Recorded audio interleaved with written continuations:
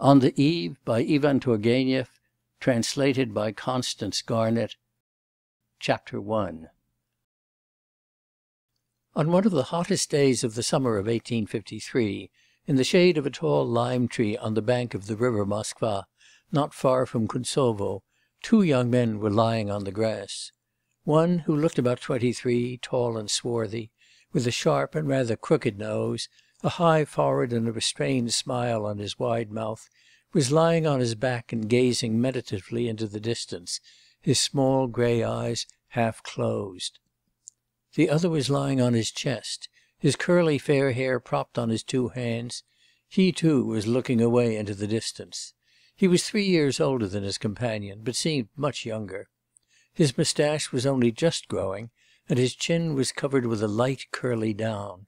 There was something childishly pretty, something attractively delicate, in the small features of his fresh round face, in his soft brown eyes, lovely pouting lips, and little white hands. Everything about him was suggestive of the happy light heartedness of perfect health and youth, the carelessness, conceit, self indulgence, and charm of youth.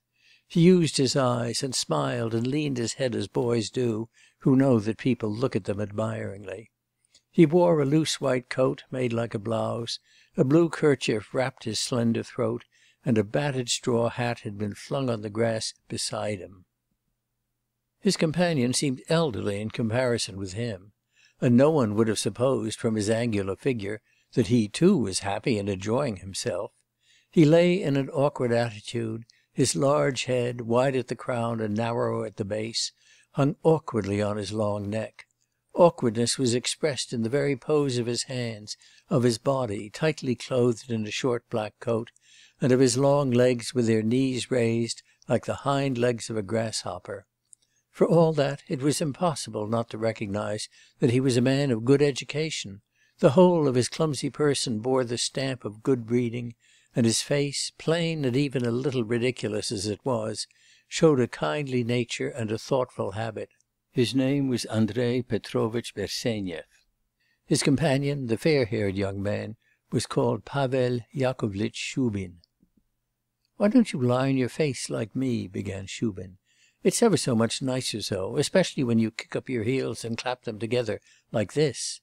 You have the grass under your nose; when you're sick of staring at the landscape, you can watch a fat beetle crawling on a blade of grass, or an ant fussing about. It's really much nicer. But you've taken up a pseudo classical pose, for all the world like a ballet dancer when she reclines upon a rock of pasteboard. You should remember you have a perfect right to take a rest now. It's no joking matter to come out third. Take your ease, sir, give up all exertion, and rest your weary limbs.' Shubin delivered this speech through his nose, in a half lazy, half joking voice (spoilt children speak so to friends of the house who bring them sweetmeats), and without waiting for an answer he went on: "What strikes me most forcibly in the ants and beetles and other worthy insects is their astounding seriousness. They run to and fro with such a solemn air, as though their life were something of such importance. A man, the lord of creation, the highest being, stares at them, if you please, and they pay no attention to him. Why, a gnat will even settle on the lord of creation's nose, and make use of him for food; it's most offensive. And on the other hand, how is their life inferior to ours, and why shouldn't they take themselves seriously, if we are to be allowed to take ourselves seriously? There now, philosopher, solve that problem for me. Why don't you speak, eh? What? said Bersenyev, starting. What? repeated Shubin. Your friend lays his deepest thoughts before you, and you don't listen to him? I was admiring the view. Look how hot and bright those fields are in the sun.' Bersenyev spoke with a slight lisp. 'There's some fine colour laid on there,' observed Shubin. 'Nature's a good hand at it, that's the fact.' Bersenyev shook his head. 'You ought to be even more ecstatic over it than I. It's in your line; you're an artist.' 'No, it's not in my line,' rejoined Shubin, putting his hat on the back of his head. 'Flesh is my line; my work's with flesh modelling flesh, shoulders, legs, and arms, and here there's no form, no finish, it's all over the place. Catch it if you can. But there is beauty here too,' remarked Bersenyev. By the way, have you finished your bas-relief? Which one? The boy with the goat. Hang it, hang it, hang it!' cried Shubin, drawling. I looked at the genuine old things, the antiques, and I smashed my rubbish to pieces. You point to nature and say, "There's beauty here too." Of course there's beauty in everything, even in your nose there's beauty; but you can't try after all kinds of beauty. The ancients, they didn't try after it; beauty came down of itself upon their creations from somewhere or other from heaven, I suppose. The whole world belonged to them; it's not for us to be so large in our reach; our arms are short. We drop our hook into one little pool and keep watch over it. If we get a bite, so much the better; if not ' Shubin put out his tongue. 'Stop, stop,' said Bersenyev, 'that's the paradox. If you have no sympathy for beauty, if you do not love beauty wherever you meet it, it will not come to you even in your art. If a beautiful view, if beautiful music does not touch your heart I mean, if you are not sympathetic ' 'Ah, you are a confirmed sympathetic,' broke in Shubin, laughing at the new title he had coined, while Bersenyev sank into thought. 'No, my dear fellow,' Shubin went on, 'you're a clever person, a philosopher, third graduate of Moscow University; it's dreadful arguing with you, especially for an ignoramus like me. But I tell you what: besides my art, the only beauty I love is in women in girls, and even that's recently.' He turned over on to his back and clasped his hands behind his head. A few instants passed by in silence. The hush of the noonday heat lay upon the drowsy, blazing fields. Speaking of women,' Shubin began anew, 'how is it no one looks after Stahov? Did you see him in Moscow? No. The old fellow's gone clean off his head. He sits for whole days together at his Augustina Christianovna's; he's bored to death, but he still sits there. They gaze at one another so stupidly; it's positively disgusting to see them. Man's a strange animal. A man with such a home; but no, he must have his Augustina Christianovna. I don't know anything more repulsive than her face, just like a duck's. The other day I modelled a caricature of her in the style of Danton. It wasn't half bad. I will show it to you. And Elena Nikolaevna's bust?' inquired Bersenyev. Is it getting on? No, my dear boy, it's not getting on. That face is enough to drive one to despair. The lines are pure, severe, correct; one would think there would be no difficulty in catching a likeness. It's not as easy as one would think, though. It's like a treasure in a fairy tale. You can't get hold of it. Have you ever noticed how she listens? There's not a single feature different, but the whole expression of the eyes is constantly changing, and with that the whole face changes. What is a sculptor and a poor one too to do with such a face? She's a wonderful creature a strange creature,' he added after a brief pause. 'Yes, she is a wonderful girl,' Bersenyev repeated after him. 'And she the daughter of Nikolai Artemyevitch Stahov. And after that people talk about blood, about stock. The amusing part of it is that she really is his daughter, like him as well as like her mother, Anna Vassilyevna. I respect Anna Vassilyevna from the depths of my heart; she's been awfully good to me, but she's no better than a hen. Where did Elena get that soul of hers? Who kindled that fire in her? There's another problem for you, philosopher!' But as before, the philosopher made no reply. Bersenyev did not in general err on the side of talkativeness, and when he did speak, he expressed himself awkwardly, with hesitation and unnecessary gesticulation. And at this time a kind of especial stillness had fallen on his soul, a stillness akin to lassitude and melancholy. He had not long come from town after prolonged hard work, which had absorbed him for many hours every day. The inactivity, the softness and purity of the air, the consciousness of having attained his object, the whimsical and careless talk of his friend, and the image so suddenly called up of one dear to him all these impressions different, yet at the same time in a way akin were mingled in him in a single vague emotion, which at once soothed and excited him, and robbed him of his power. He was a very highly strung young man. It was cool and peaceful under the lime tree. The flies and bees seemed to hum more softly as they flitted within its circle of shade. The fresh fine grass, of purest emerald green, without a tinge of gold, did not quiver; the tall flower stalks stood motionless, as though enchanted. On the lower twigs of the lime tree the little bunches of yellow flowers hung still as death. At every breath the sweet fragrance made its way to the very depths of the lungs, and eagerly the lungs inhaled it. Beyond the river in the distance, right up to the horizon, all was bright and glowing. At times a slight breeze passed over, breaking up the landscape and intensifying the brightness. A sunlit vapour hung over the fields. No sound came from the birds; they do not sing in the heat of noonday; but the grasshoppers were chirping everywhere, and it was pleasant as they sat in the cool and quietness to hear that hot, eager sound of life; it disposed to slumber and inclined the heart to reveries. 'Have you noticed,' began Bersenyev, eking out his words with gesticulations, 'what a strange feeling nature produces in us? Everything in nature is so complete, so defined, I mean to say, so content with itself; and we understand that, and admire it; and at the same time, in me at least, it always excites a kind of restlessness, a kind of uneasiness, even melancholy. What is the meaning of it? Is it that in the face of nature we are more vividly conscious of all our incompleteness, our indefiniteness? or have we a little of that content with which nature is satisfied, but something else, I mean to say, what we need, nature has not?' 'Hm!' Replied Shubin. 'I'll tell you, Andrei Petrovitch, where all that comes from. You describe the sensations of a solitary man who is not living, but only looking on in ecstasy. Why look on? Live yourself and you will be all right. However much you knock at nature's door, she will never answer you in comprehensible words, because she is dumb. She will utter a musical sound or a moan like a harp string, but don't expect a song from her. A living heart now, that will give you your answer, especially a woman's heart. So, my dear fellow, I advise you to get yourself some one to share your heart, and all your distressing sensations will vanish at once. That's what we need, as you say.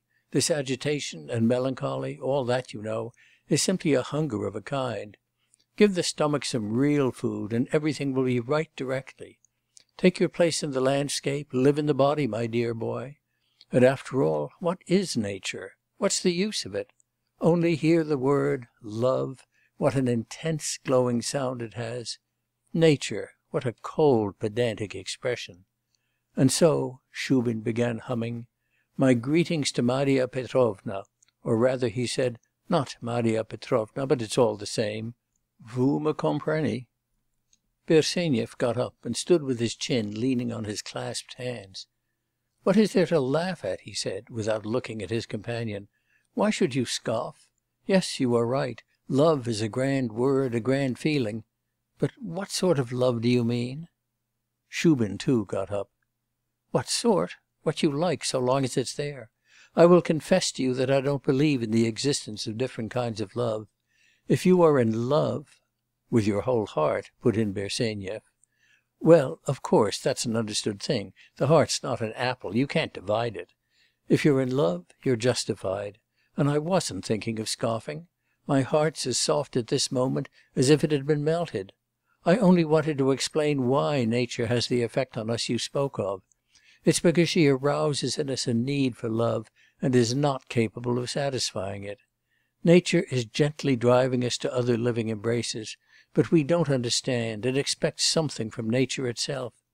Ah, Andrei, Andrei, this sun, this sky is beautiful, everything around us is beautiful, still you are sad. But if at this instant you were holding the hand of a woman you loved, if that hand and the whole woman were yours, if you were even seeing with her eyes, feeling not your own isolated emotion, but her emotion, nature would not make you melancholy or restless then and you would not be observing nature's beauty. Nature herself would be full of joy and praise. She would be re echoing your hymn, because then you would have given her dumb nature speech. Shubin leaped on to his feet and walked twice up and down, but Bersenyev bent his head, and his face was overcast by a faint flush. "I don't altogether agree with you,' he began. "Nature does not always urge us towards love. He could not at once pronounce the word. Nature threatens us too; she reminds us of dreadful, yes, insoluble mysteries. Is she not destined to swallow us up, is she not swallowing us up unceasingly? She holds life and death as well, and death speaks in her as loudly as life.' 'In love, too, there is both life and death,' interposed Shubin. 'And then,' Bersenyev went on, 'when I, for example, stand in the spring in the forest, in a green glade, when I can fancy the romantic words of Oberon's fairy horn' (Bersenyev was a little ashamed when he had spoken these words), 'is that, too ' 'The thirst for love, the thirst for happiness, nothing more,' broke in Shubin. 'I, too, know those notes; I know the languor and the expectation which comes upon the soul in the forest's shade, in its deep recesses, or at evening in the open fields, when the sun sets and the river mist rises behind the bushes; but forest and river and fields and sky, every cloud and every blade of grass, sets me expecting, hoping for happiness. I feel the approach, I hear the voice of happiness calling in everything. God of my worship, bright and gay! That was how I tried to begin my sole poem. You must own it's a splendid first line, but I could never produce a second. Happiness, happiness! As long as life is not over, as long as we have the use of all our limbs, as long as we are going up, not down hill. Damn it all!' pursued Shubin with sudden vehemence, 'we are young, and neither fools nor monsters. We will conquer happiness for ourselves. He shook his curls and turned a confident, almost challenging glance upwards to the sky. Bersenyev raised his eyes and looked at him. 'Is there nothing higher than happiness?' he commented softly. 'And what, for instance?' asked Shubin, stopping short. 'Why, for instance, you and I are, as you say, young; we are good men, let us suppose; each of us desires happiness for himself. But is that word, happiness, one that could unite us, set us both on fire, and make us clasp each other's hands? Isn't that word an egoistic one? I mean, isn't it a source of disunion?" "Do you know words, then, that unite men?" "Yes, and they are not few in number. And you know them too.' 'Eh? What words?" "Well, even art, since you are an artist. Country, science, freedom, justice." "And what of love?' asked Shubin. "Love, too, is a word that unites, but not the love you are eager for now; the love which is not enjoyment, the love which is self sacrifice.' Shubin frowned. "That's all very well for Germans. I want a love for myself; I want to be first. first.' 'To be first,' repeated Bersenyev. 'But it seems to me that to put oneself in the second place is the whole significance of life. If all men were to act as you advise,' commented Shubin with a plaintive expression, 'none on earth would eat pine apples; every one would be offering them to other people.' 'That's as much as to say, pine apples are not necessary. But you need not be alarmed; there will always be plenty of people who like them enough to take the bread out of other men's mouths to get them.' Both friends were silent a little. 'I met Insarov again the other day,' began Bersenyev. I invited him to stay with me. I really must introduce him to you and to the Stahovs.' 'Who is Insarov? Ah, to be sure; isn't it that Servian or Bulgarian you were telling me about? The patriot? Now, isn't it he who's at the bottom of all these philosophical ideas?' 'Perhaps.' 'Is he an exceptional individual?' 'Yes.' 'Clever, talented?' Clever? Talented? 'Clever, talented, I don't know; I don't think so.' 'Not? Then what is there remarkable about him?' 'You shall see. But now I think it's time to be going. Anna Vassilyevna will be waiting for us, very likely. What's the time?' 'Three o'clock. Let us go. How baking it is! This conversation has set all my blood aflame. There was a moment when you too I am not an artist for nothing, I observe everything. Confess, you are interested in a woman?' Shubin tried to get a look at Bersenyev's face, but he turned away and walked out of the lime tree's shade. Shubin went after him, moving his little feet with easy grace. Bersenyev walked clumsily, with his shoulders high and his neck craned forward. Yet he looked a man of finer breeding than Shubin, more of a gentleman one might say, if that word had not been so vulgarised among us. End of chapter one. Chapter two. The young men went down to the river Moskva and walked along its bank. There was a breath of freshness from the water, and the soft plash of tiny waves caressed the ear. "I would have another bathe,' said Shubin, "only I'm afraid of being late. Look at the river; it seems to beckon us. The ancient Greeks would have beheld a nymph in it. But we are not Greeks, O nymph, we are thick skinned Scythians.' 'We have roussalkas,' observed Bersenyev. 'Get along with your roussalkas. What's the use to me, a sculptor, of those children of a cold terror stricken fancy, those shapes begotten in the stifling hut in the dark of winter nights? I want light, space.... Good God, when shall I go to Italy, when ' 'To Little Russia, I suppose you mean?' 'For shame, Andrei Petrovitch, to reproach me for an act of unpremeditated folly, which I have repented bitterly enough without that. Oh, of course I behaved like a fool. Anna Vassilyevna most kindly gave me the money for an expedition to Italy, and I went off to the Little Russians to eat dumplings and ' 'Don't let me have the rest, please,' interposed Bersenyev. 'Yet still, I will say, the money was not spent in vain. I saw there such types, especially of women. Of course I know; there is no salvation to be found outside of Italy.' 'You will go to Italy,' said Bersenyev, without turning towards him, 'and will do nothing. You will always be pluming your wings, and never take flight. We know you. 'Stavasser has taken flight, and he's not the only one. If I don't fly, it will prove that I'm a sea penguin and have no wings. I am stifled here. I want to be in Italy,' pursued Shubin. 'There is sunshine, there is beauty.' A young girl in a large straw hat, with a pink parasol on her shoulder, came into sight at that instant, in the little path along which the friends were walking. 'But what do I see? Even here there is beauty, coming to meet us. A humble artist's compliment to the enchanting Zoya!' Shubin cried at once, with a theatrical flourish of his hat. The young girl to whom this exclamation referred, stopped, threatening him with her finger, and waiting for the two friends to come up to her, she said in a ringing voice: "Why is it, gentlemen, you don't come in to dinner? It is on the table." "What do I hear?' said Shubin, throwing his arms up. "Can it be that you, bewitching Zoya, faced such heat to come and look for us? Dare I think that is the meaning of your words? Tell me, can it be so? Or no, do not utter that word, I shall die of regret on the spot.' 'Oh, do leave off, Pavel Yakovlitch,' replied the young girl with some annoyance. 'Why will you never talk to me seriously? I shall be angry,' she added with a little coquettish grimace, and she pouted. 'You will not be angry with me, ideal Zoya Nikitishna? You would not drive me to the dark depths of hopeless despair? And I can't talk to you seriously, because I am not a serious person.' The young girl shrugged her shoulders and turned to Bersenyev. 'There, he's always like that; he treats me like a child, and I am eighteen. I am grown up now.' 'O Lord!' groaned Shubin, rolling his eyes upwards, and Bersenyev smiled quietly. The girl stamped with her little foot.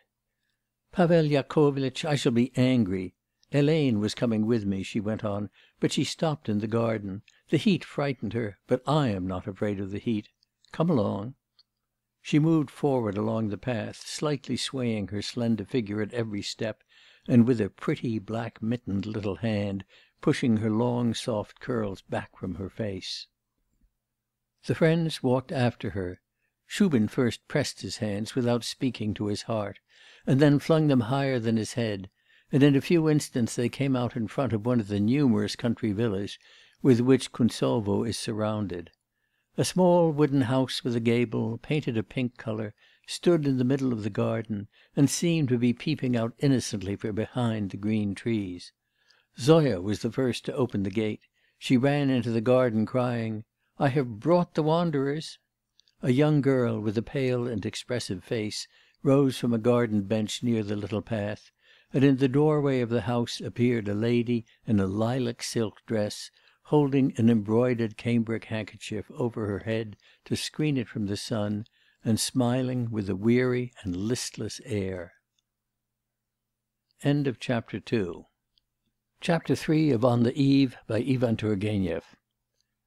Anna Vassilyevna Stahov her maiden name was Shubin had been left, at seven years old, an orphan and an heiress of a pretty considerable property; she had very rich and also very poor relations; The poor relations were on her father's, the rich on her mother's side, the latter including the Senator Volgin and the Princess Tchikurasov. Prince Ardalion Tchikurasov, who had been appointed her guardian, placed her in the best Moscow boarding school, and when she left school took her into his own home. He kept open house and gave balls in the winter. Anna Vassilyevna's future husband, Nikolai Artemyevitch Stahov, captured her heart at one of these balls when she was arrayed in a charming rose coloured gown with a wreath of tiny roses. She had treasured that wreath all her life. Nikolai Artemyevitch Stahov was the son of a retired captain, who had been wounded in 1812, and had received a lucrative post in Petersburg. Nikolai Artemyevitch entered the School of Cadets at sixteen, and left to go into the Guards. He was a handsome, well made fellow, and reckoned almost the most dashing beau at evening parties of the middling sort, which were those he frequented for the most part. He had not gained a footing in the best society. From his youth he had been absorbed by two ideals to get into the Imperial Adjutants, and to make a good marriage. The first ideal he soon discarded, but he clung all the more closely to the second, and it was with that object that he went every winter to Moscow. Nikolai Artemyevitch spoke French fairly, and passed for being a philosopher, because he was not a rake. Even while he was no more than an ensign, he was given to discussing, persistently, such questions as to whether it is possible for a man to visit the whole of the globe in the course of his whole lifetime, whether it is possible for a man to know what is happening at the bottom of the sea, and he always maintained the view that these things were impossible. Nikolai Artemyevitch was twenty five years old when he hooked Anna Vassilyevna. He retired from the service and went into the country to manage the property. He was soon tired of country life, and as the peasants' labour was all commuted for rent, he could easily leave the estate. He settled in Moscow in his wife's house. In his youth he had played no games of any kind, but now he developed a passion for Lotto, and when Lotto was prohibited, for whist. At home he was bored. He formed a connection with a widow of German extraction, and spent almost all his time with her. In the year 1853 he had not moved to Kuntsovo; he stopped at Moscow, ostensibly to take advantage of the mineral waters; in reality he did not want to part from his widow. He did not, however, have much conversation with her, but argued more than ever as to whether one can foretell the weather, and such questions. Some one had once called him a frondeur; he was greatly delighted with that name. Yes, he thought, letting the corners of his mouth drop complacently, and shaking his head, I am not easily satisfied; you won't take me in. Nikolai Artemyevitch's frondeurism consisted in saying, for instance, when he heard the word nerves, 'And what do you mean by nerves?' Or if some one alluded in his presence to the discoveries of astronomy, asking, "And do you believe in astronomy?' When he wanted to overwhelm his opponent completely, he said, "All that is nothing but words.' But Nikolai Artemyevitch never suspected that Augustina Christianovna, in letters to her cousin Theodolina Peterzelius, called him mein Pinselchen. Nikolai Artemyevitch's wife, Anna Vassilyevna, was a thin little woman with delicate features and a tendency to be emotional and melancholy. At school she had devoted herself to music and reading novels; afterwards she abandoned all that. She began to be absorbed in dress, and that, too, she gave up.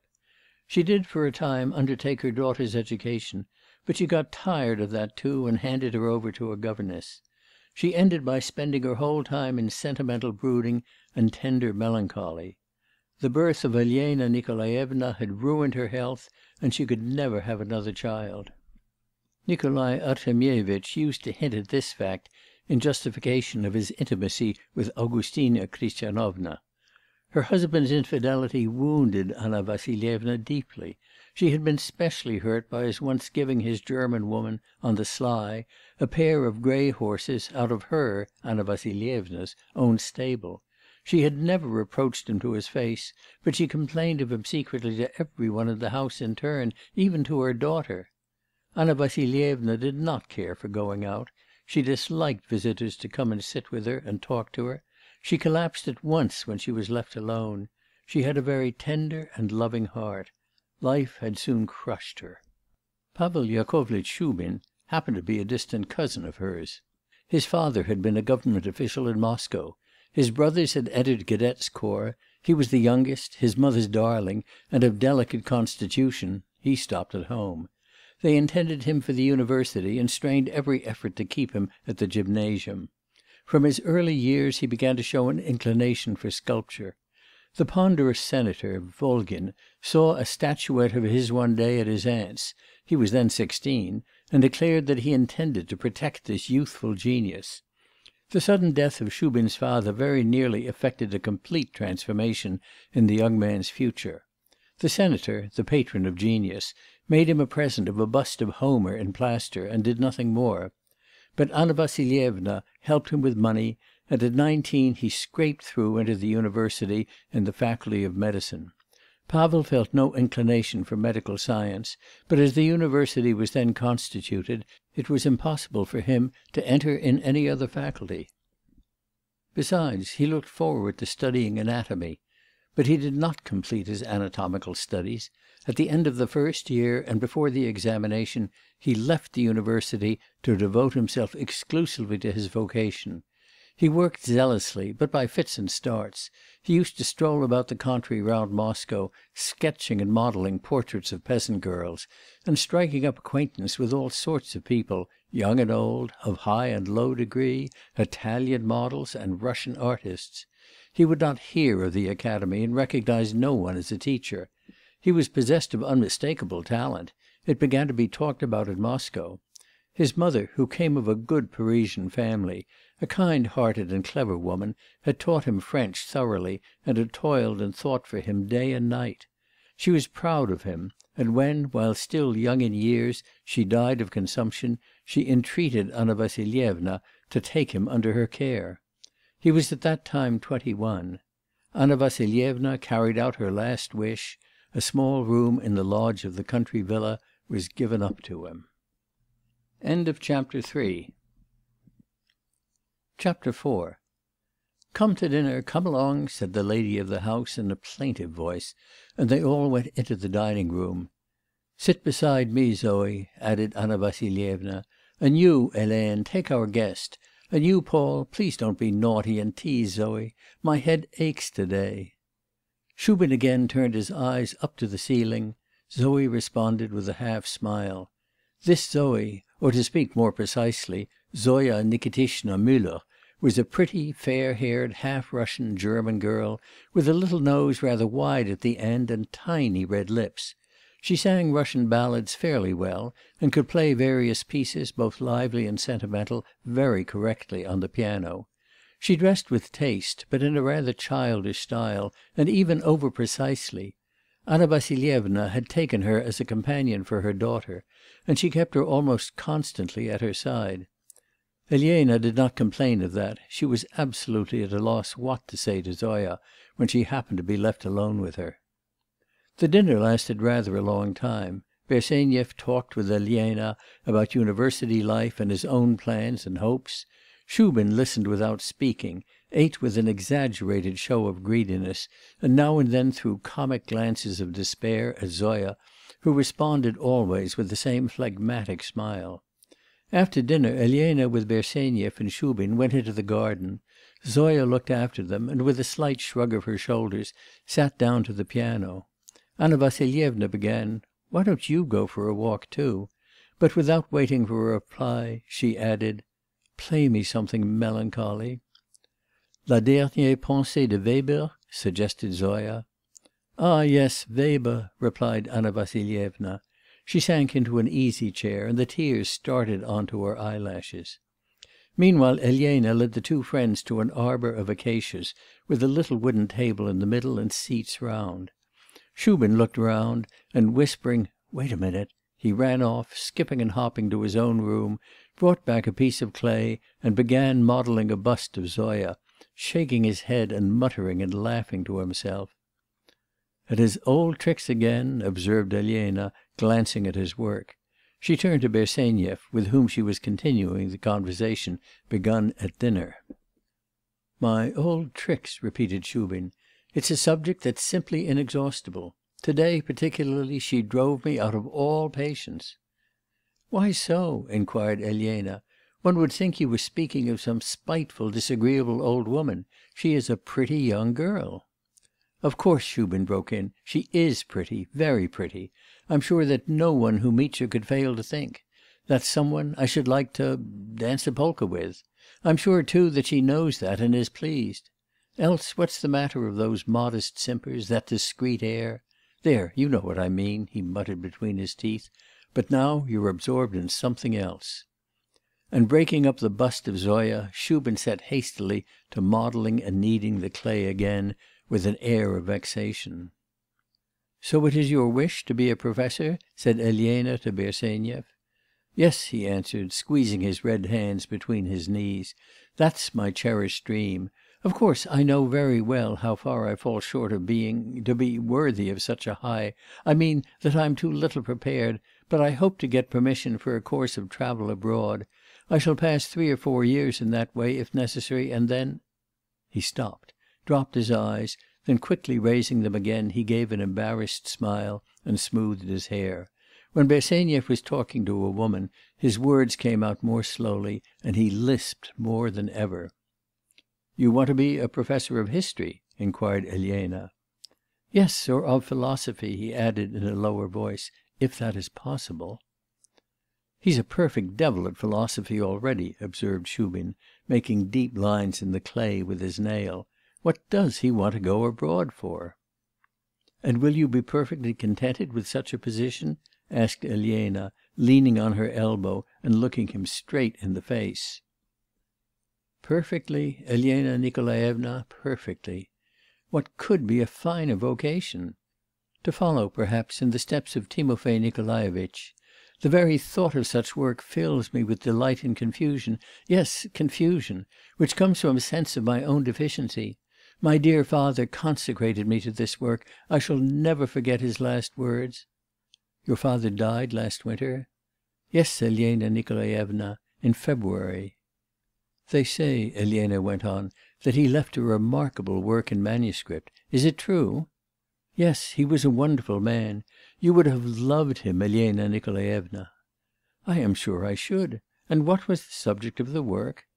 'To give you an idea of the subject of the work in a few words, Elena Nikolaevna, would be somewhat difficult. My father was a learned man, a Schellingist; he used terms which were not always very clear ' 'Andrei Petrovitch,' interrupted Elena, 'excuse my ignorance, what does that mean, a Schellingist?' Bersenyev smiled slightly. 'A Schellingist means a follower of Schelling, a German philosopher, and what the philosophy of Schelling consists in ' 'Andrei Petrovitch!' cried Shubin suddenly, 'for mercy's sake ' 'Surely you don't mean to give Elena Nikolaevna a lecture on Schelling? Have pity on her!' 'Not a lecture at all,' murmured Bersenyev, turning crimson. 'I meant ' 'And why not a lecture?' put in Elena. 'You and I are in need of lectures, Pavel Yakovlitch.' Shubin stared at her and suddenly burst out laughing. 'What are you laughing at?' she said coldly and almost sharply. Shubin did not answer. 'Come, don't be angry,' he said, after a short pause. 'I am sorry. But really it's a strange taste, upon my word, to discuss philosophy in weather like this under these trees. Let us rather talk of nightingales and roses, youthful eyes and smiles.' 'Yes, and of French novels, and of feminine frills and fal lals,' Elena went on. 'Fal lals too, of course,' rejoined Shubin, 'if they're pretty.' 'Of course. But suppose we don't want to talk of frills? You are always boasting of being a free artist. Why do you encroach on the freedom of others? And allow me to inquire, if that's your bent of mind, why do you attack Zoya? With her it would be peculiarly suitable to talk of frills and roses.' Shubin suddenly fired up, and rose from the garden seat. 'So that's it,' he began in a nervous voice.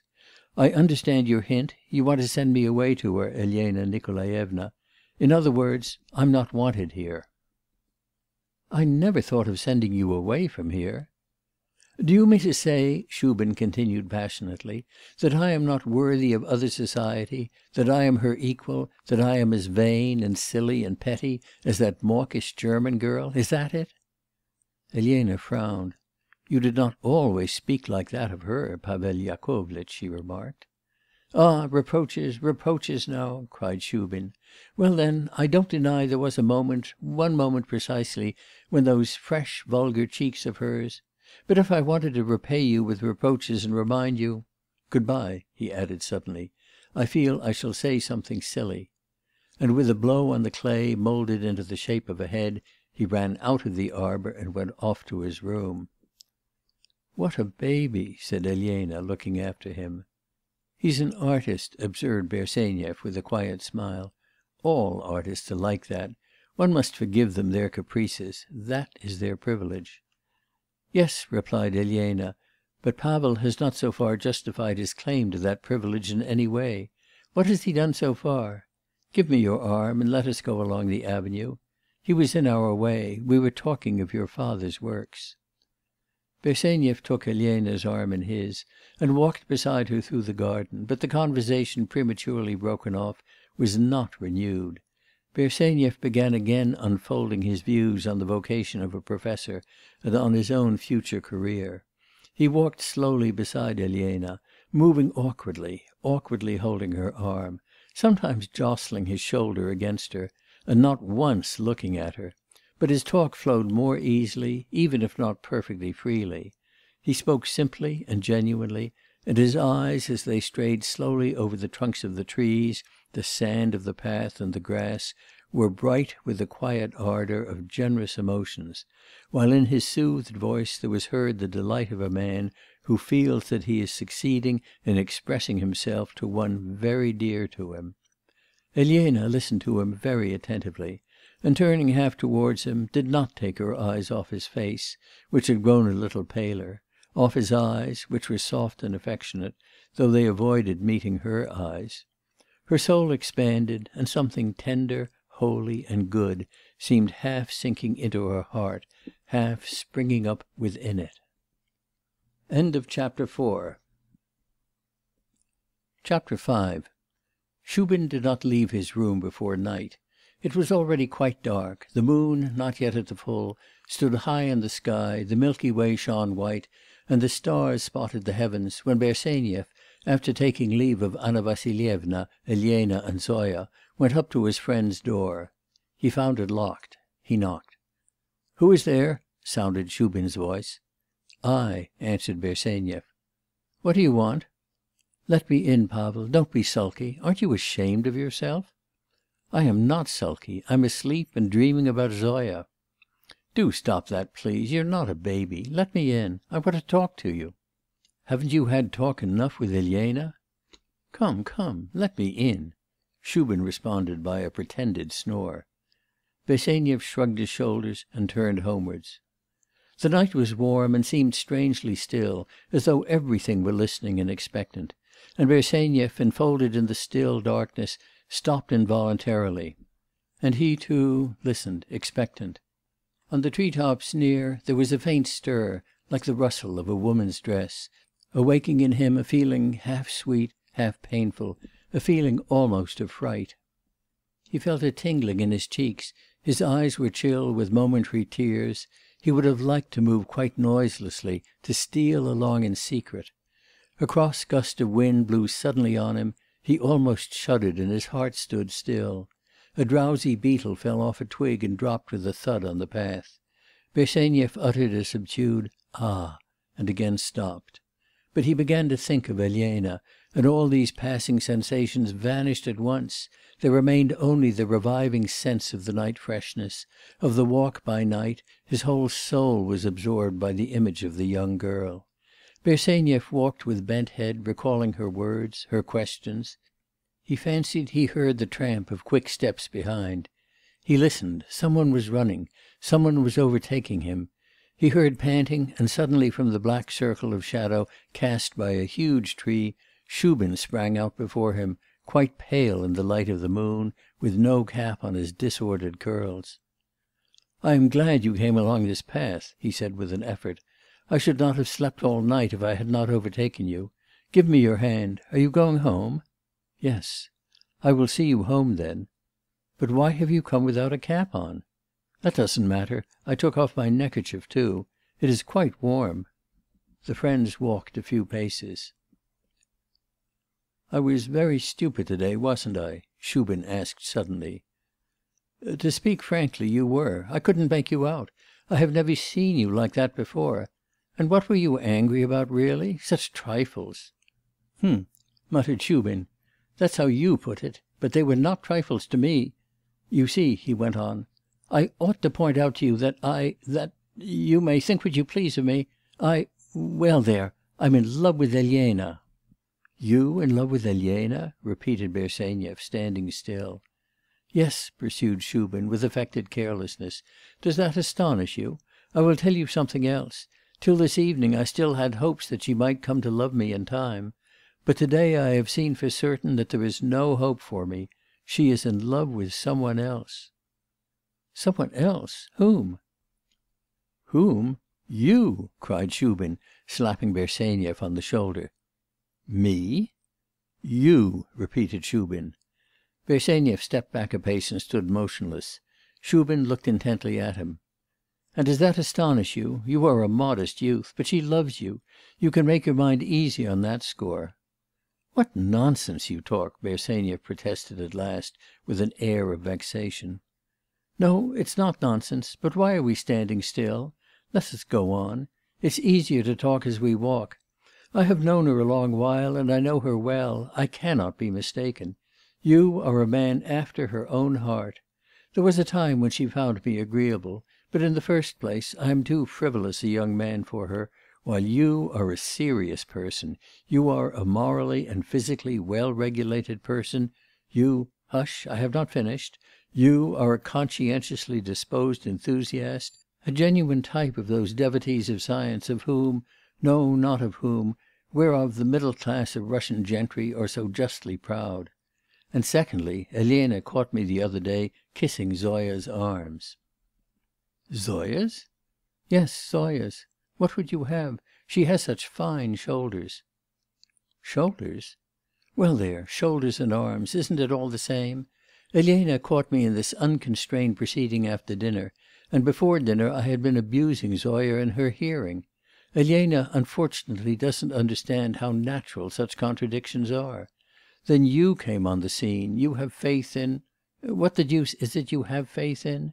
You blush and look confused, you discuss Schiller and Schelling she's always on the look out for remarkable men and so you have won the day, and I, poor wretch, try to joke and all the while ' Shubin suddenly burst into tears, turned away, and dropping upon the ground, clutched at his hair.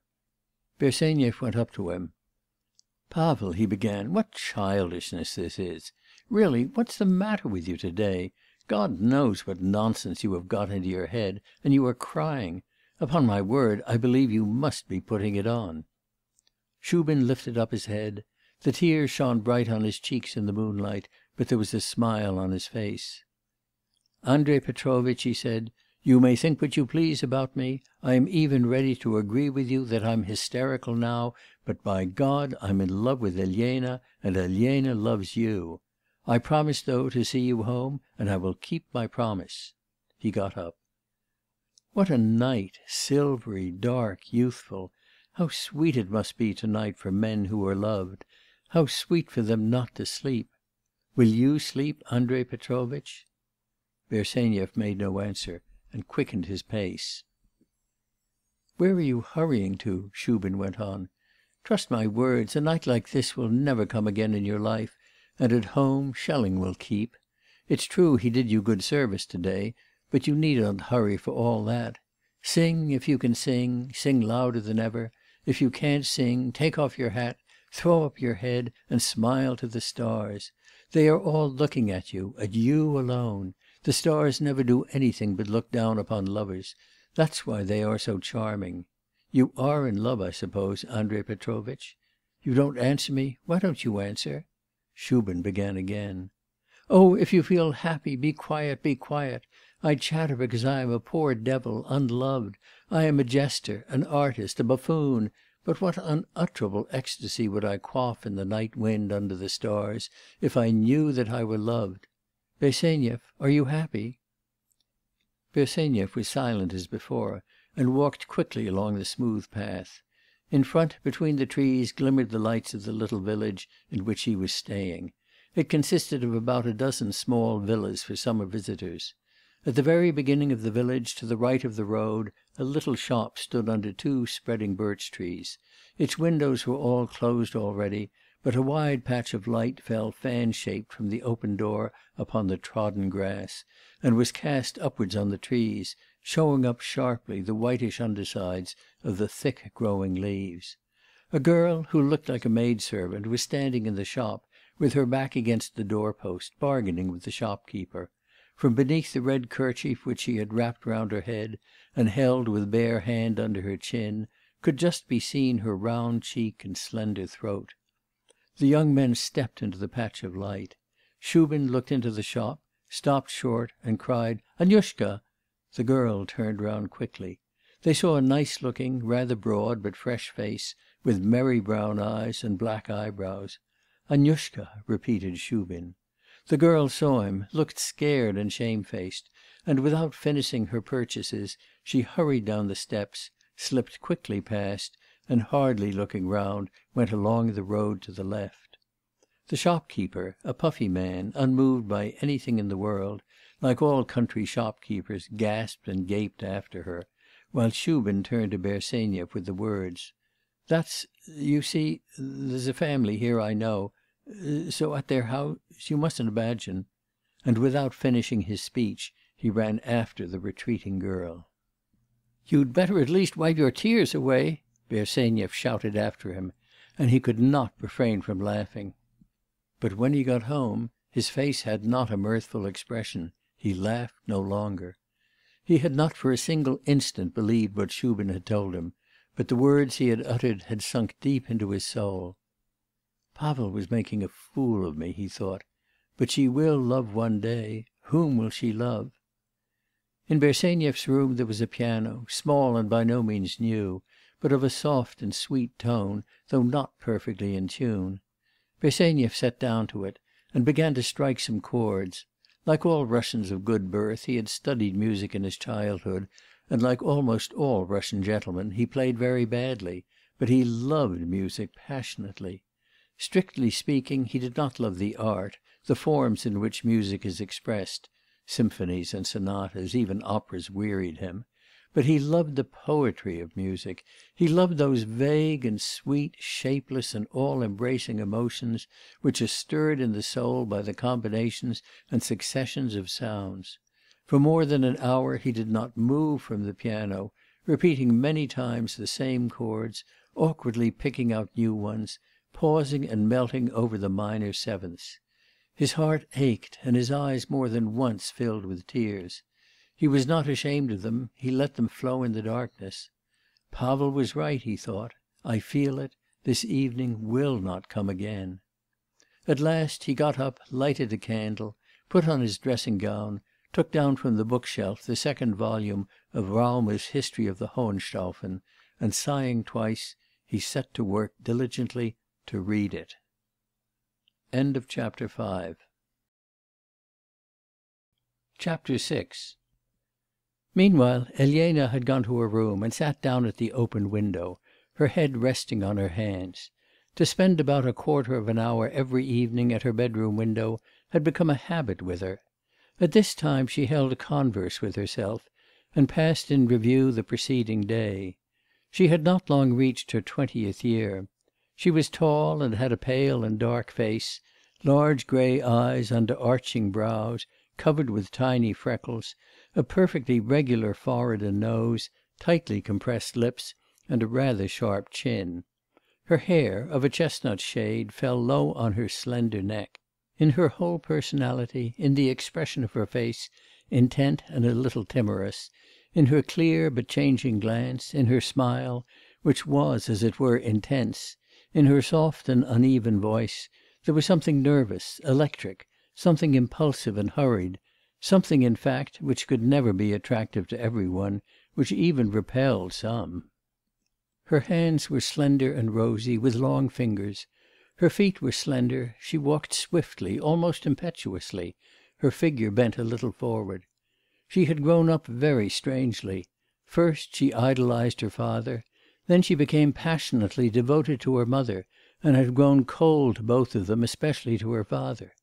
Of late years she had behaved to her mother as to a sick grandmother; while her father, who had been proud of her while she had been regarded as an exceptional child, had come to be afraid of her when she was grown up, and said of her that she was a sort of enthusiastic republican no one could say where she got it from. Weakness revolted her, stupidity made her angry, and deceit she could never, never pardon. She was exacting beyond all bounds; even her prayers had more than once been mingled with reproaches. When once a person had lost her respect and she passed judgment quickly, often too quickly he ceased to exist for her. All impressions cut deeply into her heart; life was bitter earnest for her. The governess to whom Anna Vassilyevna had entrusted the finishing of her daughter's education an education, we may remark in parenthesis, which had not even been begun by the languid lady was a Russian, the daughter of a ruined official, educated at government boarding school, a very emotional, soft hearted, and deceitful creature; she was for ever falling in love, and ended in her fiftieth year (when Elena was seventeen) by marrying an officer of some sort who deserted her without loss of time. The governess was very fond of literature, and wrote verses herself; she inspired Elena with a love of reading; but reading alone did not satisfy the girl. From childhood she thirsted for action, for active well doing; the poor, the hungry, the sick absorbed her thoughts, tormented her, and made her heart heavy; she used to dream of them, and to ply all her friends with questions about them. She gave alms carefully, with unconscious solemnity, almost with a thrill of emotion. All ill used creatures, starved dogs, cats condemned to death, sparrows fallen out of the nest, even insects and reptiles found a champion and protector in Elena; she fed them herself, and felt no repugnance for them. Her mother did not interfere with her; but her father used to be very indignant with his daughter, for her, as he called it, vulgar soft heartedness, and declared there was not room to move for the cats and dogs in the house. 'Lenotchka!' he would shout to her, 'come quickly, here's a spider eating a fly; come and save the poor wretch!' And Lenotchka, all excitement, would run up, set the fly free, and disentangle its legs. 'Well, now let it bite you a little, since you are so kind,' her father would say ironically; but she did not hear him. At ten years old Elena made friends with a little beggar girl, Katya, and used to go secretly to meet her in the garden, took her nice things to eat, and presented her with handkerchiefs and pennies playthings Katya would not take. She would sit beside her on the dry earth, among the bushes, behind a thick growth of nettles; with a feeling of delicious humility she ate her stale bread and listened to her stories.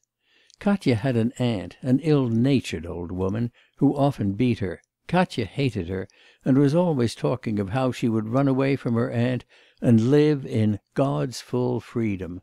With secret respect and awe, Elena drank in these new unknown words, stared intently at Katya and everything about her; her quick, black, almost animal eyes, her sunburnt hands, her hoarse voice, even her ragged clothes, seemed to Elena at such times something particular and distinguished, almost holy. Elena went back home, and for long after dreamed of beggars and God's freedom; she would dream over plans of how she would cut herself a hazel stick, and put on a wallet and run away with Katya; how she would wander about the roads in a wreath of cornflowers she had seen Katya one day in just such a wreath. If, at such times, any one of her family came into the room, she would shun them and look shy. One day she ran out in the rain to meet Katya and made her frock muddy; her father saw her, and called her a slut and a peasant wench.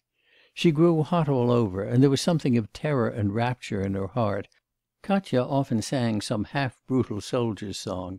Elena learnt this song from her. Anna Vassilyevna overheard her singing it, and was very indignant. 'Where did you pick up such horrors?' she asked her daughter. Elena only looked at her mother, and would not say a word; she felt that she would let them tear her to pieces sooner than betray her secret; and again there was a terror and sweetness in her heart. Her friendship with Katya, however, did not last long. The poor little girl fell sick of a fever, and in a few days she was dead. Elena was greatly distressed, and spent sleepless nights for long after she heard of Katya's death. The last words of the little beggar girl were constantly ringing in her ears, and she fancied that she was being called. The years passed and passed, swiftly and noiselessly, like waters running under the snow. Elena's youth glided by, outwardly uneventful, inwardly in conflict and emotion. She had no friend; she did not get on with any one of all the girls who visited the Stahovs' house. Her parents' authority had never weighed heavily on Elena, and from her sixteenth year she became absolutely independent; she began to live a life of her own, but it was a life of solitude. Her soul glowed, and the fire died away again in solitude. She struggled like a bird in a cage, and cage there was none; no one oppressed her, no one restrained her, while she was torn and fretted within. Sometimes she did not understand herself, was even frightened of herself; everything that surrounded her seemed to her half senseless, half incomprehensible. 'How live without love, and there's no one to love?' she thought; and she felt terror again at these thoughts, these sensations. At eighteen she nearly died of malignant fever; her whole constitution, naturally healthy and vigorous, was seriously affected, and it was long before it could perfectly recover. The last traces of the illness disappeared at last, but Elena Nikolaevna's father was never tired of talking with some spitefulness of her 'nerves.' Sometimes she fancied that she wanted something which no one wanted, of which no one in all Russia dreamed. Then she would grow calmer, and even laugh at herself, and pass day after day unconcernedly; but suddenly some overmastering, nameless force would surge up within her, and seem to clamour for an outlet. The storm passed over, and the wings of her soul drooped without flight; but these tempests of feeling cost her much. However she might strive not to betray what was passing within her, the suffering of the tormented spirit was expressed in her even, external tranquillity, and her parents were often justified in shrugging their shoulders in astonishment, and failing to understand her 'queer ways.' On the day with which our story began, Elena did not leave the window till later than usual. She thought much of Bersenyev, and of her conversation with him. She liked him; she believed in the warmth of his feelings and the purity of his aims. He had never before talked to her as on that evening. She recalled the expression of his timid eyes, his smiles, and she smiled herself and fell to musing, but not at him. She began to look out into the night from the open window. For a long time she gazed at the dark, low hanging sky. Then she got up, flung back her hair from her face with a shake of her head, and, herself not knowing why, she stretched out to it to that sky her bare, chilled arms; then she dropped them, fell on her knees beside her bed, pressed her face into the pillow, and in spite of all her efforts not to yield to the passion overwhelming her, she burst into strange, uncomprehending, burning tears. End of chapter VII The next day at twelve o'clock Bersenyev set off in a return coach to Moscow. He had to get some money from the post office to buy some books, and he wanted to seize the opportunity to see Insarov and have some conversation with him. The idea had occurred to Bersenyev, in the course of his last conversation with Shubin, to invite Insarov to stay with him at his country lodgings. But it was some time before he found him out; from his former lodging he had moved to another, which it was not easy to discover. It was in the court at the back of a squalid stone house, built in the Petersburg style, between Arbaty Road and Povarsky Street. In vain Bersenyev wandered from one dirty staircase to another; in vain he called first to a doorkeeper, then to a passer by. Porters even in Petersburg try to avoid the eyes of visitors, and in Moscow much more so. No one answered Bersenyev's call; only an inquisitive tailor in his shirt sleeves, with a skein of grey thread on his shoulder, thrust out from a high casement window a dirty, dull, unshorn face with a blackened eye; and a black and hornless goat, clambering up on to a dung heap, turned round, bleated plaintively, and went on chewing the cud faster than before. A woman in an old cloak and shoes trodden down at the heel took pity at last on Bersenyev, and pointed out Insarov's lodging to him. Bersenyev found him at home; he had taken a room with the very tailor who had stared down so indifferently at the perplexity of a wandering stranger a large, almost empty room with dark green walls, three square windows, a tiny bedstead in one corner, a little leather sofa in another, and a huge cage hung up to the very ceiling; in this cage there had once lived a nightingale. Insarov came to meet Bersenyev directly he crossed the threshold, but he did not exclaim, 'Ah, it's you!' or 'Good heavens, what happy chance has brought you?' He did not even say 'How do you do?' but simply pressed his hand and led him up to the solitary chair in the room. "Sit down,' he said, and he seated himself at the edge of the table. "I am, as you see, still in disorder,' added Insarov, pointing to a pile of papers and books on the floor. "I haven't got settled in as I ought; I have not had time yet.' Insarov spoke Russian perfectly correctly, pronouncing every word fully and purely; but his guttural though pleasant voice sounded somehow not Russian. Insarov's foreign extraction (he was a Bulgarian by birth) was still more clearly marked in his appearance; he was a young man of five and twenty, spare and sinewy, with a hollow chest and knotted fingers; he had sharp features, a hooked nose, blue black hair, a low forehead, small, intent looking, deep set eyes, and bushy eyebrows. When he smiled, splendid white teeth gleamed for an instant between his thin, hard, over defined lips. He was in a rather old but tidy coat, buttoned up to the throat. 'Why did you leave your old lodging?' Bersenyev asked him. 'This is cheaper, and nearer to the university.' 'But now it's vacation. And what could induce you to stay in town in summer? You should have taken a country cottage if you were determined to move. Insarov made no reply to this remark, and offered Bersenyev a pipe, adding: 'Excuse me, I have no cigarettes or cigars.' Bersenyev began smoking the pipe. 'Here have I,' he went on, 'taken a little house near Kuntsovo, very cheap and very roomy. In fact, there is a room to spare upstairs.' Insarov again made no answer. Bersenyev drew at the pipe. 'I have even been thinking,' he began again, blowing out the smoke in a thin cloud, 'that if any one could be found you, for instance, I thought of who would care, who would consent to establish himself there upstairs, how nice it would be. What do you think, Dmitri Nikanorovitch?' Insarov turned his little eyes on him. 'You propose my staying in your country house?' 'Yes, I have a room to spare there upstairs.' 'Thanks very much, Andrei Petrovitch, but I expect my means would not allow of it.' 'How do you mean?' 'My means would not allow of my living in a country house. It's impossible for me to keep two lodgings. But of course I ' Bersenyev was beginning, but he stopped short. 'You would have no extra expense in that way,' he went on. 'Your lodging here would remain for you, let us suppose, but then everything there is very cheap; we could even arrange so as to dine, for instance, together.' Insarov said nothing. Bersenyev began to feel awkward. 'You might at least pay me a visit some time,' he began after a short pause. 'A few steps from me there's a family living with whom I want very much to make you acquainted. If only you knew, Insarov, what a marvellous girl there is there! There is an intimate friend of mine staying there too, a man of great talent; I am sure you would get on with him.' The Russian loves to be hospitable of his friends if he can offer nothing else. 'Really, you must come.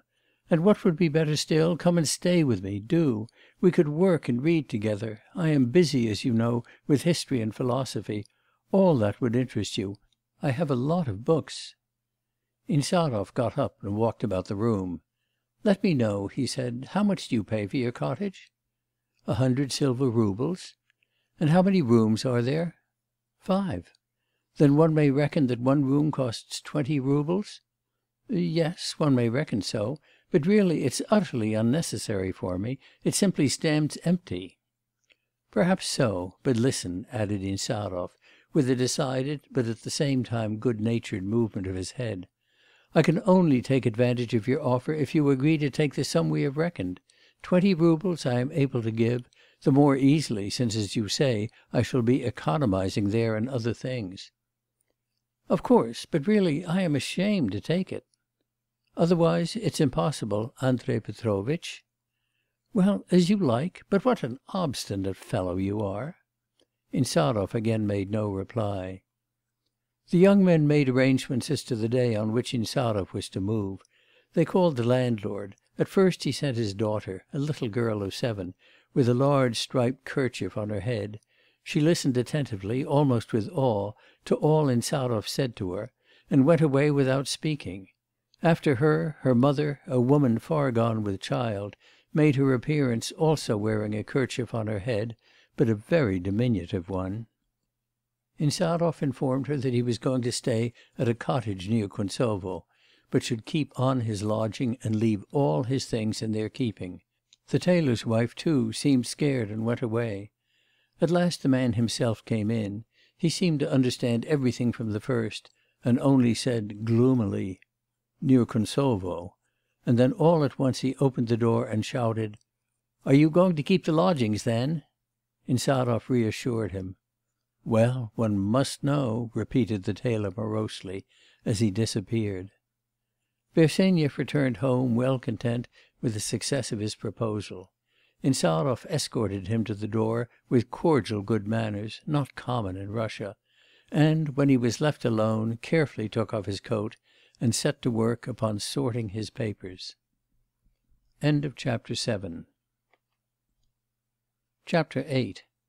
On the evening of the same day, Anna Vassilyevna was sitting in her drawing room, and was on the verge of weeping. There were also in the room her husband and a certain Uvar Ivanovitch Stahov, a distant cousin of Nikolai Artemyevitch, a retired cornet of sixty years old, a man corpulent to the point of immobility, with sleepy yellowish eyes, and colourless thick lips and a puffy yellow face. Ever since he had retired, he had lived in Moscow on the interest of a small capital left him by a wife who came of a shopkeeper's family.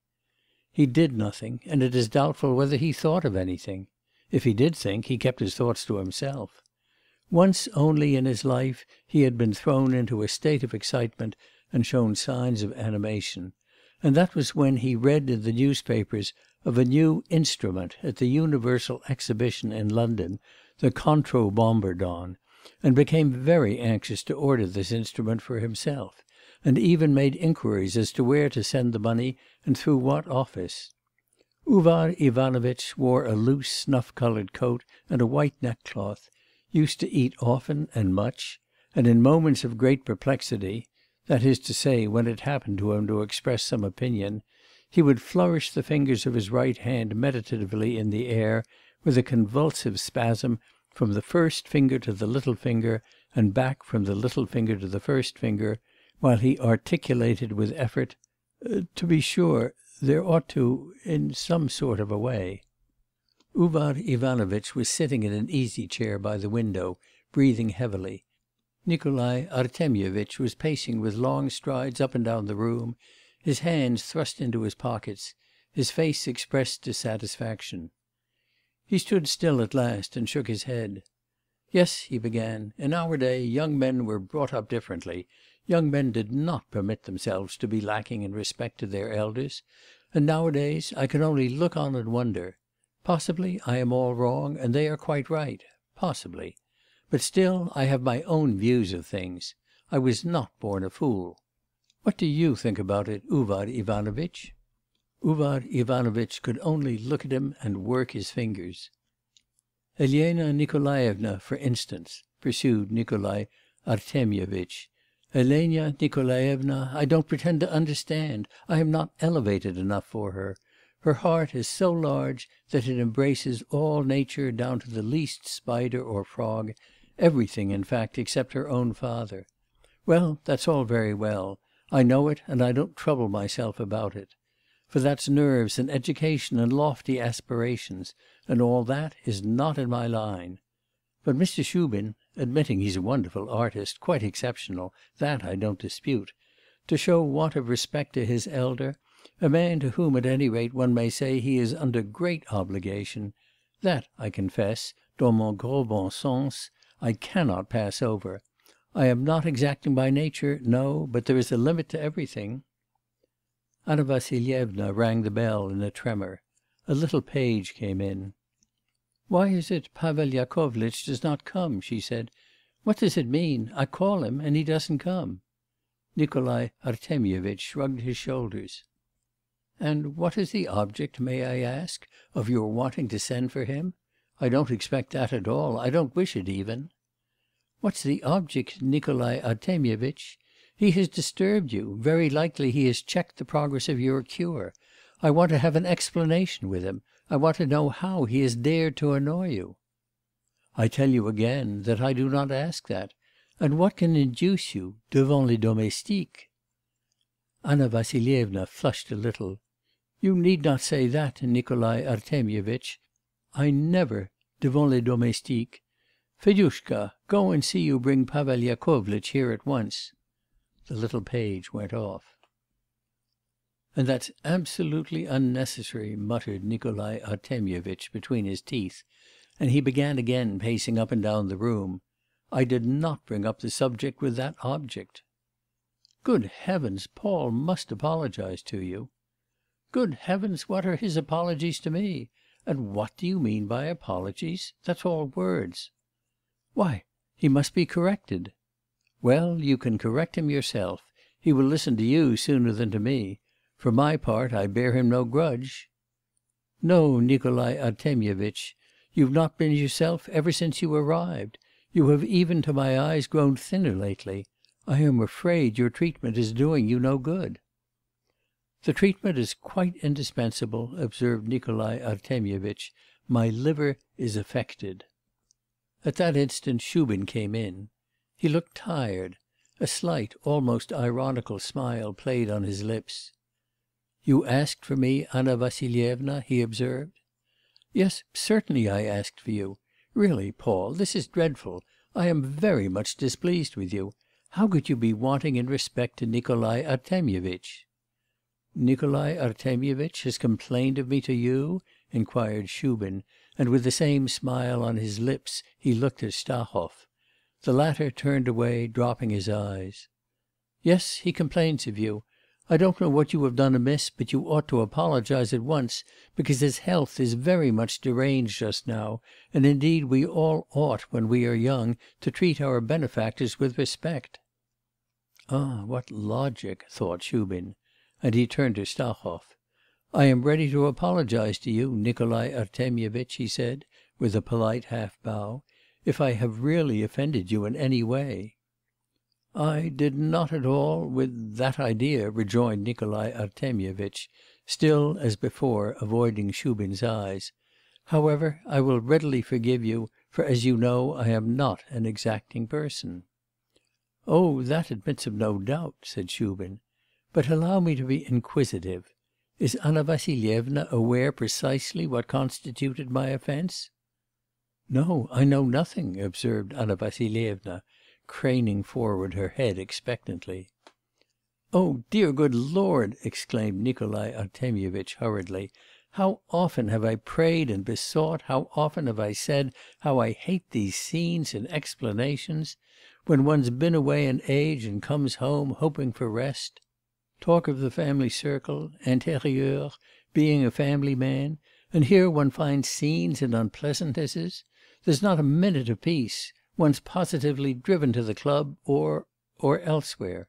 A man is alive, he has a physical side, and it has its claims, but here ' And without concluding his sentence, Nikolai Artemyevitch went quickly out, slamming the door. Anna Vassilyevna looked after him. 'To the club!' she muttered bitterly. 'You are not going to the club, profligate? You've no one at the club to give away my horses to horses from my own stable, and the grey ones too, my favourite colour. Yes, yes, fickle hearted man,' she went on, raising her voice, 'you are not going to the club. As for you, Paul,' she pursued, getting up, 'I wonder you're not ashamed. I should have thought you would not be so childish. And now my head has begun to ache. Where is Zoya, do you know?' 'I think she's upstairs in her room. The wise little fox always hides in her hole when there's a storm in the air. 'Come, please, please' Anna Vassilyevna began searching about her 'haven't you seen my little glass of grated horseradish? Paul, be so good as not to make me angry for the future.' 'How to make you angry, auntie? Give me your little hand to kiss. Your horseradish I saw on the little table in the boudoir.' 'Daria always leaves it about somewhere,' said Anna Vassilyevna, and she walked away with a rustle of silk skirts. Shubin was about to follow her, but he stopped on hearing Uvar Ivanovitch's drawling voice behind him. 'I would have given it you, young puppy,' the retired cornet brought out in gasps. Shubin went up to him. 'And what have I done then, most venerable Uvar Ivanovitch?' 'How? You are young; be respectful. Yes, indeed.' 'Respectful to whom?' 'To whom? You know whom. Ay, grin away.' Shubin crossed his arms on his breast. 'Ah, you type of the choice element in drama!' he exclaimed. 'You primeval force of the black earth, corner stone of the social fabric!' Uvar Ivanovitch's fingers began to work. 'There, there, there, my boy, don't provoke me.' 'Here,' pursued Shubin, 'is a gentleman not young to judge by appearances, but what blissful childlike faith is still hidden in him! Respect! And do you know, you primitive creature, what Nikolai Artemyevitch was in a rage with me for? Why, I spent the whole of this morning with him at his German woman's. We were singing, the three of us, "Do not leave me." You should have heard us; that would have moved you. We sang and sang, my dear sir, and well, I got bored. I could see something was wrong; there was an alarming tenderness in the air. And I began to tease them both. I was very successful. First she was angry with me, then with him. And then he got angry with her, and told her that he was never happy except at home, and he had a paradise there. And she told him he had no morals, and I murmured "Ach!" To her in German. He walked off, and I stayed behind. He came here, to his paradise, that's to say, and he was soon sick of paradise, so he set to grumbling. Well now, who do you consider was to blame?' 'You, of course,' replied Uvar Ivanovitch. Shubin stared at him. 'May I venture to ask you, most reverend knight errant,' he began in an obsequious voice, 'these enigmatical words you have deigned to utter as the result of some exercise of your reflecting faculties, or under the influence of a momentary necessity to start the vibration in the air known as sound?' 'Don't tempt me, I tell you,' groaned Uvar Ivanovitch. Shubin laughed and ran away. 'Hi!' shouted Uvar Ivanovitch, a quarter of an hour later. 'You there, a glass of spirits.' A little page brought the glass of spirits and some salt fish on a tray.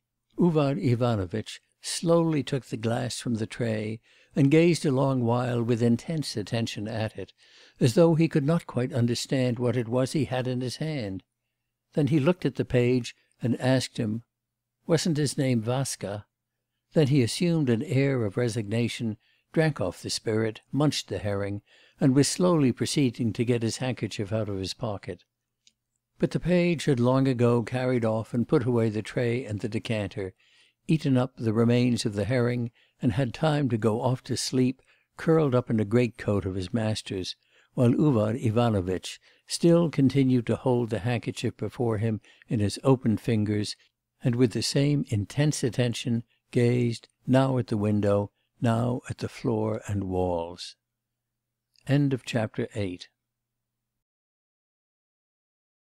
Shubin went back to his room in the lodge and was just opening a book when Nikolai Artemyevitch's valet came cautiously into his room and handed him a small triangular note sealed with a thick heraldic crest.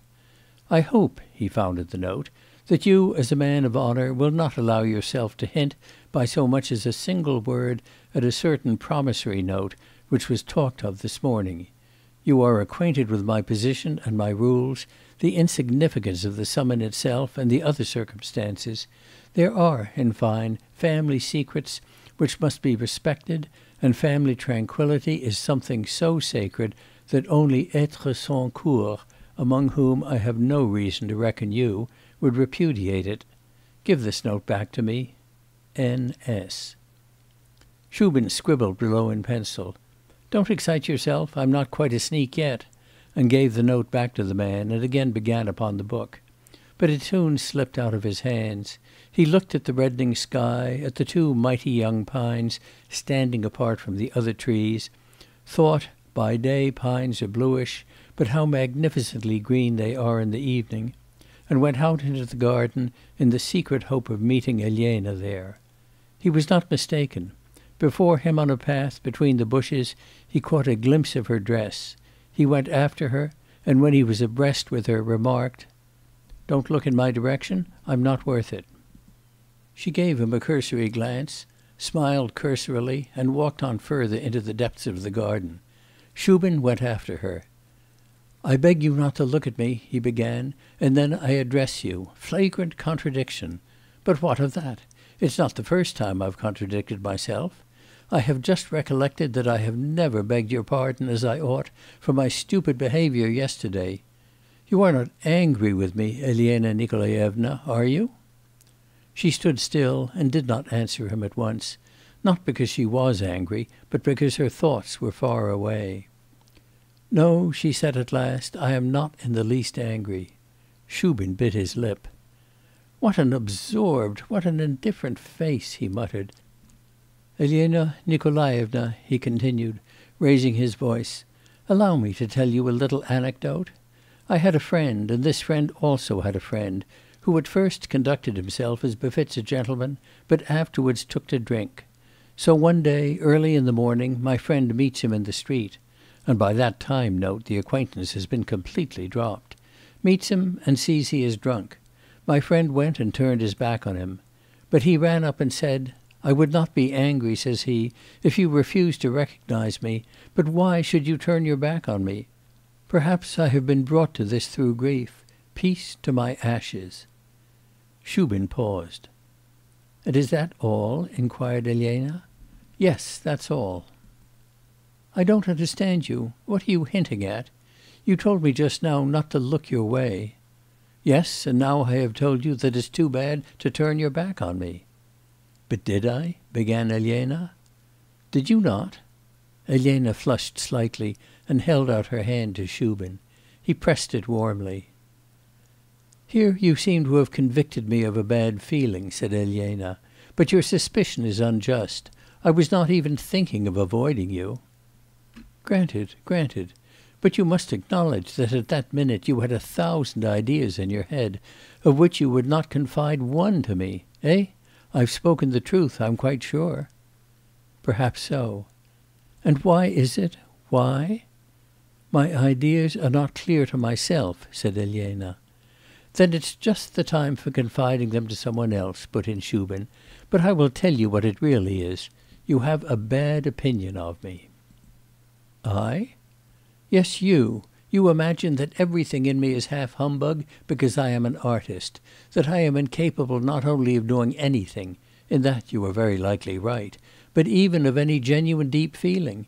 You think that I am not capable even of weeping sincerely, that I'm a gossip and a slanderer and all because I'm an artist. What luckless, God forsaken wretches we artists are after that! You, for instance, I am ready to adore, and you don't believe in my repentance.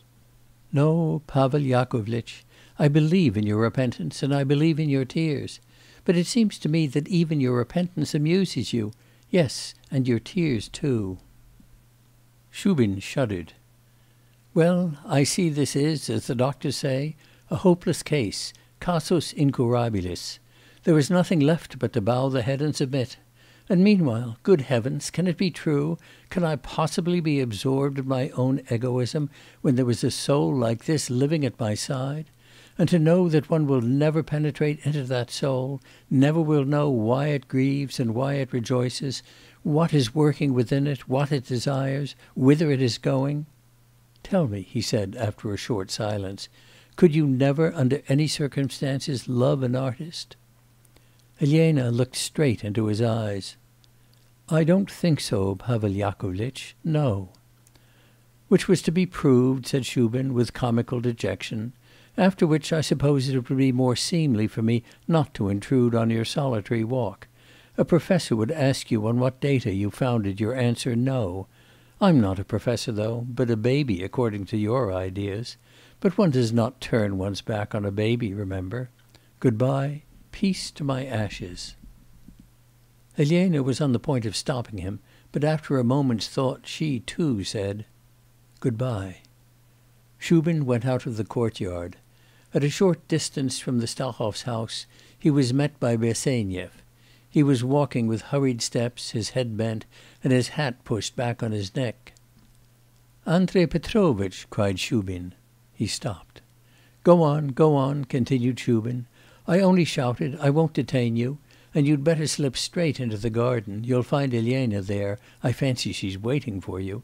She's waiting for some one, anyway. Do you understand the force of those words "she is waiting"? And do you know, my dear boy, an astonishing circumstance?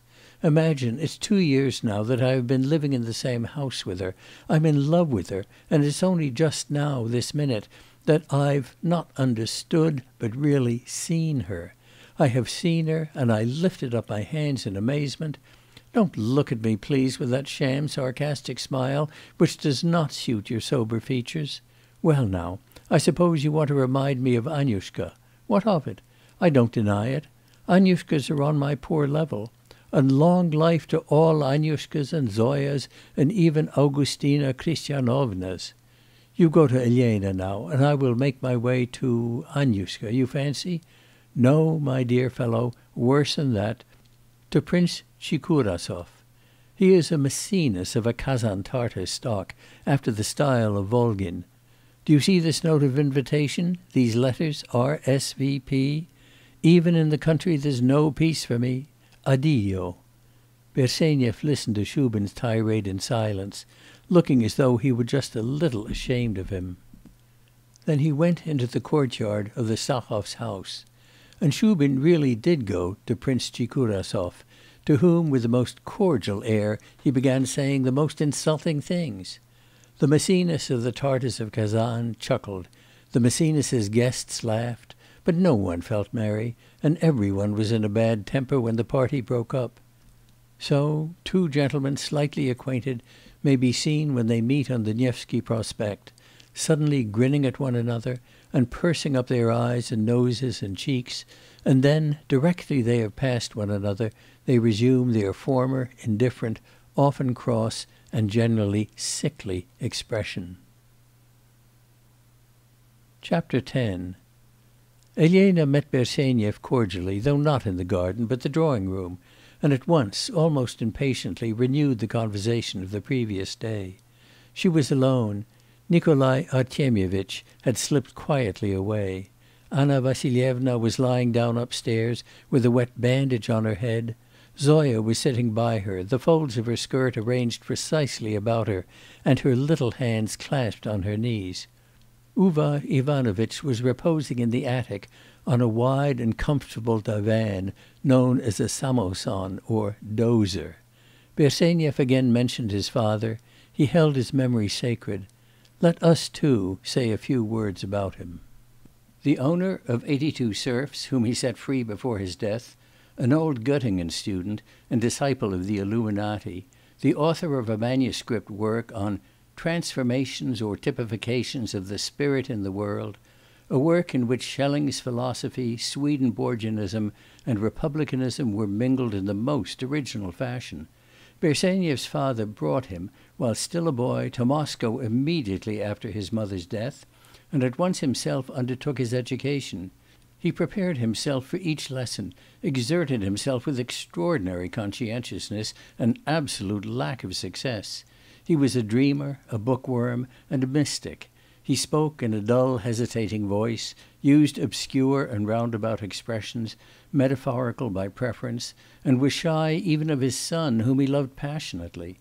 It was not surprising that his son was simply bewildered at his lessons, and did not advance in the least.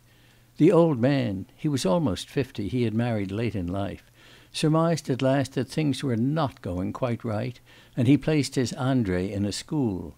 Andrei began to learn, but he was not removed from his father's supervision. His father visited him unceasingly, wearying the schoolmaster to death with his instructions and conversations. The teachers, too, were bored by his uninvited visits; he was for ever bringing them some, as they said, far fetched books on education. Even the schoolboys were embarrassed at the sight of the old man's swarthy, pock marked face, his lank figure, invariably clothed in a sort of scanty grey dress coat. The boys did not suspect then that this grim, unsmiling old gentleman, with his crane like gait and his long nose, was at heart troubling and yearning over each one of them almost as over his own son. He once conceived the idea of talking to them about Washington. "My young nurslings," he began, but at the first sound of his strange voice the young nurslings ran away. The good old Gottingen student did not lie on a bed of roses; he was for ever weighed down by the march of history, by questions and ideas of every kind. When young Bersenyev entered the university, his father used to drive with him to the lectures, but his health was already beginning to break up. The events of the year 1848 shook him to the foundation; it necessitated the rewriting of his whole book, and he died in the winter of 1853 before his son's time at the university was over, but he was able beforehand to congratulate him on his degree, and to consecrate him to the service of science. "I pass on the torch to you," he said to him two hours before his death. "I held it while I could; you, too, must not let the light grow dim before the end." Bersenyev talked a long while to Elena of his father. The embarrassment he had felt in her presence disappeared, and his lisp was less marked. The conversation passed on to the university. 'Tell me,' Elena asked him, 'were there any remarkable men among your comrades?' Bersenyev was again reminded of Shubin's words. 'No, Elena Nikolaevna; to tell you the truth, there was not a single remarkable man among us. And, indeed, where are such to be found? There was, they say, a good time once in the Moscow university, but not now; now it's a school, not a university. I was not happy with my comrades,' he added, dropping his voice. 'Not happy,' murmured Elena. 'But I ought,' continued Bersenyev, 'to make an exception. I know one student; it's true he is not in the same faculty. He is certainly a remarkable man.' 'What is his name?' Elena asked with interest. 'Insarov Dmitri Nikanorovitch. He is a Bulgarian.' 'Not a Russian?' 'No, he is not a Russian.' 'Why is he living in Moscow, then?' 'He came here to study. And do you know with what aim he is studying? He has a single idea, the liberation of his country. And his story is an exceptional one. His father was a fairly well to do merchant; he came from Tirnova. Tirnova is now a small town, but it was the capital of Bulgaria in the old days when Bulgaria was still an independent state. He traded with Sophia and had relations with Russia. His sister, Insarov's aunt, is still living in Kiev, married to a senior history teacher in the gymnasium there. In 1835, that is to say eighteen years ago, a terrible crime was committed. Insarov's mother suddenly disappeared without leaving a trace behind; a week later she was found murdered.' Elena shuddered. Bersenyev stopped. 'Go on, go on,' she said. There were rumours that she had been outraged and murdered by a Turkish aga. Her husband, Insarov's father, found out the truth, tried to avenge her, but only succeeded in wounding the aga with his poniard. He was shot. Shot, and without a trial? Yes, Insarov was just eight years old at the time. He remained in the hands of neighbours. The sister heard of the fate of her brother's family, and wanted to take the nephew to live with her. They got him to Odessa, and from there to Kiev. At Kiev he lived twelve whole years. That is how he speaks Russian so well. He speaks Russian?' 'Just as we do. When he was twenty that was at the beginning of the year 1848 he began to want to return to his country. He stayed in Sophia and Tirnova, and travelled through the length and breadth of Bulgaria, spending two years there, and learning his mother tongue over again. The Turkish government persecuted him, and he was certainly exposed to great dangers during those two years. I once caught sight of a broad scar on his neck, from a wound, no doubt; but he does not like to talk about it. He is reserved, too, in his own way. I have tried to question him about everything, but I could get nothing out of him. He answers by generalities. He's awfully obstinate. He returned to Russia again in 1850, to Moscow, with the intention of educating himself thoroughly, getting intimate with Russians, and then, when he leaves the university ' 'What then?' broke in Elena. 'What God wills. It's hard to forecast the future.' For a while Elena did not take her eyes off Bersenyev. "'You have greatly interested me by what you have told me,' she said. "'What is he like, this friend of yours? What did you call him, Insarov? What shall I say? To my mind he's good looking, but you will see him for yourself.' "'How so?' "'I will bring him here to see you. He is coming to our little village the day after to morrow, and is going to live with me in the same lodging." "Really? But will he care to come to see us?" "I should think so. He will be delighted." "He isn't proud, then?" "Not in the least. That's to say, he is proud if you like, only not in the sense you mean. He will never, for instance, borrow money from any one.' 'Is he poor?" "Yes. He isn't rich.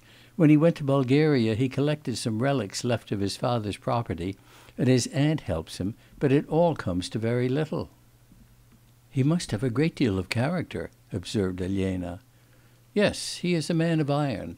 And at the same time you will see there is something childlike and frank, with all his concentration and even his reserve.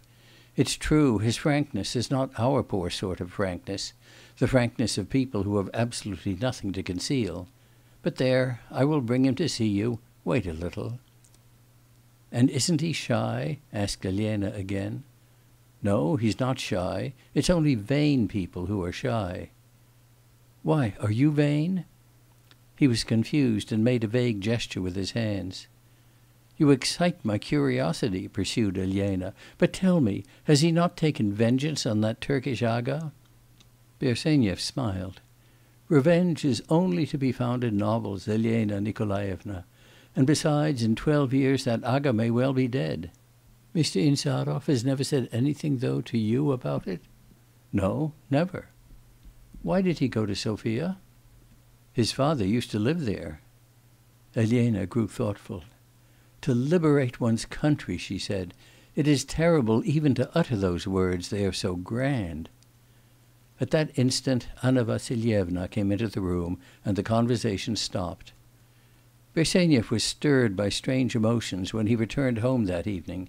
He did not regret his plan of making Elena acquainted with Insarov; he felt the deep impression made on her by his account of the young Bulgarian very natural. Had he not himself tried to deepen that impression? But a vague, unfathomable emotion lurked secretly in his heart he was sad with a sadness that had nothing noble in it. This sadness did not prevent him, however, from setting to work on the history of the Hohenstaufen, and beginning to read it at the very page at which he had left off the evening before. Chapter 11 Two days later Insarov, in accordance with his promise, arrived at Bersenyev's with his luggage. He had no servant, but without any assistance he put his room to rights, arranged the furniture, dusted and swept the floor. He had special trouble with the writing table, which would not fit into the recess in the wall assigned for it; but Insarov, with the silent persistence peculiar to him, succeeded in getting his own way with it. When he had settled in, he asked Bersenyev to let him pay him ten roubles in advance, and arming himself with a thick stick, set off to inspect the country surrounding his new abode. He returned three hours later, and in response to Bersenyev's invitation to share his repast, he said that he would not refuse to dine with him that day, but that he had already spoken to the woman of the house, and would get her to send him up his meals for the future. "Upon my word,' said Bersenyev, "you will fare very badly; that old body can't cook a bit. Why don't you dine with me? We would go halves over the cost." "My means don't allow me to dine as you do,' Insarov replied with a tranquil smile. There was something in that smile which forbade further insistence. Bersenyev did not add a word. After dinner he proposed to Insarov that he should take him to the Stahovs, but he replied that he intended to devote the evening to correspondence with his Bulgarians, and so he would ask him to put off the visit to the Stahovs until the next day. Bersenyev was already familiar with Insarov's unbending will. But it was only now, when he was under the same roof with him, that he fully realised at last that Insarov would never alter any decision, just in the same way as he would never fail to carry out a promise he had given to Bersenyev, a Russian to his finger tips, this more than German exactitude seemed at first odd and even rather ludicrous; but he soon got used to it, and ended by finding it, if not deserving of respect, at least very convenient. The second day after his arrival Insarov got up at four o'clock in the morning, made a round of almost all Kuntsovo, bathed in the river, drank a glass of cold milk, and then set to work.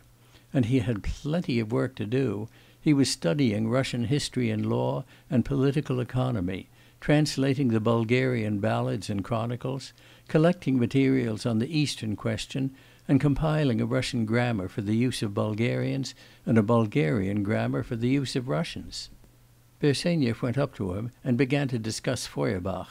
Insarov listened attentively, made a few remarks, but to the point; it was clear from his observations that he was trying to arrive at a conclusion as to whether he need study Feuerbach, or whether he could get on without him. Bersenyev turned the conversation on to his pursuits and asked him if he could not show him anything. Insarov read him his translation of two or three Bulgarian ballads, and was anxious to hear his opinion of them. Bersenyev thought the translation a faithful one, but not sufficiently spirited. Insarov paid close attention to his criticism; from the ballads Bersenyev passed on to the present position of Bulgaria, and then for the first time he noticed what a change came over Insarov at the mere mention of his country not that his face flushed nor his voice grew louder no; but at once a sense of force and intense onward striving was expressed in his whole personality, the lines of his mouth grew harder and less flexible, and a dull persistent fire glowed in the depths of his eyes. Insarov did not care to enlarge on his own travels in his country, but of Bulgaria in general he talked readily with any one. He talked at length of the Turks, of their oppression of the sorrows and disasters of his countrymen, and of their hopes; concentrated meditation on a single ruling passion could be heard in every word he muttered. 'Ah well, there's no mistake about it,' Bersenyev was reflecting meanwhile, 'that Turkish aga, I venture to think, has been punished for his father's and mother's death.' Insarov had not had time to say all he wanted to say, when the door opened and Shubin made his appearance. He came into the room with an almost exaggerated air of ease and good humour. Bersenyev, who knew him well, could see at once that something had been jarring on him. 'I will introduce myself without ceremony,' he began, with a bright and open expression on his face. 'My name is Shubin. I'm a friend of this young man here,' he indicated Bersenyev. 'You are Mr. Insarov, of course, aren't you?' 'I am Insarov.' 'Then give me your hand and let us be friends. I don't know if Bersenyev has talked to you about me, but he has told me a great deal about you. You are staying here? Capital! Don't be offended at my staring at you so; I'm a sculptor by trade, and I foresee I shall in a little time be begging your permission to model your head.' 'My head's at your service,' said Insarov. 'What shall we do to day, eh?' began Shubin, sitting down suddenly on a low chair, with his knees apart and his elbows propped on them. 'Andrei Petrovitch, has your honour any kind of plan for to day? It's glorious weather; there's a scent of hay and dried strawberries, as if one were drinking strawberry tea for a cold. We ought to get up some kind of a spree.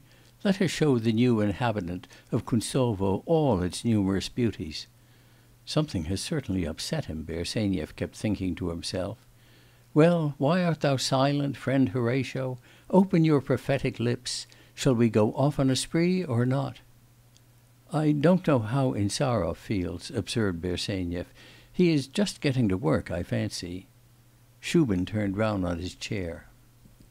'You want to work?' he inquired in a somewhat condescending voice. 'No,' answered Insarov. day I could give up to walking.' 'Ah!' commented Shubin. 'Well, that's delightful. Run along, my friend, Andrei Petrovitch. Put a hat on your learned head, and let us go where our eyes lead us. Our eyes are young; they may lead us far. I know a very repulsive little restaurant where they will give us a very beastly little dinner, but we shall be very jolly. Come along.' Half an hour later they were all three walking along the banks of the Moskva.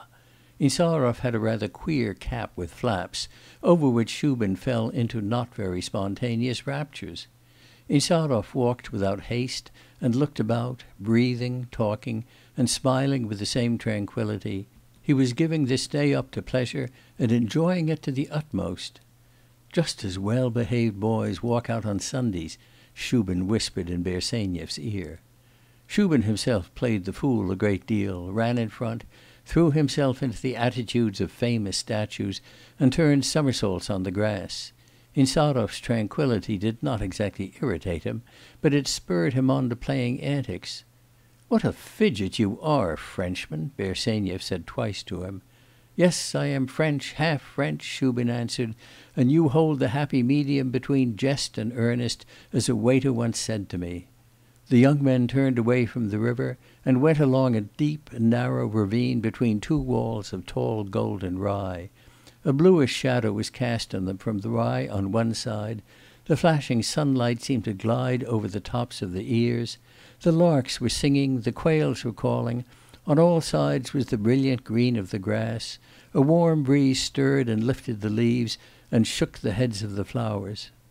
After prolonged wanderings, with rest and chat between Shubin had even tried to play leap frog with a toothless peasant they met, who did nothing but laugh, whatever the gentleman might do to him the young men reached the repulsive little restaurant; the waiter almost knocked each of them over, and did really provide them with a very bad dinner, with a sort of Balkan wine, which did not, however, prevent them from being very jolly, as Shubin had foretold. He himself was the loudest and the least jolly. He drank to the health of the incomprehensible but great Venelin, the health of the Bulgarian king Kuma, Huma, or Homa, who lived somewhere about the time of Adam. "In the ninth century,' Insarov corrected him. "In the ninth century!' cried Shubin. "Oh, how delightful!' Bersenyev noticed that among all his pranks and jests and gaiety, Shubin was constantly, as it were, examining Insarov; he was sounding him and was in inward excitement, but Insarov remained as before, calm and straightforward. At last they returned home, changed their dress, and resolved to finish the day as they had begun it, by going that evening to the Stahovs. Shubin ran on before them to announce their arrival. chapter eleven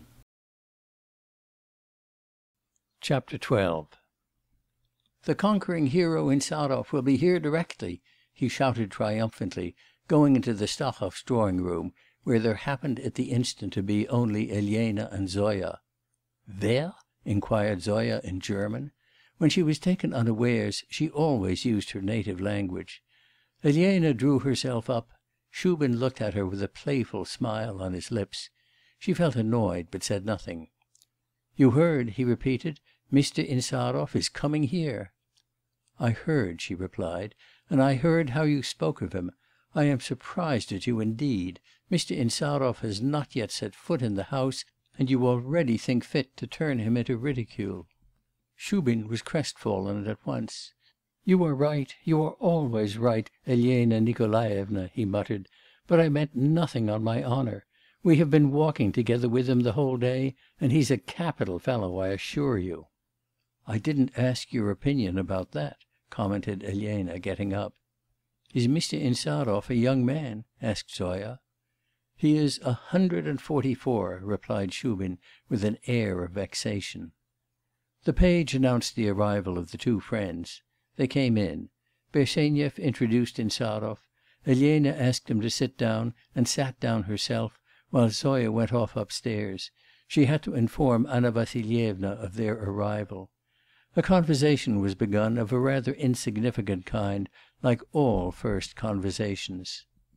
Shubin was silently watching from a corner, but there was nothing to watch. In Elena he detected signs of a repressed annoyance against him, Shubin, and that was all. He looked at Bersenyev and at Insarov, and compared their faces from a sculptor's point of view. They are neither of them good looking,' he thought; the Bulgarian has a characteristic face; there now, it's in a good light; the Great Russian is better adapted for painting; there are no lines, there's expression. But I dare say One might fall in love with either of them. She is not in love yet, but she will fall in love with Bersenyev, he decided to himself. Anna Vassilyevna made her appearance in the drawing room, and the conversation took the tone peculiar to summer villas not the country house tone, but the peculiar summer visitor tone; it was a conversation diversified by plenty of subjects, but broken by short, rather wearisome pauses every three minutes. In one of these pauses Anna Vassilyevna turned to Zoya. Shubin understood her silent hint, and drew a long face, while Zoya sat down to the piano and played and sang all her pieces through. Uvar Ivanovitch showed himself for an instant in the doorway, but he beat a retreat, convulsively twitching his fingers. Then tea was served, and then the whole party went out into the garden. It began to grow dark outside, and the guests took leave. Insarov had really made less impression on Elena than she had expected; or, speaking more exactly, he had not made the impression she had expected. She liked his directness and unconstraint, and she liked his face, but the whole character of Insarov, with his calm firmness and everyday simplicity, did not somehow accord with the image formed in her brain by Bersenyev's account of him. Elena, though she did not herself suspect it, had anticipated something more fateful. But, she reflected, he spoke very little to day, and I am myself to blame for it. I did not question him; we must have patience till next time. And his eyes are expressive, honest eyes.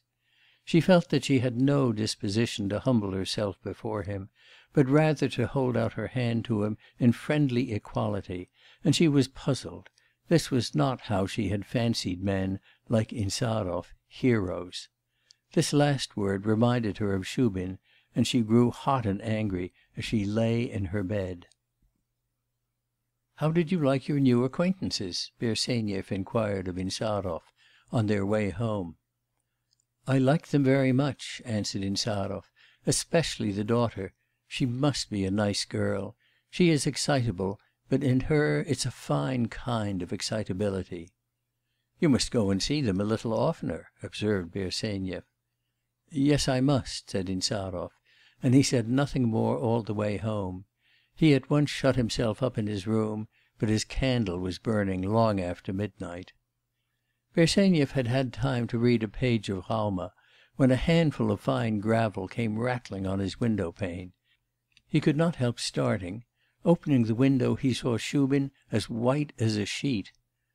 'What an irrepressible fellow you are, you night moth!' Bersenyev was beginning. beginning. 'Sh!' Shubin cut him short.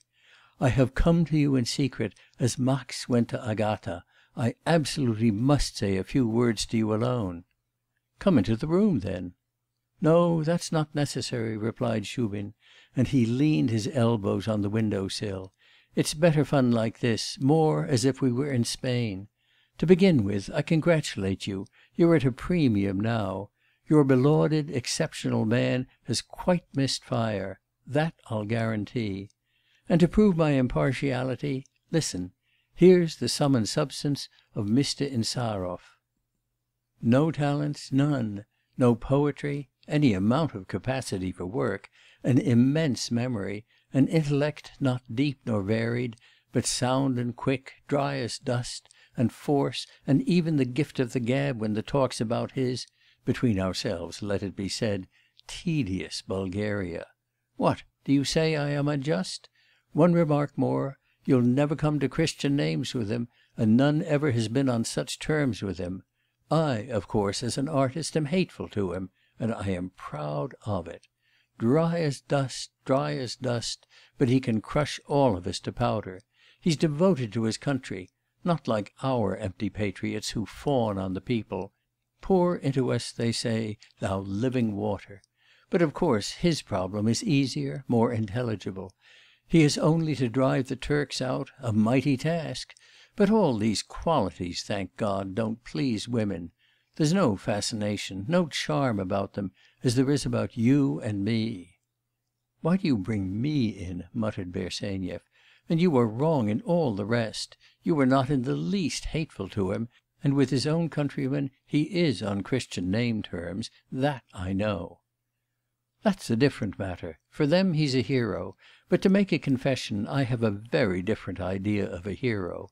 A hero ought not to be able to talk; a hero should roar like a bull; but when he butts with his horns, the walls shake. He ought not to know himself why he butts at things, but just to butt at them. But perhaps, in our days, heroes of a different stamp are needed.' 'Why are you so taken up with Insarov?' asked Bersenyev. 'Can you have run here only to describe his character to me?' 'I came here,' began Shubin, 'because I was very miserable at home.' 'Oh, that's it! Don't you want to have a cry again? You may laugh. I came here because I'm at my wits' end, because I am devoured by despair, anger, jealousy. Jealousy? Of whom? Of you and him and every one. I'm tortured by the thought that if I had understood her sooner, if I had set to work cleverly but what's the use of talking? It must end by my always laughing, playing the fool, turning things into ridicule, as she says, and then setting to and strangling myself. Stuff! you won't strangle yourself,' observed Bersenyev. 'On such a night, of course not; but only let me live on till the autumn. On such a night people do die too, but only of happiness. Ah, happiness! Every shadow that stretches across the road, from every tree seems whispering now, "I know where there is happiness; shall I tell you?" I would ask you to come for a walk, only now you're under the influence of prose. Go to sleep, and may your dreams be visited by mathematical figures. My heart is breaking. You, worthy gentlemen, see a man laughing, and that means to your notions he's all right. You can prove to him that he's humbugging himself, that's to say, he is not suffering. God bless you!' Shubin abruptly left the window. 'Annushka!' Bersenyev felt an impulse to shout after him, but he restrained himself. Shubin had really been white with emotion. Two minutes later Bersenyev even caught the sound of sobbing. He got up and opened the window. Everything was still; only somewhere in the distance some one a passing peasant probably was humming 'The Plain of Mozdok.' XIII During the first fortnight of Insarov's stay in the Kuntsovo neighbourhood, he did not visit the Stahovs more than four or five times. Bersenyev went to see them every day. Elena was always pleased to see him, lively and interesting talk always sprang up between them, and yet he often went home with a gloomy face. Shubin scarcely showed himself; he was working with feverish energy at his art; he either stayed locked up in his room, from which he would emerge in a blouse smeared all over with clay, or else he spent days in Moscow, where he had a studio, to which models and Italian sculptors, his friends and teachers, used to come to see him. Elena did not once succeed in talking with Insarov as she would have liked to do. In his absence she prepared questions to ask him about many things, but when he came, she felt ashamed of her plans. Insarov's very tranquillity embarrassed her; it seemed to her that she had not the right to force him to speak out, and she resolved to wait. For all that, she felt that at every visit, however trivial might be the words that passed between them, he attracted her more and more; but she never happened to be left alone with him, and to grow intimate with any one, one must have at least one conversation alone with him. She talked a great deal about him to Bersenyev. Bersenyev realised that Elena's imagination had been struck by Insarov, and was glad that his friend had not 'missed fire,' as Shubin had asserted. He told her cordially all he knew of him, down to the minutest details (we often, when we want to please some one, bring our friends into our conversation, hardly ever suspecting that we are praising ourselves in that way), and only at times, when Elena's pale cheeks flushed a little, and her eyes grew bright and wide, he felt a pang in his heart of that evil pain which he had felt before. One day Bersenyev came to the Stahovs, not at the customary time, but at eleven o'clock in the morning. Elena came down to him in the parlour. 'Fancy,' he began with a constrained smile, 'our Insarov has disappeared.' 'Disappeared?' said Elena. 'He has disappeared. The day before yesterday he went off somewhere, and nothing has been seen of him since.' 'He did not tell you where he was going?' 'No.' Elena sank into a chair. 'He has most likely gone to Moscow,' she commented, trying to seem indifferent, and at the same time wondering that she should try to seem indifferent. 'I don't think so,' rejoined Bersenyev. 'He did not go alone.' 'With whom, then?' 'Two people of some sort his countrymen they must have been came to him the day before yesterday, before dinner.' 'Bulgarians? What makes you think so?' 'Why, as far as I could hear, they talked to him in some language I did not know, but Slavonic. You are always saying, Elena Nikolaevna, that there's so little mystery about Insarov. What could be more mysterious than this visit? Imagine, they came to him, and then there was shouting and quarrelling, and such savage angry disputing and he shouted too.' 'He shouted too?' 'Yes, he shouted at them. They seemed to be accusing each other. And if you could have had a peep at these visitors! They had swarthy, heavy faces, with high cheek bones and hook noses, both about forty years old, shabbily dressed, hot and dusty, looking like workmen not workmen and not gentlemen goodness knows what sort of people they were.' 'And he went away with them?' 'Yes, he gave them something to eat and went off with them. The woman of the house told me they ate a huge whole pot of porridge between the two of them. They outdid one another, she said, and gobbled it up like wolves.' Elena gave a faint smile. 'You will see,' she said, 'all this will be explained into something very prosaic.' 'I hope it may. But you need not use that word. There is nothing prosaic about Insarov, though Shubin does maintain ' 'Shubin!' Elena broke in, shrugging her shoulders. 'But you must confess these two good men gobbling up porridge ' 'Even Themistocles had his supper on the eve of Salamis,' observed Bersenyev with a smile. 'Yes, but then there was a battle the next day. Anyway, you will let me know when he comes back,' said Elena, and she tried to change the subject, but the conversation made little progress. Zoya made her appearance and began walking about the room on tiptoe, giving them thereby to understand that Anna Vassilyevna was not yet awake. Bersenyev went away. In the evening of the same day a note from him was brought to Elena. 'He has come back,' he wrote to her, 'sunburnt and dusty to his very eyebrows; but where and why he went I don't know. Won't you find out?' 'Won't you find out?' Elena whispered, as though he talked to me.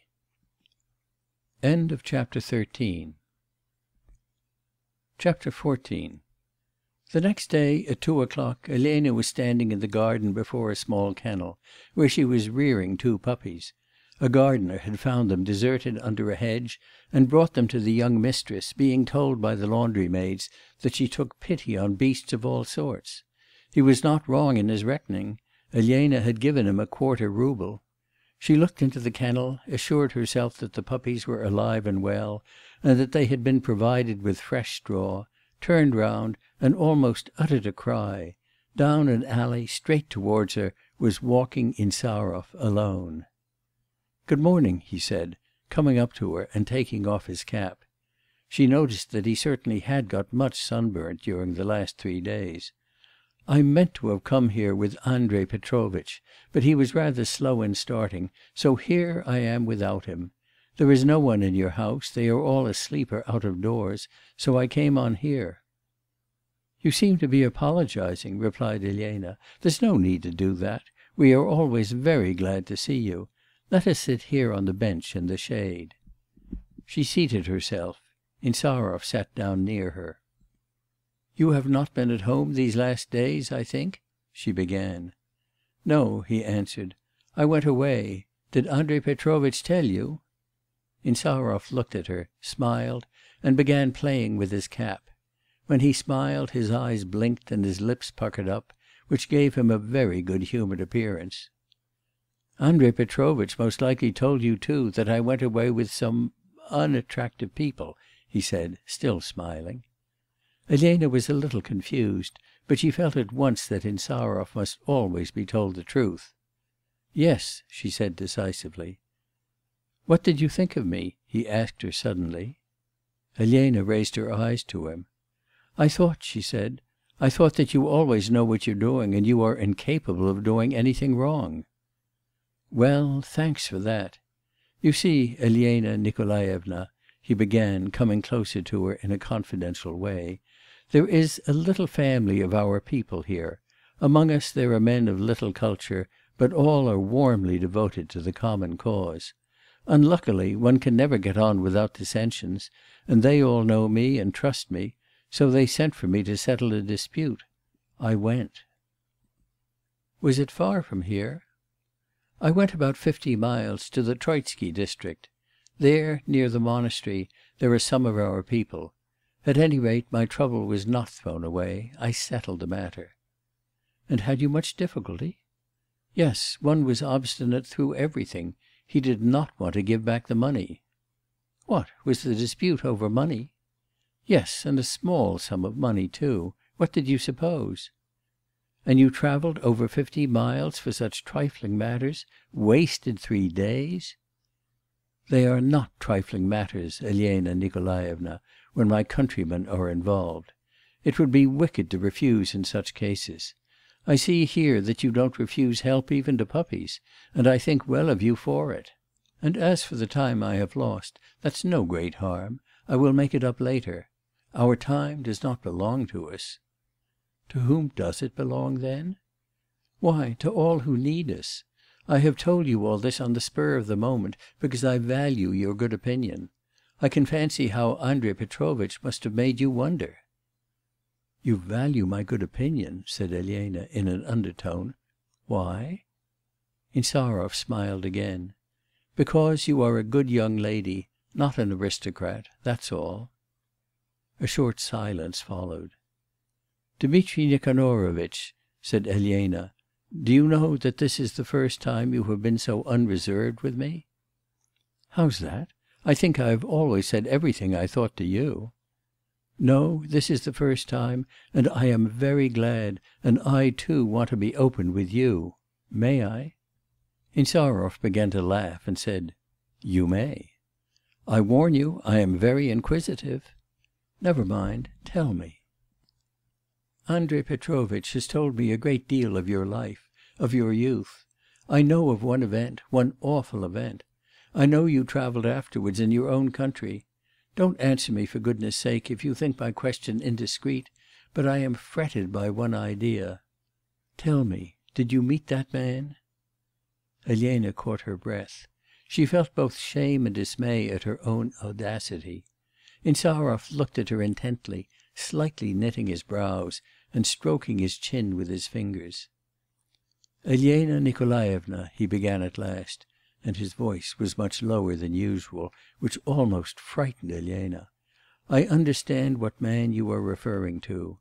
No, I did not meet him, and thank God I did not. I did not try to find him. I did not try to find him, not because I did not think I had a right to kill him I would kill him with a very easy conscience but because now is not the time for private revenge, when we are concerned with the general national vengeance or no, that is not the right word when we are concerned with the liberation of a people. The one would be a hindrance to the other. In its own time that too will come that too will come,' he repeated, and he shook his head. Elena looked at him from the side. 'You love your country very dearly?' she articulated timidly. 'That remains to be shown,' he answered. 'When one of us dies for her, then one can say he loved his country.' 'So that, if you were cut off from all chance of returning to Bulgaria,' continued Elena, 'would you be very unhappy in Russia?' Insarov looked down. 'I think I could not bear that,' he said. 'Tell me,' Elena began again, 'is it difficult to learn Bulgarian?' 'Not at all. It's a disgrace to a Russian not to know Bulgarian. A Russian ought to know all the Slavonic dialects. Would you like me to bring you some Bulgarian books?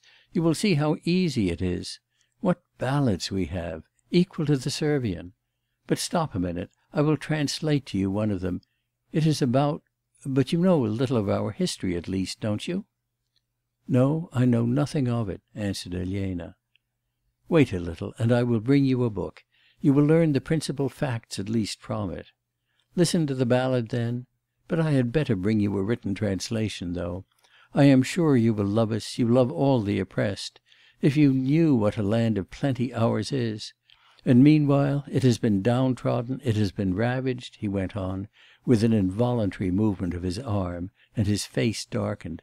'We have been robbed of everything, everything, our churches, our laws, our lands; the unclean Turks drive us like cattle, butcher us ' 'Dmitri Nikanorovitch!' cried Elena.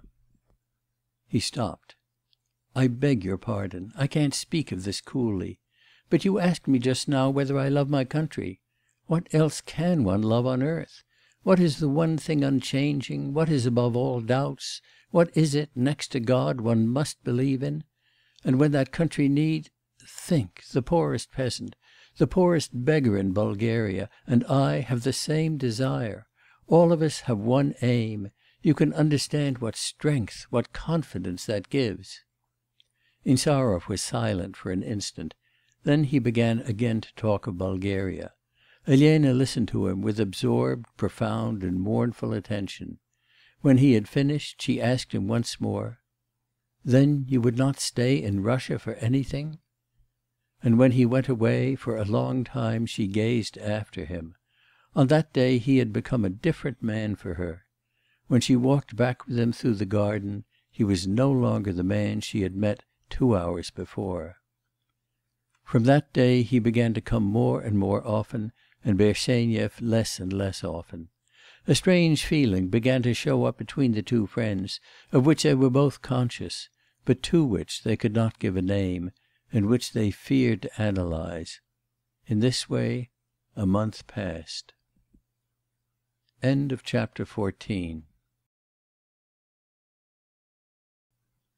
XV Anna Vassilyevna, as the reader knows already, liked staying at home, but at times she manifested, quite unexpectedly, an irresistible longing for something out of the common, some extraordinary partie du plaisir, and the more troublesome the partie du plaisir was, the more preparations and arrangements it required, and the greater Anna Vassilyevna's own agitation over it, the more pleasure it gave her. If this mood came upon her in winter, she would order two or three boxes to be taken side by side, and, inviting all her acquaintances, would set off to the theatre, or even to a masquerade. In summer she would drive for a trip out of town to some spot as far off as possible. The next day she would complain of a headache, groan and keep her bed, but within two months the same craving for something out of the common would break out in her again. That was just what happened now. Some one chanced to refer to the beautiful scenery of Tsaritsino before her, and Anna Vassilyevna suddenly announced an intention of driving to Tsaritsino the day after to morrow.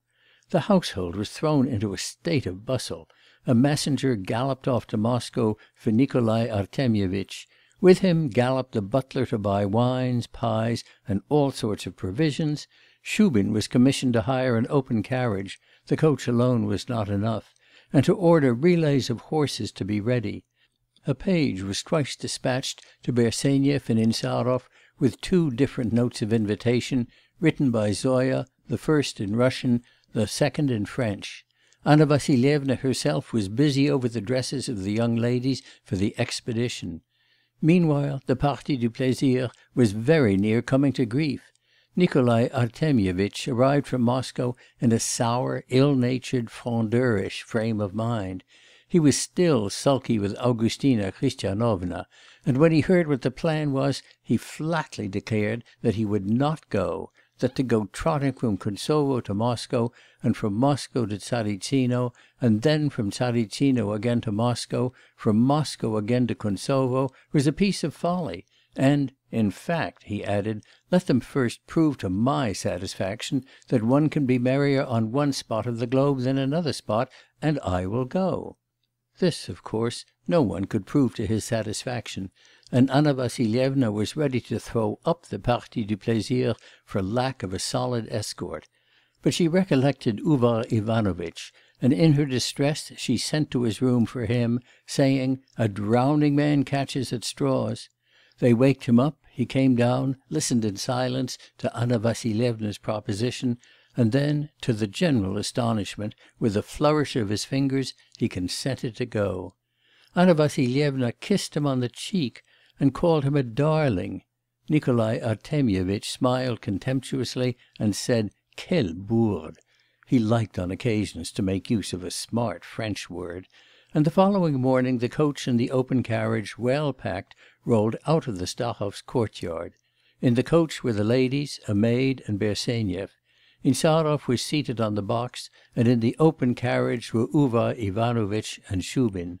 Uvar Ivanovitch had himself beckoned Shubin to him; he knew that he would tease him the whole way, but there existed a queer sort of attachment, marked by abusive candour, between the primeval force and the young artist. On this occasion, however, Shubin left his fat friend in peace; he was absent minded, silent, and gentle. The sun stood high in a cloudless blue sky when the carriage drove up to the ruins of Tsaritsino Castle, which looked gloomy and menacing even at midday. The whole party stepped out on to the grass, and at once made a move towards the garden. In front went Elena and Zoya with Insarov; Anna Vassilyevna, with an expression of perfect happiness on her face, walked behind them, leaning on the arm of Uvar Ivanovitch. He waddled along panting, his new straw hat cut his forehead, and his feet twinged in his boots, but he was content. Shubin and Bersenyev brought up the rear. 'We will form the reserve, my dear boy, like veterans,' whispered Shubin to Bersenyev. 'Bulgaria's in it now,' he added, indicating Elena with his eyebrows. The weather was glorious. Everything around was flowering, humming, singing; in the distance shone the waters of the lakes; a light hearted holiday mood took possession of all. 'Oh, how beautiful! oh, how beautiful!' Anna Vassilyevna repeated incessantly. Uvar Ivanovitch kept nodding his head approvingly in response to her enthusiastic exclamations, and once even articulated, 'To be sure, to be sure.' From time to time Elena exchanged a few words with Insarov; Zoya held the brim of her large hat with two fingers, while her little feet, shod in light grey shoes with rounded toes, peeped coquettishly out from under her pink barège dress; she kept looking to each side and then behind her. 'Hey!' cried Shubin suddenly in a low voice, 'Zoya Nikitishna is on the look out, it seems. I will go to her. Elena Nikolaevna despises me now, while you, Andrei Petrovitch, she esteems, which comes to the same thing. I am going, I am tired of being glum. I should advise you, my dear fellow, to do some botanising; that's the best thing you could hit on in your position. It might be useful, too, from a scientific point of view. Farewell!' Shubin ran up to Zoya, offered her his arm, and saying, 'Ihre Hand, madame,' caught hold of her hand and pushed on ahead with her. Elena stopped, called to Bersenyev, and also took his arm, but continued talking to Insarov. She asked him the words for lily of the valley, clover, oak, lime, and so on in his language. 'Bulgaria's in it,' thought poor Andrei Petrovitch. Suddenly a shriek was heard in front; every one looked up. Shubin's cigar case fell into a bush, flung by Zoya's hand. 'Wait a minute, I'll pay you out,' he shouted as he crept into the bushes; he found his cigar case, and was returning to Zoya, but he had hardly reached her side when again his cigar case was sent flying across the road. Five times this trick was repeated; he kept laughing and threatening her, but Zoya only smiled slyly, and drew herself together like a little cat. At last he snatched her fingers, and squeezed them so tightly that she shrieked and for a long time afterwards breathed on her hand, pretending to be angry, while he murmured something in her ears. 'Mischievous things, young people,' Anna Vassilyevna observed gaily to Uvar Ivanovitch. He flourished his fingers in reply. 'What a girl Zoya Nikitishna is!' said Bersenyev to Elena. 'And Shubin, what of him?' she answered. Meanwhile the whole party went into the arbour, well known as Pleasant View Arbour, and stopped to admire the view of the Tsaritsino lakes. They stretched one behind the other for several miles, overshadowed by thick woods. The bright green grass which covered the hills sloping down to the largest lake, gave the water itself an extraordinarily vivid emerald colour.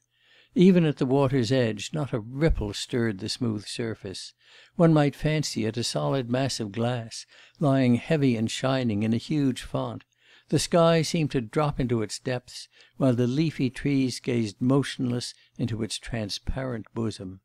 All were absorbed in long and silent admiration of the view; even Shubin was still, even Zoya was impressed. At last, all with one mind began to wish to go upon the water. Shubin, Insarov, and Bersenyev raced each other over the grass. They succeeded in finding a large painted boat and two boatmen, and beckoned to the ladies. The ladies stepped into the boat; Uvar Ivanovitch cautiously lowered himself into it after them. Great was the mirth while he got in and took his seat. 'Look out, master, don't drown us,' observed one of the boatmen, a snub nosed young fellow in a gay print shirt. 'Get along, you swell,' said Uvar Ivanovitch. The boat pushed off. The young men took up the oars, but Insarov was the only one of them who could row. Shubin suggested that they should sing some Russian song in chorus, and struck up 'Down the river Volga.' Bersenyev, Zoya, and even Anna Vassilyevna joined in; Insarov could not sing. But they did not keep together; at the third verse the singers were all wrong. Only Bersenyev tried to go on in the bass, 'Nothing on the waves is seen,' but he too was soon in difficulties. The boatmen looked at one another and grinned in silence. 'Eh?' said Shubin, turning to them, 'the gentlefolks can't sing, you say?' The boy in the print shirt only shook his head. 'Wait a little, snub nose,' retorted Shubin, 'we will show you. Zoya Nikitishna, sing us Le Lac of Niedermeyer. Stop rowing.' The wet oars stood still, lifted in the air like wings, and their splash died away with the tuneful drip; the boat drifted on a little, then stood still, rocking lightly on the water like a swan. Zoya affected to refuse at first. 'Allons,' said Anna Vassilyevna genially. Zoya took off her hat and began to sing: 'Au lac L'année à peine a fini sa carrière.' Her small but pure voice seemed to dart over the surface of the lake; every word echoed far off in the woods; it sounded as though some one was singing there too, in a distinct but mysterious and unearthly voice. When Zoya finished, a loud bravo was heard from an arbour near the bank, from which emerged several red faced Germans, who were picnicking at Tsaritsino. Several of them had their coats off, their ties, and even their waistcoats, and they shouted 'bis' with such unmannerly insistence that Anna Vassilyevna told the boatman to row as quickly as possible to the other end of the lake. But before the boat reached the bank, Uvar Ivanovitch once more succeeded in surprising his friends. Having noticed that in one part of the wood the echo repeated every sound with peculiar distinctness, he suddenly began to call like a quail. At first every one was startled, but then they listened directly with real pleasure, especially as Uvar Ivanovitch imitated the quail's cry with great correctness. Spurred on by this, he tried mewing like a cat; but this did not go off so well, and after one more quail call he looked at them all and stopped. Shubin threw himself on him to kiss him; he pushed him off. At that instant the boat touched the bank, and all the party got out and went on shore. Meanwhile the coachman, with the groom and the maid, had brought the baskets out of the coach, and made dinner ready on the grass under the old lime trees. They sat down round the outspread table cloth, and fell upon the pies and other dainties. They all had excellent appetites, while Anna Vassilyevna, with unflagging hospitality, kept urging the guests to eat more, assuring them that nothing was more wholesome than eating in the open air. She even encouraged Uvar Ivanovitch with such assurances. "Don't trouble about me,' he grunted with his mouth full. "Such a lovely day is a godsend indeed,' she repeated constantly. One would not have known her; she seemed fully twenty years younger. Bersenyev said as much to her. "Yes, yes,' she said, 'I could hold my own with any one in my day.' Shubin attached himself to Zoya, and kept pouring her out wine; she refused it, he pressed her, and finished by drinking the glass himself, and again pressing her to take another. He also declared that he longed to lay his head on her knee; she would on no account permit him such a liberty. Elena seemed the most serious of the party; but in her heart there was a wonderful sense of peace, such as she had not known for long. She felt filled with boundless good will and kindness, and wanted to keep not only Insarov, but Bersenyev too, always at her side. Andrei Petrovitch dimly understood what this meant, and secretly he sighed. The hours flew by, the evening was coming on. Anna Vassilyevna suddenly took alarm. alarm. 'Ah, my dear friends, how late it is!' she cried. 'All good things must have an end; it's time to go home.' She began bustling about, and they all hastened to get up and walk towards the castle, where the carriages were. As they walked past the lakes, they stopped to admire Tsaritsino for the last time.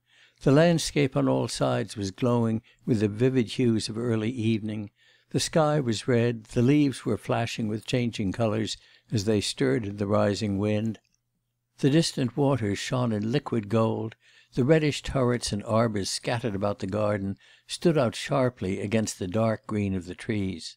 Farewell, Tsaritsino, we shall not forget to day's excursion,' observed Anna Vassilyevna. But at that instant, and as though in confirmation of her words, a strange incident occurred, which certainly was not likely to be forgotten. This is what happened. Anna Vassilyevna had hardly sent her farewell greeting to Tsaritsino, when suddenly, a few paces from her, behind a high bush of lilac, were heard confused exclamations, shouts and laughter, and a whole mob of disorderly men, the same devotees of song who had so energetically applauded Zoya, burst out on the path. These musical gentlemen seemed excessively elevated; they stopped at the sight of the ladies; but one of them, a man of immense height, with a bull neck and a bull's goggle eyes, separated from his companions, and bowing clumsily and staggering unsteadily in his gait, approached Anna Vassilyevna, who was petrified with alarm. 'Bon jour, madame,' he said thickly. "How are you?' Anna Vassilyevna started back. "Why wouldn't you,' continued the giant in vile Russian. "Sing again when our party shouted bis and bravo?' 'Yes, why?' came from the ranks of his comrades. Insarov was about to step forward, but Shubin stopped him, and himself screened Anna Vassilyevna. 'Allow me,' he began, 'honoured stranger, to express to you the heartfelt amazement into which you have thrown all of us by your conduct. You belong, as far as I can judge, to the Saxon branch of the Caucasian race, consequently we are bound to assume your acquaintance with the customs of society, yet you address a lady to whom you have not been introduced. I assure you that I individually should be delighted another time to make your acquaintance, since I observe in you a phenomenal development of the muscles, biceps, triceps, and deltoid, so that, as a sculptor, I should esteem it a genuine happiness to have you for a model; but on this occasion kindly leave us alone.' The honoured stranger listened to Shubin's speech, his head held contemptuously on one side and his arms akimbo. 'I don't understand what you say,' he commented at last. "Do you suppose I'm a cobbler or a watchmaker? Hey! I'm an officer, an official, so there!" "I don't doubt that,' Shubin was beginning. "What I say is,' continued the stranger, putting him aside with his powerful arm, like a twig out of the path, "why didn't you sing again when we shouted bis? And I'll go away directly this minute, only I tell you what I want this Fraulein, not that madam, no, not her, but this one or that one,' he pointed to Elena and Zoya, 'must give me einen Kuss, as we say in German a kiss, in fact, eh? That's not much to ask.' 'Einen Kuss, that's not much,' came again from the ranks of his companions. companions. 'I, der Sacramenta!' cried one tipsy German, bursting with laughter. Zoya clutched at Insarov's arm, but he broke away from her and stood directly facing the insolent giant. "You will please to move off,' he said in a voice not loud but sharp. The German gave a heavy laugh. "Move off! well, I like that! Can't I walk where I please? Move off? Why should I move off?" "Because you have dared to annoy a lady,' said Insarov, and suddenly he turned white, "because you're drunk.' 'Eh? me drunk? Hear what he said! 'Hören Sie das, Herr Provisor? I'm an officer, and he dare now I demand satisfaction. Einen Kuss will ich.' 'If you come another step nearer ' began Insarov. 'Well, what then?' 'I'll throw you in the water.' 'In the water? Herr Je! is that all? Well, let us see that; that would be very curious too.' The officer lifted his fists and moved forward; but suddenly something extraordinary happened. He uttered an exclamation, his whole bulky person staggered, rose from the ground, his legs kicking in the air, and before the ladies had time to shriek, before any one had time to realise how it had happened, the officer's massive figure went plop with a heavy splash, and at once disappeared under the eddying water. "Oh!" screamed the ladies with one voice. 'Mein Gott!' was heard from the other side. An instant passed, and a round head, all plastered over with wet hair, showed above water; it was blowing bubbles, this head, and floundering with two hands just at its very lips. 'He will be drowned! Save him, save him!' cried Anna Vassilyevna to Insarov, who was standing with his legs apart on the bank, breathing heavily. 'He will swim out,' he answered with contemptuous and unsympathetic indifference. 'Let us go on,' he added, taking Anna Vassilyevna by the arm. 'Come, Uvar Ivanovitch, Elena Nikolaevna.' 'A oh!' was heard at that instant, the plaint of the hapless German who had managed to get hold of the rushes on the bank. They all followed Insarov, and had to pass close by the party. But, deprived of their leader, the rowdies were subdued and did not utter a word; but one, the boldest of them, muttered, shaking his head menacingly: 'All right; we shall see though after that ' but one of the others even took his hat off. Insarov struck them as formidable, and rightly so; something evil, something dangerous could be seen in his face. The Germans hastened to pull out their comrade, who, directly he had his feet on dry ground, broke into tearful abuse, and shouted after the 'Russian scoundrels,' that he would make a complaint, that he would go to Count von Kyzerits himself, and so on. But the Russian scoundrels' paid no attention to his vociferations, and hurried on as fast as they could to the castle. They were all silent as they walked through the garden, though Anna Vassilyevna sighed a little; but when they reached the carriages and stood still, they broke into an irrepressible, irresistible fit of Homeric laughter. First Shubin exploded, shrieking as if he were mad, Bersenyev followed with his gurgling guffaw, then Zoya fell into thin tinkling little trills, Anna Vassilyevna too suddenly broke down, Elena couldn't help smiling, and even Insarov at last could not resist it. But the loudest, longest, most persistent laugh was Uvar Ivanovitch's. He laughed till his sides ached, till he choked and panted; he would calm down a little, then would murmur through his tears: 'I thought what's that splash and there he went plop!' And with the last word, forced out with convulsive effort, his whole frame was shaking with another burst of laughter. Zoya made him worse. 'I saw his legs,' she said, 'kicking in the air.' 'Yes, yes, yes,' gasped Uvar Ivanovitch, 'his legs, his legs and then splash there he plopped in.' And how did Mr. Insarov manage it? Why, the German was three times his size,' said Zoya. 'I'll tell you,' answered Uvar Ivanovitch, rubbing his eyes. 'I saw. With one arm about his waist, he tripped him up, and he went plop. I heard a splash there he went.' Long after the carriages had started, long after the castle of Tsaritsino was out of sight, Uvar Ivanovitch was still unable to regain his composure. Shubin, who was again with him in the carriage, began to cry shame on him at last. Insarov felt ashamed. He sat in the coach facing Elena (Bersenyev had taken his seat on the box), and he said nothing; she too was silent. He thought that she was condemning his action; but she did not condemn him. She had been scared at the first minute, then the expression of his face had impressed her; afterwards she pondered on it all.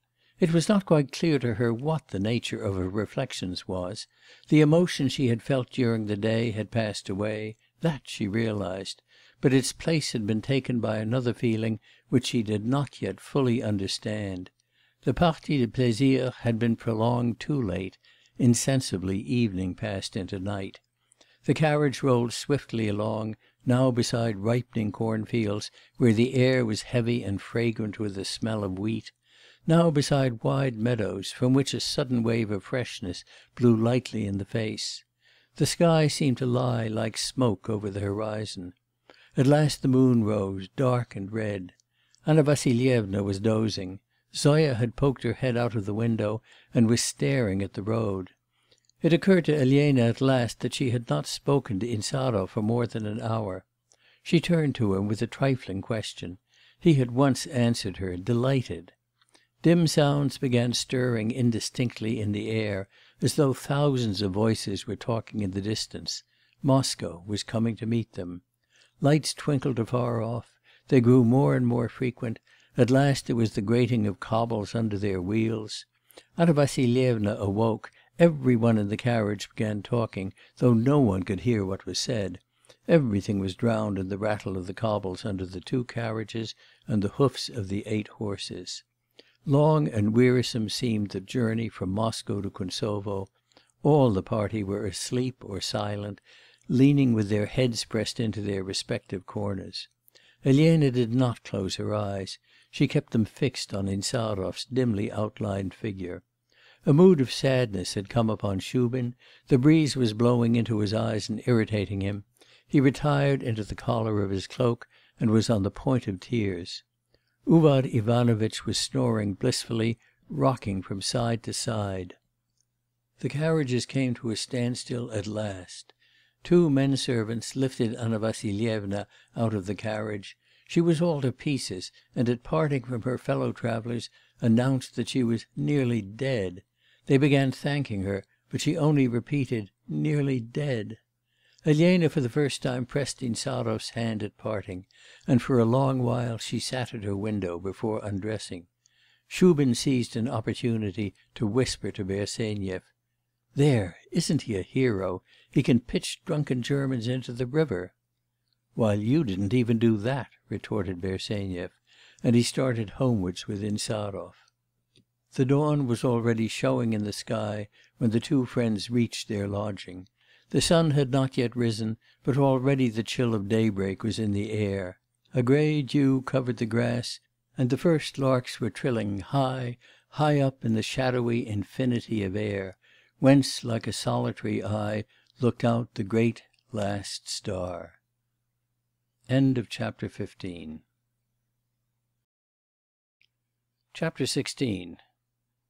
Soon after her acquaintance with Insarov, Elena, for the fifth or sixth time, began a diary.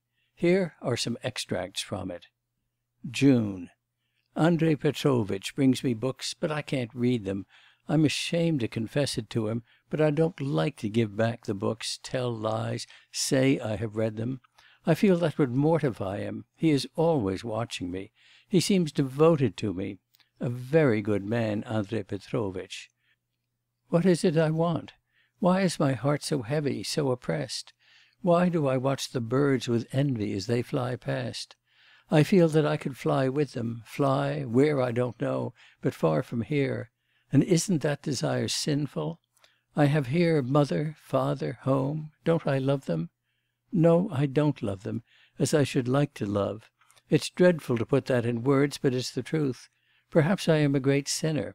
Perhaps that is why I am so sad, why I have no peace. Some hand seems laid on me, weighing me down, as though I were in prison and the walls would fall on me directly. Why is it others don't feel this? Whom shall I love if I am cold to my own people? It's clear, papa is right. He reproaches me for loving nothing but cats and dogs. I must think about that. I pray very little; I must pray. Ah, I think I should know how to love. I am still shy with Mr. Insarov; I don't know why. I believe I am not schoolgirlish generally, and he is so simple and kind. Sometimes he has a very serious face; he can't give much thought to us. I feel that, and am ashamed in a way to take up his time. With Andrei Petrovitch it's quite a different thing; I am ready to chat with him the whole day long. But he, too, always talks of Insarov. And such terrible facts he tells me about him. I saw him in a dream last night with a dagger in his hand. and he seemed to say to me, "I will kill you and I will kill myself." What silliness! Oh, if some one would say to me, "There, that's what you must do!" Being good isn't much; doing good yes, that's the great thing in life. But how is one to do good? Oh, if I could learn to control myself! I don't know why I am so often thinking of Mr. Insarov. When he comes and sits and listens intently, but makes no effort, no exertion himself, I look at him and feel pleased, and that's all, and when he goes I always go over his words, and feel vexed with myself, and upset even. I can't tell why. He speaks French badly and isn't ashamed of it; I like that. I always think a lot about new people, though. As I talked to him, I suddenly was reminded of our butler, Vassily, who rescued an old cripple out of a hut that was on fire and was almost killed himself. Papa called him a brave fellow, mamma gave him five roubles, and I felt as though I could fall at his feet. And he had a simple face, stupid looking even, and he took to drink later on. I gave a penny to day to a beggar woman, and she said to me, "Why are you so sorrowful?" I never suspected I looked sorrowful. I think it must come from being alone, always alone, for better, for worse. There is no one to stretch out a hand to me; those who come to me I don't want, and those I would choose pass me by. I don't know what's the matter with me to day. My head is confused, I want to fall on my knees and beg and pray for mercy. I don't know by whom or how, but I feel as if I were being tortured, and inwardly I am shrieking in revolt. I weep and can't be quiet. O my God, subdue these outbreaks in me! Thou alone canst aid me; all else is useless; my miserable alms giving, my studies can do nothing, nothing, nothing to help me. I should like to go out as a servant somewhere, really; that would do me good. What is my youth for? What am I living for? Why have I a soul? What is it all for? Insarov, Mr. Insarov upon my word I don't know how to write still interests me. I should like to know what he has within, in his soul. He seems so open, so easy to talk to, but I can see nothing. Sometimes he looks at me with such searching eyes or is that my fancy? Paul keeps teasing me. I am angry with Paul. What does he want? He's in love with me. But his love's no good to me. He's in love with Zoya too. I'm unjust to him; he told me yesterday I didn't know how to be unjust by halves. That's true. It's very horrid. Ah, I feel one needs unhappiness, or poverty, or sickness, or else one gets conceited directly. What made Andrei Petrovitch tell me to day about those two Bulgarians? He told me it, as it were with some intention. What have I to do with Mr. Insarov? I feel cross with Andrei Petrovitch. I take my pen and don't know how to begin. How unexpectedly he began to talk to me in the garden to day! How friendly and confiding he was, how quickly it happened! As if we were old, old friends, and had only just recognised each other. How could I have not understood him before? How near he is to me now! And what's so wonderful? I feel ever so much calmer now. It's ludicrous, yesterday I was angry with Andrei Petrovitch, and angry with him, I even called him Mr. Insarov, and to day Here at last is a true man, some one one may depend on. He won't tell lies; he's the first man I have met who never tells lies. All the others tell lies, everything's lying. Andrei Petrovitch, dear good friend, why do I wrong you? No; Andrei Petrovitch is more learned than he is, even, perhaps, more intellectual. But I don't know, he seems so small beside him. When he speaks of his country he seems taller, and his face grows handsome, and his voice is like steel, and no, it seems as though there were no one in the world before whom he would flinch. And he doesn't only talk. He has acted, and he will act. I shall ask him. How suddenly he turned to me and smiled! It's only brothers that smile like that. Ah, how glad I am! When he came the first time, I never dreamt that we should so soon get to know each other, and now I am even pleased that I remained indifferent to him at first. Indifferent? Am I not indifferent then now? It's long since I have felt such inward peace. I feel so quiet, so quiet. And there's nothing to write. I see him often, and that's all. What more is there to write? Paul shuts himself up. Andrei Petrovitch has taken to coming less often, poor fellow. I fancy he but that can never be, though. I like talking to Andrei Petrovitch; never a word of self, always of something sensible, useful very different from Shubin. Shubin's as fine as a butterfly, and admires his own finery, which butterflies don't do. But both Shubin and Andrei Petrovitch I know what I mean. He enjoys coming to us, I see that. But why? What does he find in me? It's true our tastes are alike, he and I; both of us don't care for poetry, neither of us knows anything of art. But how much better he is than I! He is calm; I am in perpetual excitement. He has chosen his path, his aim, while I where am I going? Where is my home? He is calm, but all his thoughts are far away. The time will come when he will leave us for ever, will go home, there over the sea. Well, God grant he may. Anyway I shall be glad that I knew him while he was here. Why isn't he a Russian? No, he could not be Russian. Mamma, too, likes him; she says an unassuming young man. Dear mamma! She does not understand him. Paul says nothing; he guessed I didn't like his hints, but he's jealous of him. Spiteful boy! And what right has he? Did I ever all that's nonsense. What makes all that come into my head? Isn't it strange, though, that up till now, up to twenty, I have never loved any one? I believe that the reason why D.'s I shall call him D., I like that name, Dmitri soul is so clear, is that he is entirely given up to his work, his ideal.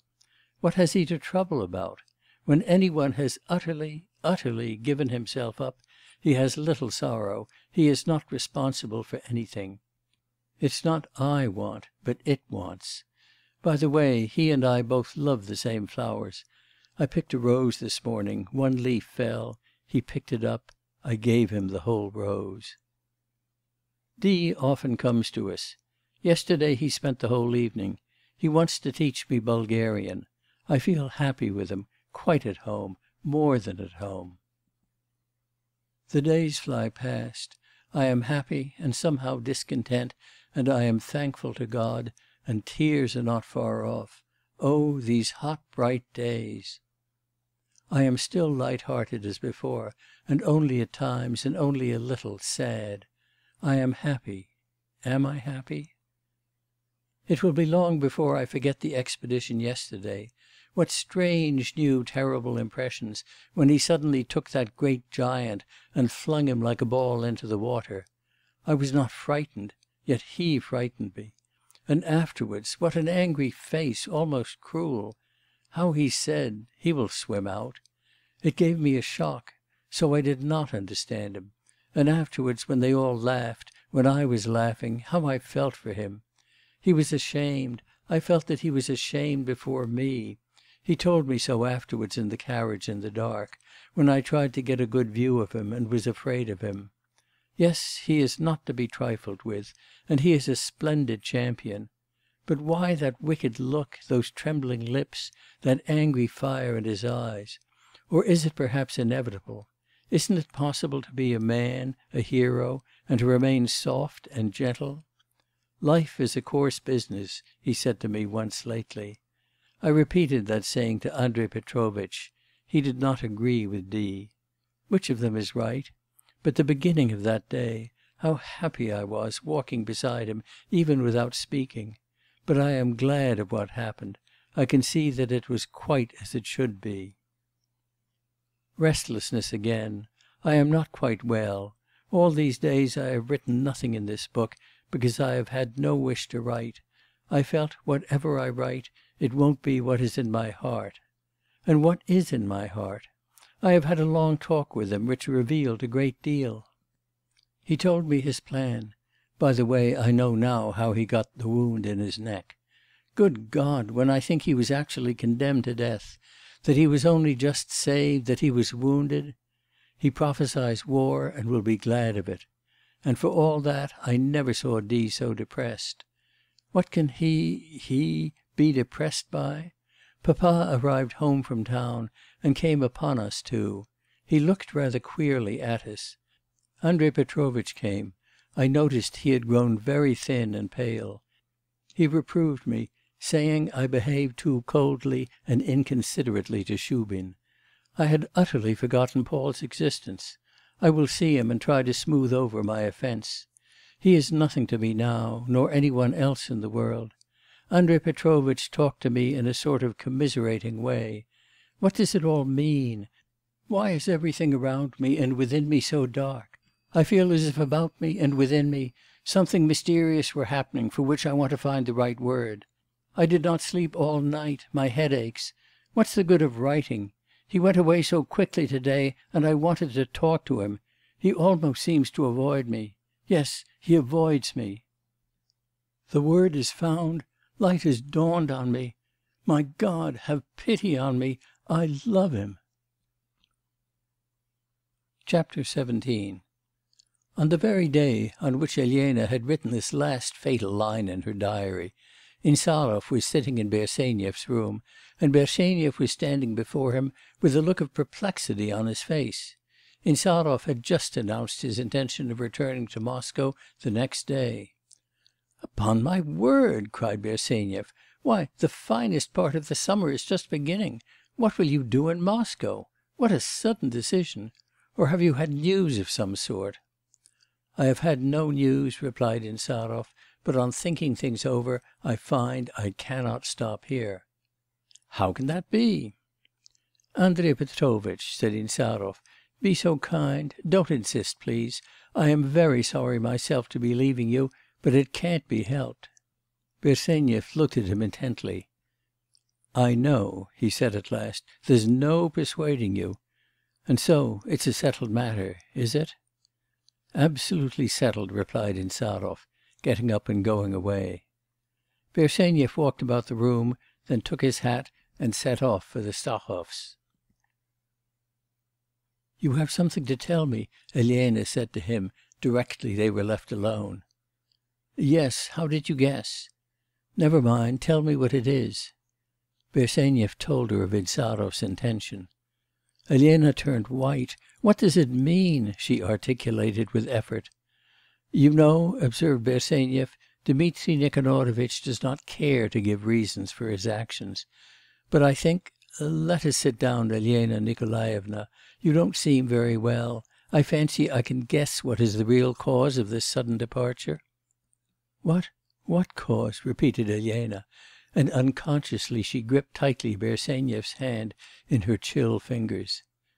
'You see,' began Bersenyev with a pathetic smile, 'how can I explain to you? I must go back to last spring, to the time when I began to be more intimate with Insarov. I used to meet him then at the house of a relative who had a daughter, a very pretty girl, I thought that Insarov cared for her, and I told him so.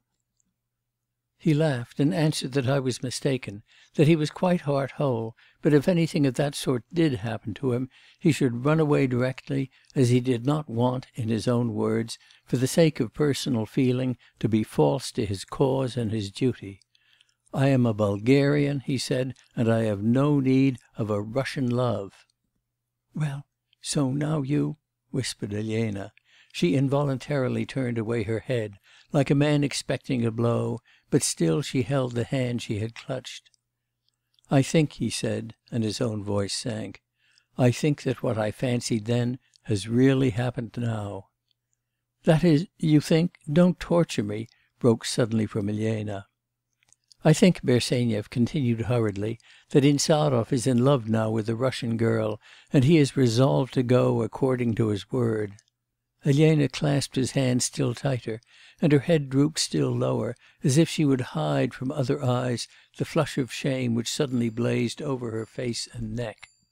'Andrei Petrovitch, you are kind as an angel,' she said, 'but will he come to say good bye?' 'Yes, I imagine so. He will be sure to come. He wouldn't like to go away.' 'Tell him tell him ' But here the poor girl broke down. Tears rushed streaming from her eyes, and she ran out of the room. 'So that's how she loves him,' thought Bersenyev as he walked slowly home. 'I didn't expect that; I didn't think she felt so strongly. I am kind, she says,' he pursued his reflections. 'Who can tell what feelings, what impulse drove me to tell Elena all that? It was not kindness; no, not kindness. It was all the accursed desire to make sure whether the dagger is really in the wound. I ought to be content. They love each other, and I have been of use to them. The future go between between science and the Russian public, Shubin calls me. It seems as though it had been decreed at my birth that I should be a go between. But if I'm mistaken? No, I'm not mistaken.' It was bitter for Andrei Petrovitch, and he could not turn his mind to Raumer. The next day at two o'clock Insarov arrived at the Stahovs. As though by express design, there was a visitor in Anna Vassilyevna's drawing room at the time, the wife of a neighbouring chief priest, an excellent and worthy woman, though she had had a little unpleasantness with the police because she thought fit, in the hottest part of the day, to bathe in a lake near the road, along which a certain dignified general's family used often to be passing. The presence of an outside person was at first even a relief to Elena, from whose face every trace of colour vanished directly she heard Insarov's step; but her heart sank at the thought that he might go without a word with her alone. He, too, seemed confused and avoided meeting her eyes. 'Surely he will not go directly,' thought Elena. Insarov was, in fact, turning to take leave of Anna Vassilyevna. Elena hastily rose and called him aside to the window. The priest's wife was surprised and tried to turn round, but she was so tightly laced that her stays creaked at every movement, and she stayed where she was. 'Listen,' said Elena hurriedly, 'I know what you have come for. Andrei Petrovitch has told me of your intention, but I beg, I entreat you, do not say good bye to us to day, but come here to morrow, rather earlier, at eleven. I must have a few words with you.' Insarov bent his head without speaking. 'I will not keep you. You promise me?' Again Insarov bowed, but said nothing. 'Lenotchka, come here,' said Anna Vassilyevna. 'Look, what a charming reticule!' 'I worked it myself,' observed the priest's wife. Elena came away from the window. Insarov did not stay more than a quarter of an hour at the Stahovs. Elena watched him secretly. He was restless and ill at ease. As before, he did not know where to look, and he went away strangely and suddenly. He seemed to vanish. Slowly passed that day for Elena; still more slowly dragged on the long, long night. Elena sat on her bed, her arms clasping her knees, and her head laid on them. Then she walked to the window, pressed her burning forehead against the cold glass, and thought and thought, going over and over the same thoughts till she was exhausted. Her heart seemed turned to stone; she did not feel it, but the veins in her head throbbed painfully, her hair stifled her, and her lips were dry. 'He will come. He did not say good bye to mamma. He will not deceive me. Can Andrei Petrovitch have been right? It cannot be. He didn't promise to come in words. Can I have parted for him for ever?' Those were the thoughts that never left her, literally never left her; they did not come and come again; they were for ever turning like a mist moving about in her brain. 'He loves me,' suddenly flashed through her, setting her whole nature on fire, and she gazed fixedly into the darkness. A secret smile parted her lips, seen by none, but she quickly shook her head and clasped her hands behind her neck, and again her former thought hung like a mist about her. Before morning she undressed and went to bed, but she could not sleep. The first fiery ray of sunlight fell upon her room. 'Oh, if he loves me!' she cried suddenly, and unabashed by the light shining on her, she opened wide her arms. She got up, dressed, and went down. No one in the house was awake yet. She went into the garden, but in the garden it was peaceful, green, and fresh; the birds chirped so confidingly, and the flowers peeped out so gaily, that she could not bear it. Oh, she thought, if it is true, no blade of grass is happy as I but is it true?' She went back to her room, and to kill time she began changing her dress; but everything slipped out of her hands, and she was still sitting half dressed before her looking glass when she was summoned to morning tea. She went down, her mother noticed her pallor, but only said: 'How interesting you are to day!' and taking her in in a glance, she added: 'How well that dress suits you; you should always put it on when you want to make an impression on any one.' Elena made no reply, and sat down in a corner. Meanwhile it struck nine o'clock. There were only two hours now till eleven. Elena tried to read, then to sew, then to read again, then she vowed to herself to walk a hundred times up and down one alley, and paced it a hundred times. Then for a long time she watched Anna Vassilyevna laying out the cards for patience, and looked at the clock; it was not yet ten. Shubin came into the drawing room. She tried to talk to him, and begged his pardon, what for she did not know herself. Every word she uttered did not cost her effort exactly, but roused a kind of amazement in herself. Shubin bent over her. She expected ridicule, raised her eyes, and saw before her a sorrowful and sympathetic face.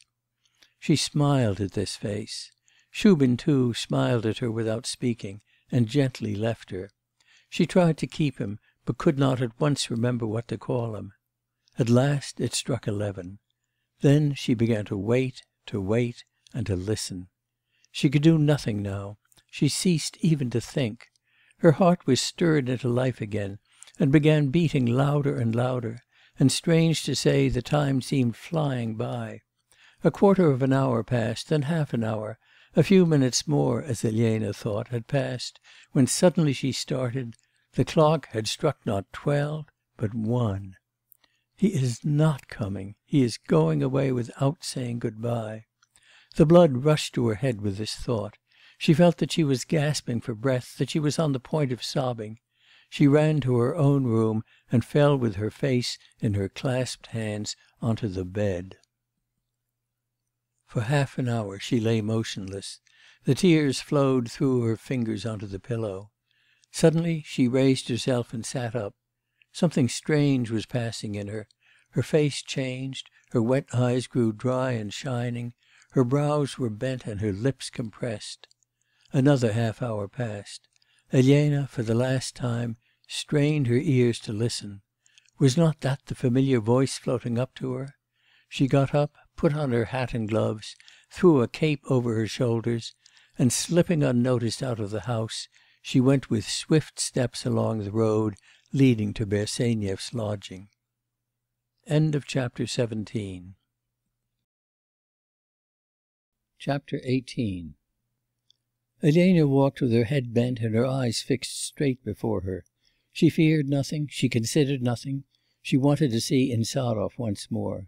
She went on, not noticing that the sun had long ago disappeared behind heavy black clouds, that the wind was roaring by gusts in the trees and blowing her dress about her, that the dust had suddenly risen and was flying in a cloud along the road. Large drops of rain were falling; she did not even notice it, but it fell faster and heavier, there were flashes of lightning and peals of thunder. Elena stood still looking round. Fortunately for her, there was a little old broken down chapel that had been built over a disused well not far from the place where she was overtaken by the storm. She ran to it and got under the low roof. The rain fell in torrents, the sky was completely overcast. In dumb despair Elena stared at the thick network of fast falling drops. Her last hope of getting a sight of Insarov was vanishing. A little old beggar woman came into the chapel, shook herself, said with a curtsy, 'Out of the rain, good lady,' and with many sighs and groans sat down on a ledge near the well. Elena put her hand into her pocket. The old woman noticed this action, and a light came into her face, yellow and wrinkled now, though once handsome. 'Thank you, dear gracious lady,' she was beginning. There happened to be no purse in Elena's pocket, but the old woman was still holding out her hand. 'I have no money, granny,' said Elena, 'but here, take this, it will be of use for something.' She gave her her handkerchief. 'Oh, oh, oh, my pretty lady,' said the beggar, 'what do you give your handkerchief to me for? For a wedding present to my grandchild when she's married? God reward you for your goodness!' A peal of thunder was heard. 'Lord Jesus Christ!' muttered the beggar woman, and she crossed herself three times. 'Why, haven't I seen you before?' she added after a brief pause. 'Didn't you give me alms in Christ's name?' Elena looked more attentively at the old woman and recognised her. 'Yes, grannie,' she answered. 'Wasn't it you asked me why I was so sorrowful?' 'Yes, darling, yes. I fancied I knew you. And I think you've got a heartache still. You seem in trouble now. Here's your handkerchief too, wet from tears to be sure. Oh, you young people, you all have the same sorrow, a terrible woe it is.' 'What sorrow, grannie?' 'Ah, my good young lady, you can't deceive an old woman like me. I know what your heart is heavy over, your sorrow's not an uncommon one. Sure, I have been young too, darling. I have been through that trouble too. Yes. And I'll tell you something, for your goodness to me. You've won a good man, not a light of love. You cling to him alone, cling to him stronger than death. If it comes off, it comes off. If not, it's in God's hands. Yes. Why are you wondering at me? I'm a fortune teller. There, I'll carry away your sorrow with your handkerchief. I'll carry it away and it's over. See, the rain's less. You wait a little longer. It's not the first time I've been wet. Remember, darling, you had a sorrow. The sorrow has flown, and there's no memory of it. Good Lord, have mercy on us!' The beggar woman got up from the edge of the well, went out of the chapel, and stole off on her way. Elena stared after her in bewilderment. 'What does this mean?' she murmured involuntarily. The rain grew less and less, the sun peeped out for an instant, Elena was just preparing to leave her shelter.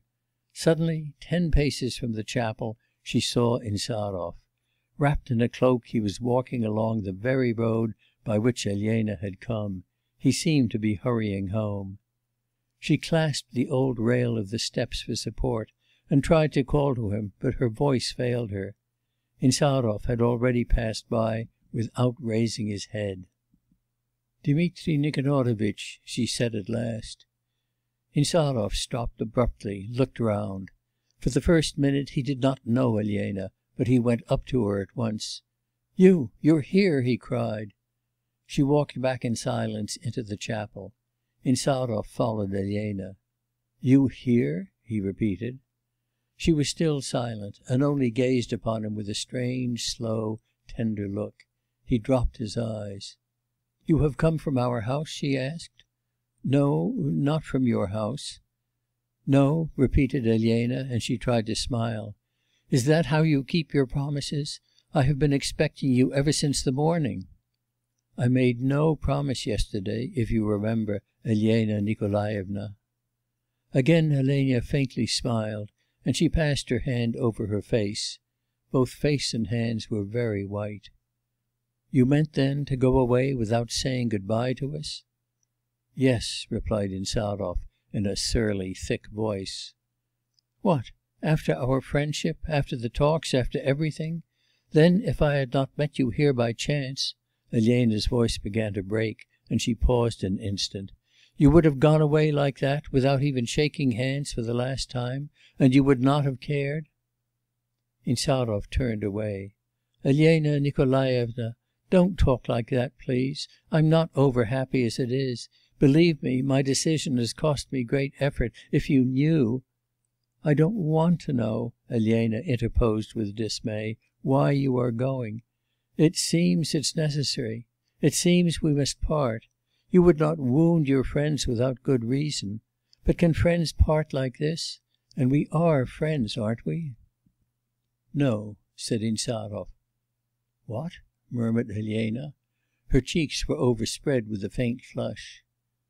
'That's just why I am going away, because we are not friends. Don't force me into saying what I don't want to say, and what I won't say.'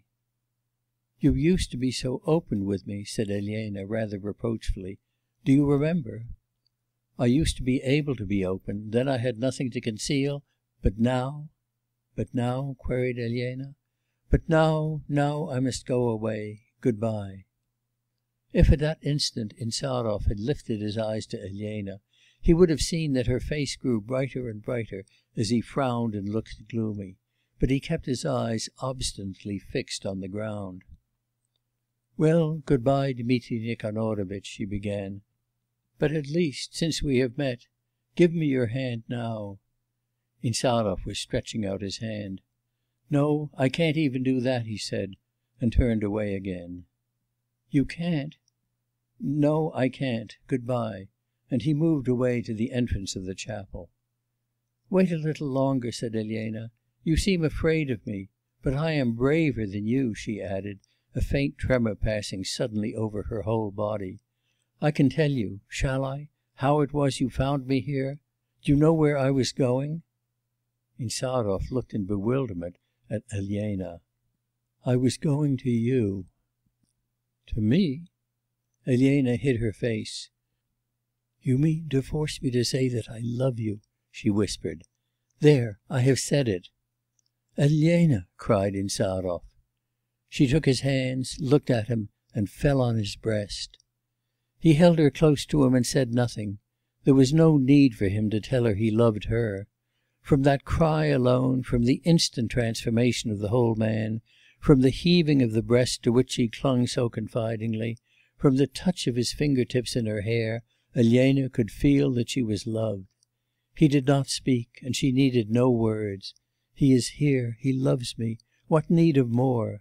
The peace of perfect bliss, the peace of the harbour reached after the storm, of the end attained, that heavenly peace, which gives significance and beauty even to death, filled her with its divine flood. She desired nothing, for she had gained all. "Oh, my brother, my friend, my dear one!' her lips were whispering, while she did not know whose was this heart, his or her own, which beat so blissfully and melted against her bosom. He stood motionless, folding in his strong embrace the young life surrendered to him; he felt against his heart this new, infinitely precious burden; a passion of tenderness, of gratitude, unutterable, was crumbling his hard will to dust, and tears unknown till now stood in his eyes. She did not weep, she could only repeat, 'Oh, my friend, my brother!' 'So you will follow me everywhere?' he said to her, a quarter of an hour later, still enfolding her and keeping her close to him in his arms. 'Everywhere, to the ends of the earth. Where you are, I will be.' And you are not deceiving yourself, you know your parents will never consent to our marriage?' I don't deceive myself, I know that. You know that I'm poor, almost a beggar? I know.' That I'm not a Russian? That it won't be my fate to live in Russia? That you will have to break all your ties with your country, with your people? I know, I know. Do you know, too, that I have given myself up to a difficult, thankless cause? That I that we shall have to expose ourselves, not to dangers only, but to privation, humiliation, perhaps I know, I know all, I love you that you will have to give up all you are accustomed to, that out there alone among strangers you will be forced perhaps to work?' She laid her hand on his lips i love you, my dear one.' He began hotly kissing her slender rosy hand.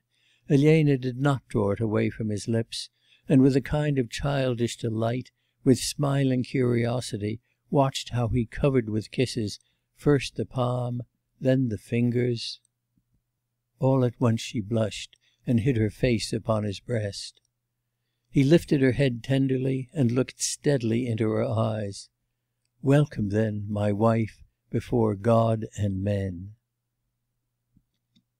Chapter 19 An hour later, Elena, with her hat in one hand, her cape in the other, walked slowly into the drawing room of the villa.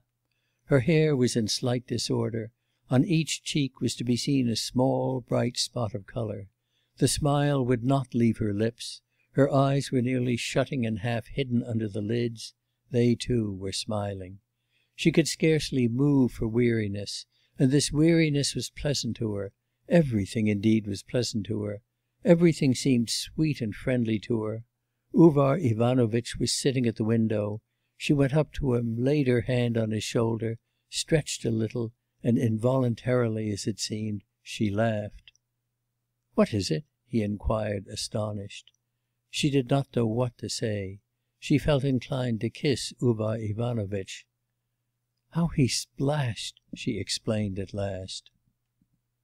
But Uvar Ivanovitch did not stir a muscle, and continued to look with amazement at Elena. She dropped her hat and cape on to him. 'Dear Uvar Ivanovitch,' she said, 'I am sleepy and tired,' and again she laughed and sank into a low chair near him. 'Hm!' grunted Uvar Ivanovitch, flourishing his fingers. 'Then you ought... yes?' Elena was looking round her and thinking: 'From all this I soon must part... and strange, I have no dread, no doubt, no regret... No, I am sorry for mamma.' Then the little chapel rose again before her mind; again her voice was echoing in it, and she felt his arms about her. Joyously, though faintly, her heart fluttered, weighed down by the languor of happiness. The old beggar woman recurred to her mind. 'She really did bear away my sorrow,' she thought. 'Oh, how happy I am! how undeservedly, how soon!' If she had let herself go in the least, she would have melted into sweet, endless tears. She could only restrain them by laughing. Whatever attitude she fell into seemed to her the easiest, most comfortable possible. She felt as if she were being rocked to sleep. All her movements were slow and soft. What had become of her awkwardness, her haste? Zoya came in. Elena decided that she had never seen a more charming little face. Anna Vassilyevna came in. Elena felt a pang, but with what tenderness she embraced her mother and kissed her on the forehead near the hair, already slightly grey. Then she went away to her own room. How everything smiled upon her there! With what a sense of shamefaced triumph and tranquillity she sat down on her bed the very bed on which, only three hours ago, she had spent such bitter moments. And yet, even then, I knew he loved me,' she thought. Even before... ah, no, it's a sin. You are my wife,' she whispered, hiding her face in her hands and falling on her knees. Towards the evening she grew more thoughtful. Sadness came upon her at the thought that she would not soon see Insarov. He could not, without awakening suspicion, remain at Bersenyev's, and so this was what he and Elena had resolved on. Insarov was to return to Moscow, and to come over to visit them twice before the autumn. On her side she promised to write him letters, and, if it were possible, to arrange a meeting with him somewhere near Kuntsovo. She went down into the drawing room to tea, and found there all the household and Shubin, who looked at her sharply directly she came in. She tried to talk to him in a friendly way as of old, but she dreaded his penetration, she was afraid of herself. She felt sure that there was good reason for his having left her alone for more than a fortnight. Soon Bersenyev arrived, and gave Insarov's respects to Anna Vassilyevna with an apology for having gone back to Moscow without calling to take leave of her. Insarov's name was, for the first time during the day, pronounced before Elena. She felt that she reddened; she realised at the same time that she ought to express regret at the sudden departure of such a pleasant acquaintance. But she could not force herself to hypocrisy, and continued to sit without stirring or speaking, while Anna Vassilyevna sighed and lamented. Elena tried to keep near Bersenyev. She was not afraid of him, though he even knew part of her secret. She was safe under his wing from Shubin, who still persisted in staring at her, not mockingly, but attentively. Bersenyev, too, was thrown into perplexity during the evening; he had expected to see Elena more gloomy. Happily for her, an argument sprang up about art between him and Shubin. She moved apart and heard their voices, as it were, through a dream. By degrees, not only they, but the whole room, everything surrounded her seemed like a dream everything the samovar on the table, and Uvar Ivanovitch's short waistcoat, and Zoya's polished finger nails, and the portrait in oils of the Grand Duke Constantine Pavlovitch on the wall everything retreated, everything was wrapped in mist, everything ceased to exist. Only she felt sorry for them all. What are they living for? she thought. 'Are you sleepy, Lenotchka?' her mother asked her. She did not hear the question. 'A half true insinuation, do you say?' These words, sharply uttered by Shubin, suddenly awakened Elena's attention. 'Why,' he continued, 'the whole sting lies in that. A true insinuation makes one wretched that's unchristian; and to an untrue insinuation a man is indifferent that's stupid; but at a half true one he feels vexed and impatient. For instance, if I say that Elena Nikolaevna is in love with one of us, what sort of insinuation would that be, eh?' 'Ah, Monsieur Paul,' said Elena, 'I should like to show myself vexed, but really I can't. I am so tired.'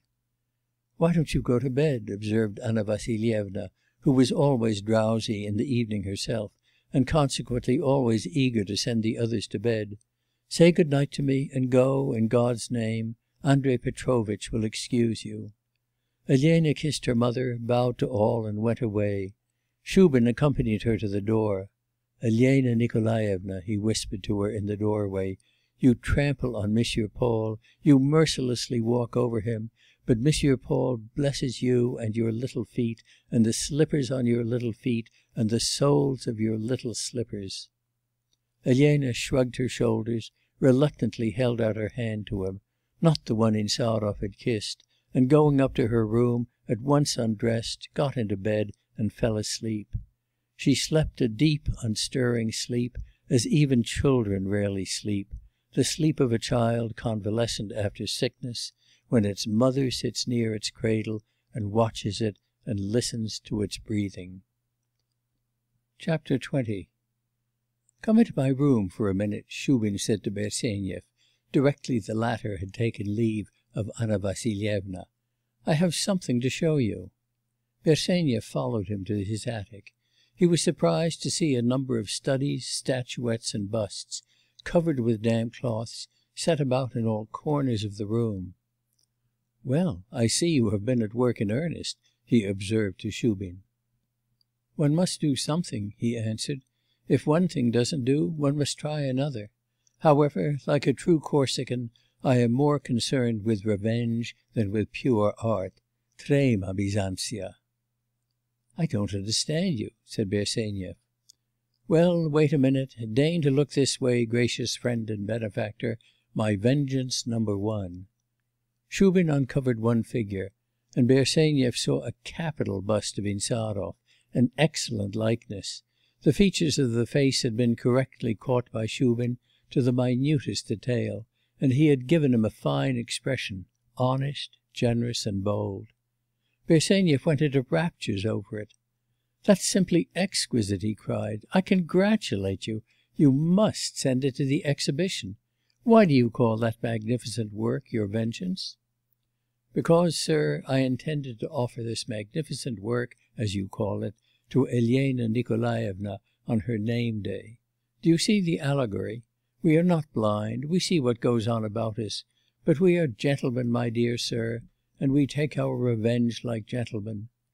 But here,' added Shubin, uncovering another figure, 'as the artist, according to modern aesthetic principles, enjoys the enviable privilege of embodying in himself every sort of baseness which he can turn into a gem of creative art, we, in the production of this gem, number two, have taken vengeance not as gentlemen, but simply en canaille.' He deftly drew off the cloth and displayed to Bersenyev's eyes a statuette in Dantan's style, also of Insarov. Anything cleverer and more spiteful could not be imagined. The young Bulgarian was represented as a ram standing on his hind legs, butting forward with his horns. Dull solemnity and aggressiveness, obstinacy, clumsiness and narrowness were simply printed on the visage of the sire of the woolly flock, and yet the likeness to Insarov was so striking that Bersenyev could not help laughing. 'Eh, is it amusing?' said Shubin. "'Do you recognise the hero? Do you advise me to send it too to the exhibition? That, my dear fellow, I intend as a present for myself on my own name day. Your honour will permit me to play the fool.' And Shubin gave three little leaps, kicking himself behind with his heels. Bersenyev picked up the cloth off the floor and threw it over the statuette. "'Ah, you magnanimous ' began Shubin. "'Who the devil was it in history was so particularly magnanimous? Well, never mind. And now,' he continued, with melancholy triumph, uncovering a third rather large mass of clay, 'you shall behold something which will show you the humility and discernment of your friend. You will realise that he, like a true artist again, feels the need and the use of self castigation. Behold!' The cloth was lifted, and Bersenyev saw two heads, modelled side by side, and close as though growing together. He did not at once know what was the subject, but looking closer he recognised in one of them Annushka, in the other Shubin himself. They were, however, rather caricatures than portraits. Annushka was represented as a handsome fat girl with a low forehead, eyes lost in layers of fat, and a saucily turned up nose. Her thick lips had an insolent curve; her whole face expressed sensuality, carelessness, and boldness, not without good nature. Himself Shubin had modelled as a lean emaciated rake, with sunken cheeks, his thin hair hanging in weak wisps about his face, a meaningless expression in his dim eyes, and his nose sharp and thin as a dead man's. Bersenyev turned away with disgust. A nice pair, aren't they, my dear fellow?' said Shubin. 'Won't you graciously compose a suitable title? For the first two I have already thought of titles. On the bust shall be inscribed, "A hero resolving to liberate his country." On the statuette, "Look out, sausage eating Germans." And for this work, what do you think of "The future of the artist Pavel Yakovlitch Shubin." Will that do?' 'Leave off,' replied Bersenyev. 'Was it worth while to waste your time on such a ' He could not at once fix on a suitable word. 'Disgusting thing, you mean? No, my dear fellow, excuse me, if anything ought to go to the exhibition, it's that group.' 'It's simply disgusting,' repeated Bersenyev. 'And besides, it's nonsense. You have absolutely no such degrading tendencies to which, unhappily, our artists have such a frequent bent. You have simply libelled yourself.' 'Do you think so?' said Shubin gloomily. 'I have none of them, and if they come upon me, the fault is all one person's. Do you know,' he added, tragically knitting his brows, 'that I have been trying drinking?' 'Nonsense?' 'Yes, I have, by God!' rejoined Shubin, and suddenly grinning and brightening, 'but I didn't like it, my dear boy, the stuff sticks in my throat, and my head afterwards is a perfect drum.' The great Lushtchihin himself, Harlampy Lushtchihin, the greatest drunkard in Moscow, and a great Russian drunkard too, declared there was nothing to be made of me. In his words, the bottle does not speak to me.' Bersenyev was just going to knock the group over, but Shubin stopped him. 'That'll do, my dear boy, don't smash it; it will serve as a lesson, a scarecrow.' Bersenyev laughed. 'If that's what it is, I will spare your scarecrow then,' he said. 'And now Long live eternal true art!' 'Long live true art!' put in Shubin. 'By art the good is better, and the bad is not all loss.' The friends shook hands warmly and parted. End of chapter XXI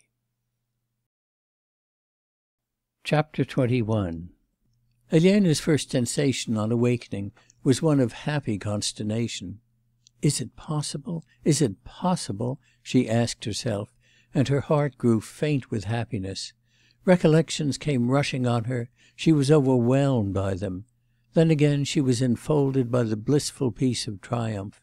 But in the course of the morning Elena gradually became possessed by a spirit of unrest, and for the remainder of the day she felt listless and weary. It was true she knew now what she wanted, but that made it no easier for her. That never to be forgotten meeting had cast her for ever out of the old groove; she was no longer at the same standpoint; she was far away, and yet everything went on about her in its accustomed order. Everything pursued its own course as though nothing were changed.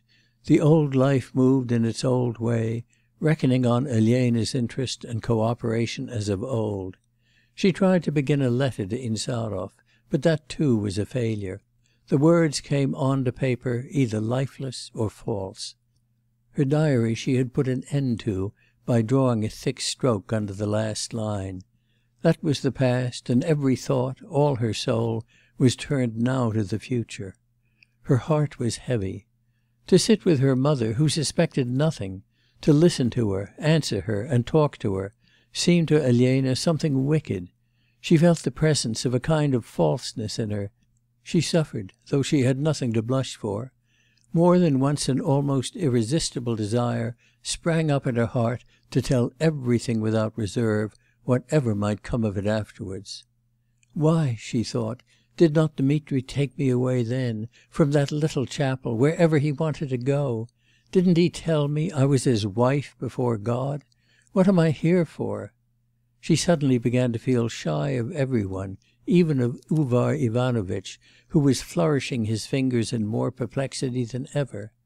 Now everything about her seemed neither sweet nor friendly, nor even a dream, but, like a nightmare, lay, an immovable dead load, on her heart, seeming to reproach her and be indignant with her, and not to care to know about her. You are ours in spite of everything, she seemed to hear.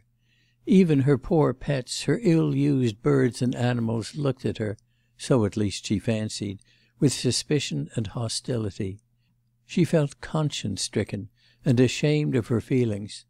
This is my home, after all, she thought, my family, my country. No, it's no longer your country, nor your family, another voice affirmed within her. Terror was overmastering her, and she was vexed with her own feebleness. The trial was only beginning, and she was losing patience already. Was this what she had promised? She did not soon gain control of herself; but a week passed, and then another. Elena became a little calmer, and grew used to her new position. She wrote two little notes to Insarov, and carried them herself to the post.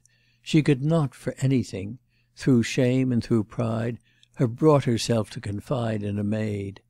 She was already beginning to expect him in person. But, instead of Insarov, one fine morning Nikolai Artemyevitch made his appearance. End of chapter XXII No one in the house of the retired lieutenant of guards, Stahov, had ever seen him so sour, and at the same time so self confident and important as on that day.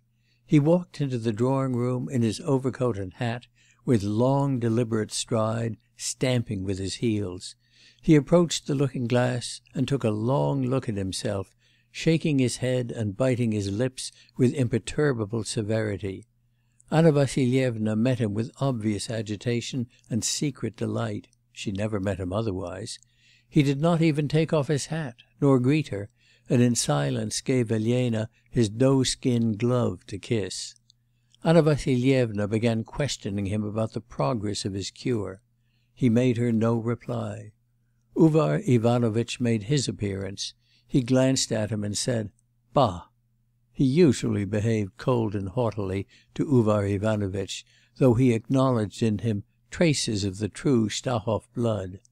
Almost all Russian families of the nobility are convinced, as is well known, of the existence of exceptional hereditary characteristics peculiar to them alone.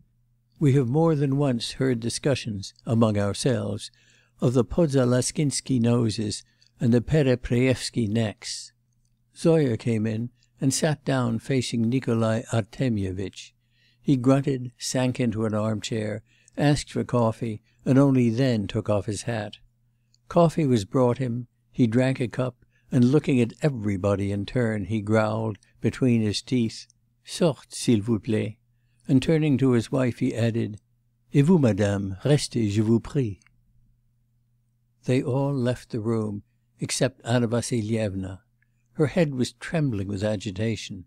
The solemnity of Nikolai Artemyevitch's preparations impressed her. She was expecting something extraordinary. "What is it?' she cried, directly the door was closed. Nikolai Artemyevitch flung an indifferent glance at Anna Vassilyevna. "Nothing special. What a way you have of assuming the air of a victim at once!' he began, quite needlessly dropping the corners of his mouth at every word. "I only want to forewarn you that we shall have a new guest dining here to day." "Who is it?' 'Kurnatovsky, Yegor Andreyevitch. You don't know him. The head secretary in the senate.' 'He is to dine with us to day?' 'Yes.' 'And it was only to tell me this that you made every one go away?' Nikolai Artemyevitch again flung a glance this time one of irony at Anna Vassilyevna. 'Does that surprise you? Defer your surprise a little.' He ceased speaking. Anna Vassilyevna too was silent for a little time. 'I could have wished ' she was beginning. 'I know you have always looked on me as an immoral man,' began Nikolai Artemyevitch suddenly. 'I?' muttered Anna Vassilyevna, astounded. 'And very likely you are right. I don't wish to deny that I have in fact sometimes given you just grounds for dissatisfaction.' 'My greys!' flashed through Anna Vassilyevna's head. 'Though you must yourself allow that in the condition, as you are aware, of your constitution ' 'And I make no complaint against you, Nikolai Artemyevitch.' 'C'est possible. In any case, I have no intention of justifying myself time will justify me. But I regard it as my duty to prove to you that I understand my duties, and know how to care for for the welfare of the family entrusted entrusted to me. What's the meaning of all this?' Anna Vassilyevna was thinking. She could not guess that the preceding evening, at the English club, a discussion had arisen in a corner of the smoking room as to the incapacity of Russians to make speeches. Which of us can speak? Mention any one,' one of the disputants had exclaimed. 'Well, Stahov, for instance,' had answered the other, pointing to Nikolai Artemyevitch, who stood up on the spot, almost squealing with delight. 'For instance,' pursued Nikolai Artemyevitch, 'my daughter Elena. Don't you consider that the time has come for her to take a decisive step along the path to be married, I mean to say? All these intellectual and philanthropic pursuits are all very well, but only up to a certain point, up to a certain age. It's time for her to drop her mistiness, to get out of the society of all these artists, scholars, and Montenegrins, and do like everybody else. How am I to understand you?' asked Anna Vassilyevna. Well, if you will kindly listen,' answered Nikolai Artemyevitch still with the same dropping of the corners of his lips. 'I will tell you plainly, without beating about the bush. I have made acquaintance, I have become intimate with this young man, Mr. Kurnatovsky, in the hope of having him for a son in law. I venture to think that when you see him, you will not accuse me of partiality or precipitate judgment.' Nikolai Artemyevitch was admiring his own eloquence as he talked. 'Of excellent education, educated in the highest legal college, excellent manners, thirty three years old, an upper secretary, a councillor, and a Stanislas cross on his neck. You, I hope, will do me the justice to allow that I do not belong to the number of those pères de famille who are mad for position. But you yourself told me that Elena Nikolaevna likes practical business men. Yegor Andreyevitch is in the first place a business man. Now, on the other side, my daughter has a weakness for generous actions, so let me tell you that Yegor Andreyevitch, directly he had attained the possibility you understand me the possibility of living without privation on his salary, at once gave up the yearly income assigned him by his father, for the benefit of his brothers. 'Who is his father?' inquired Anna Vassilyevna. "His father? His father is a man well known in his own line, of the highest moral character, un vrai stoicien, a retired major, I think, overseer of all the estates of Count B ' 'Ah!' observed Anna Vassilyevna. 'Ah? Why ah?' interposed Nikolai Artemyevitch. 'Can you be infected with prejudice?' 'Why, I said nothing,' Anna Vassilyevna was beginning. 'No, you said ah. However that may be, I have thought it well to acquaint you with my way of thinking, and I venture to think, I venture to hope Mr. Kurnatovsky will be received à bras ouverts. He is no Montenegrin vagrant.' 'Of course. I need only call Vanka the cook and order a few extra dishes.' 'You are aware that I will not enter into that,' said Nikolai Artemyevitch, and he got up, put on his hat, and whistling (he had heard some one say that whistling was only permissible in a country villa and a riding court), went out for a stroll in the garden. Shubin watched him out of the little window of his lodge and in silence put out his tongue at him. At ten minutes to four a hackney carriage drove up to the steps of the Stahovs' villa, and a man, still young, of prepossessing appearance, simply and elegantly dressed, stepped out of it and sent up his name. This was Yegor Andreyevitch Kurnatovsky. This was what, among other things, Elena wrote next day to Insarov: 'Congratulate me, dear Dmitri. I have a suitor. He dined with us yesterday. Papa made his acquaintance at the English club, I fancy, and invited him. Of course he did not come yesterday as a suitor. But good mamma, to whom papa had made known his hopes, whispered in my ear what this guest was. His name is Yegor Andreyevitch Kurnatovsky. He is upper secretary to the Senate. I will first describe to you his appearance. He is of medium height, shorter than you, and a good figure. His features are regular, he is close cropped and wears large whiskers.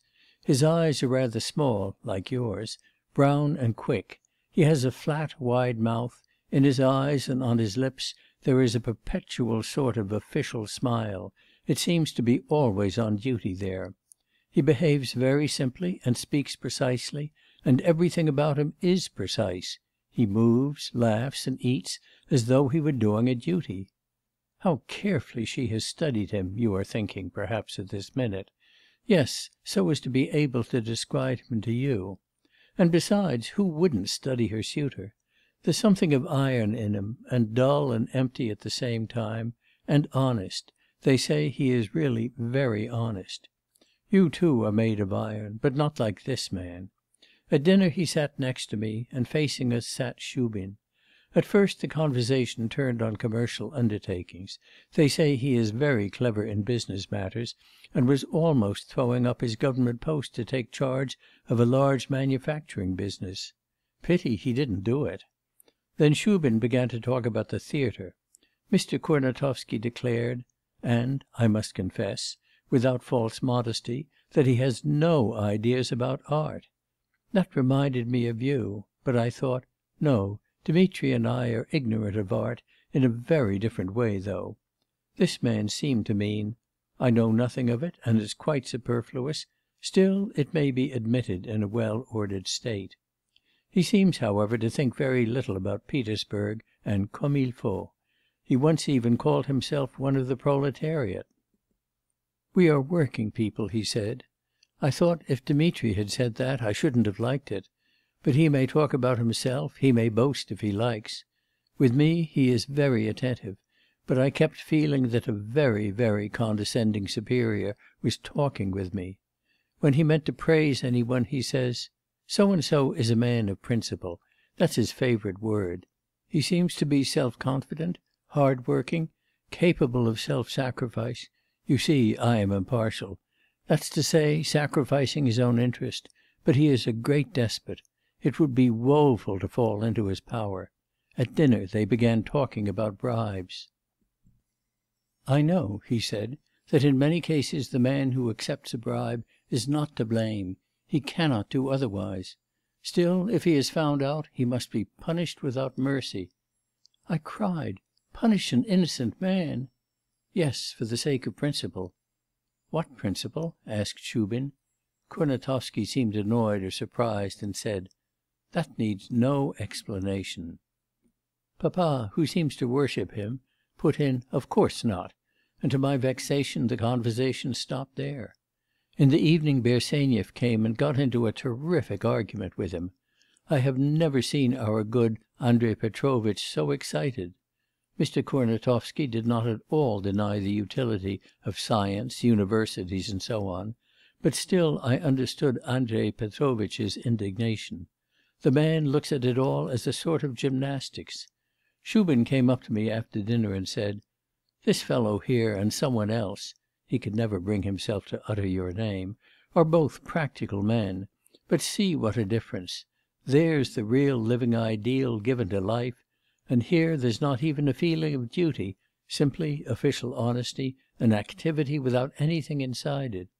Shubin is clever, and I remembered his words to tell you; but to my mind there is nothing in common between you. You have faith, and he has not; for a man cannot have faith in himself only.' He did not go away till late, but mamma had time to inform me that he was pleased with me, and papa is in ecstasies. Did he say, I wonder, that I was a woman of principle? I was almost telling mamma that I was very sorry, but I had a husband already. Why is it papa dislikes you so? Mamma we could soon manage to bring round. Oh, my dear one! I have described this gentleman in such detail to deaden my heartache. I don't live without you; I am constantly seeing you, hearing you. I look forward to seeing you, only not at our house as you intended; fancy how wretched and ill at ease we should be! But you know where I wrote to you in that wood. Oh, my dear one, how I love you!' End of chapter XXIII Three weeks after Kurnatovsky's first visit, Anna Vassilyevna, to Elena's great delight, returned to Moscow, to her large wooden house near Prechistenka, a house with columns, white lyres, and wreaths over every window, with an attic, offices, a palisade, a huge green court, a well in the court, and a dog's kennel near the well. Anna Vassilyevna had never left her country villa so early; but this year, with the first autumn chills, her face swelled. Nikolai Artemyevitch, for his part, having finished his cure, began to want his wife; besides, Augustina Christianovna had gone away on a visit to her cousin in Revel. A family of foreigners, known as living statues, des poses plastiques, had come to Moscow, and the description of them in the Moscow Gazette had aroused Anna Vassilyevna's liveliest curiosity. In short, to stay longer at the villa seemed inconvenient, and even, in Nikolai Artemyevitch's words, incompatible with the fulfilment of his cherished projects. The last fortnight seemed very long to Elena. Kurnatovsky came over twice on Sundays; on other days he was busy. He came really to see Elena, but talked more to Zoya, who was much pleased with him. 'Das ist ein Mann,' she thought to herself, as she looked at his full manly face, and listened to his self confident, condescending talk. To her mind, no one had such a wonderful voice, no one could pronounce so nicely, 'I had the honour,' or 'I am most delighted.' Insarov did not come to the Stahovs, but Elena saw him once in secret in a little copse by the Moskva river, where she arranged to meet him. They hardly had time to say more than a few words to each other. Shubin returned to Moscow with Anna Vassilyevna, Bersenyev a few days later. Insarov was sitting in his room, and for the third time looking through the letters brought him from Bulgaria by hand they were afraid to send them by post.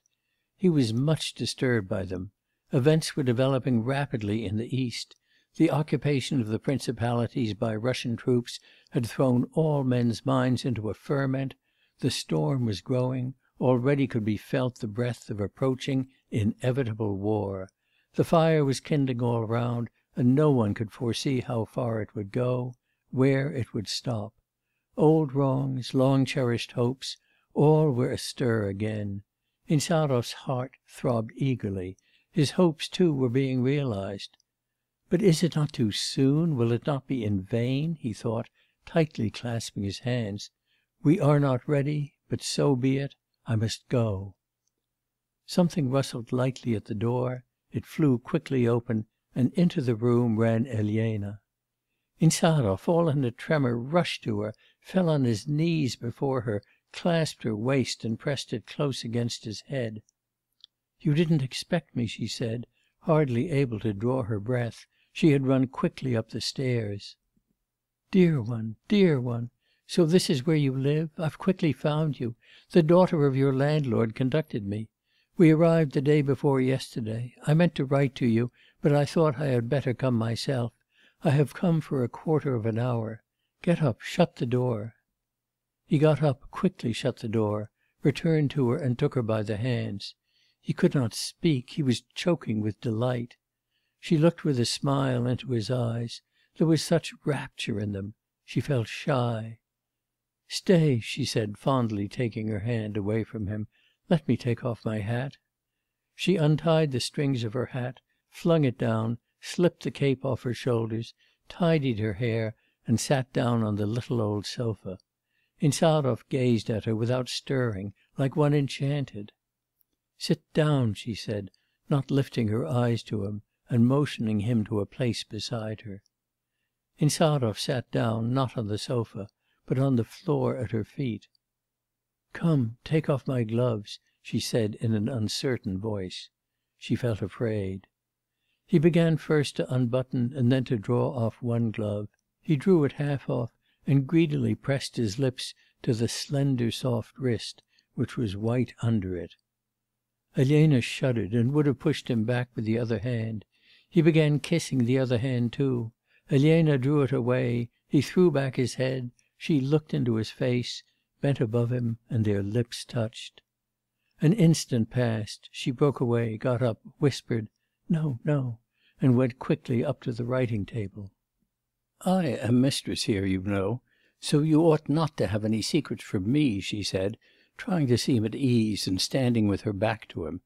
'What a lot of papers! What are these letters?' Insarov knitted his brows.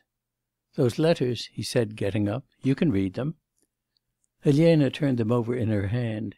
'There are so many of them, and the writing is so fine, and I have to go directly let them be. They're not from a rival, eh? And they're not in Russian,' she added, turning over the thin sheets. Insarov came close to her and fondly touched her waist.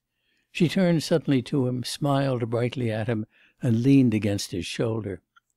'Those letters are from Bulgaria, Elena; my friends write to me; they want me to come.' 'Now? to them?' 'Yes, now; while there is still time, while it is still possible to come.' All at once she flung both arms round his neck. 'You will take me with you, yes?' He pressed her to his heart. 'O my sweet girl, oh, my heroine, how you said that! But isn't it wicked, isn't it mad for me, a homeless, solitary man, to drag you with me, and out there too?' She shut his mouth. 'Sh or I shall be angry, and never come to see you again.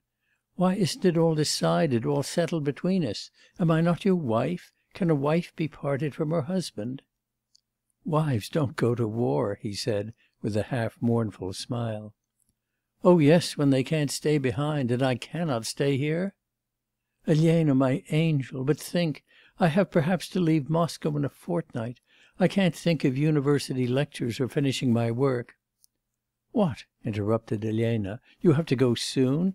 If you like, I will stop at once this minute with you for ever, and not go home, shall I? Shall we go at once?' Insarov clasped her in his arms with redoubled warmth. 'May God so reward me then,' he cried, 'if I am doing wrong. From to day we are one for ever.' 'Am I to stay?' asked Elena. 'No, my pure girl, no, my treasure. You shall go back home to day, only keep yourself in readiness. This is a matter we can't manage straight off; we must plan it out well. We want money, a passport ' 'I have money,' put in Elena, 'eighty roubles.' 'Well, that's not much,' observed Insarov, 'but everything's a help.' 'But I can get more. I will borrow. I will ask mamma no, I won't ask mamma for any but I can sell my watch. I have earrings too, and two bracelets, and lace.' 'Money's not the chief difficulty, Elena. The passport, your passport, how about that?' 'Yes, how about it? Is a passport absolutely necessary? 'Absolutely.' Elena laughed. 'What a queer idea! I remember when I was little, a maid of ours ran away; she was caught and forgiven, and lived with us a long while; but still every one used to call her Tatyana the runaway. I never thought then that I too might perhaps be a runaway like her.' 'Elena, aren't you ashamed?' 'Why? Of course it's better to go with a passport. But if we can't ' 'We will settle all that later, later; wait a little,' said Insarov. 'Let me look about, let me think a little. We will talk over everything together thoroughly. I too have money.' Elena pushed back the hair that fell on his forehead. 'Oh, Dmitri, how glorious it will be for us two to set off together!' 'Yes,' said Insarov, 'but there, when we get there ' 'Well?' put in Elena, 'and won't it be glorious to die together too? But no, why should we die? We will live, we are young. How old are you? Twenty six?' 'Yes, twenty six.' 'And I am twenty. There is plenty of time before us. Ah, you tried to run away from me. You did not want a Russian's love, you Bulgarian! Let me see you trying to escape from me now. What would have become of us if I hadn't come to you then? Elena, you know what forced me to go away. I know, you were in love and you were afraid; but surely you must have suspected that you were loved?'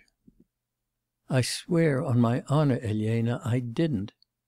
She gave him a quick, unexpected kiss. 'There, I love you for that too. And good bye.' 'You can't stop longer?' asked Insarov. 'No, dearest. Do you think it's easy for me to go out alone? The quarter of an hour was over long ago.' She put on her cape and her hat. 'And you come to us, to morrow evening no, the day after to morrow. We shall be constrained and dreary, but we can't help that. At least we shall see each other. Good bye, let me go.' He embraced her for the last time. 'Ah, take care, you have broken my watch chain. Oh, what a clumsy boy! There, never mind, it's all the better. I will go to Kuznetsky bridge, and leave it to be mended. If I am asked, I can say I have been to Kuznetsky bridge.' She held the door handle. 'By the way, I forgot to tell you, Monsieur Kurnatovsky will certainly make me an offer in a day or two. But the answer I shall make him will be this' She put the thumb of her left hand to the tip of her nose, and flourished the other fingers in the air. bye till we see each other again. Now I know the way. And don't lose any time.' Elena opened the door a little, listened, turned round to Insarov, nodded her head, and glided out of the room. For a minute Insarov stood before the closed door, and he too listened. The door downstairs into the court slammed. He went up to the sofa, sat down, and covered his eyes with his hands. Never before had anything like this happened to him. 'What have I done to deserve such love?' he thought. 'Is it a dream?' But the delicate scent of mignonette, left by Elena in his poor dark little room, told of her visit.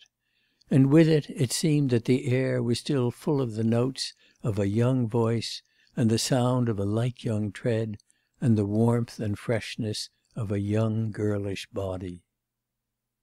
XXIV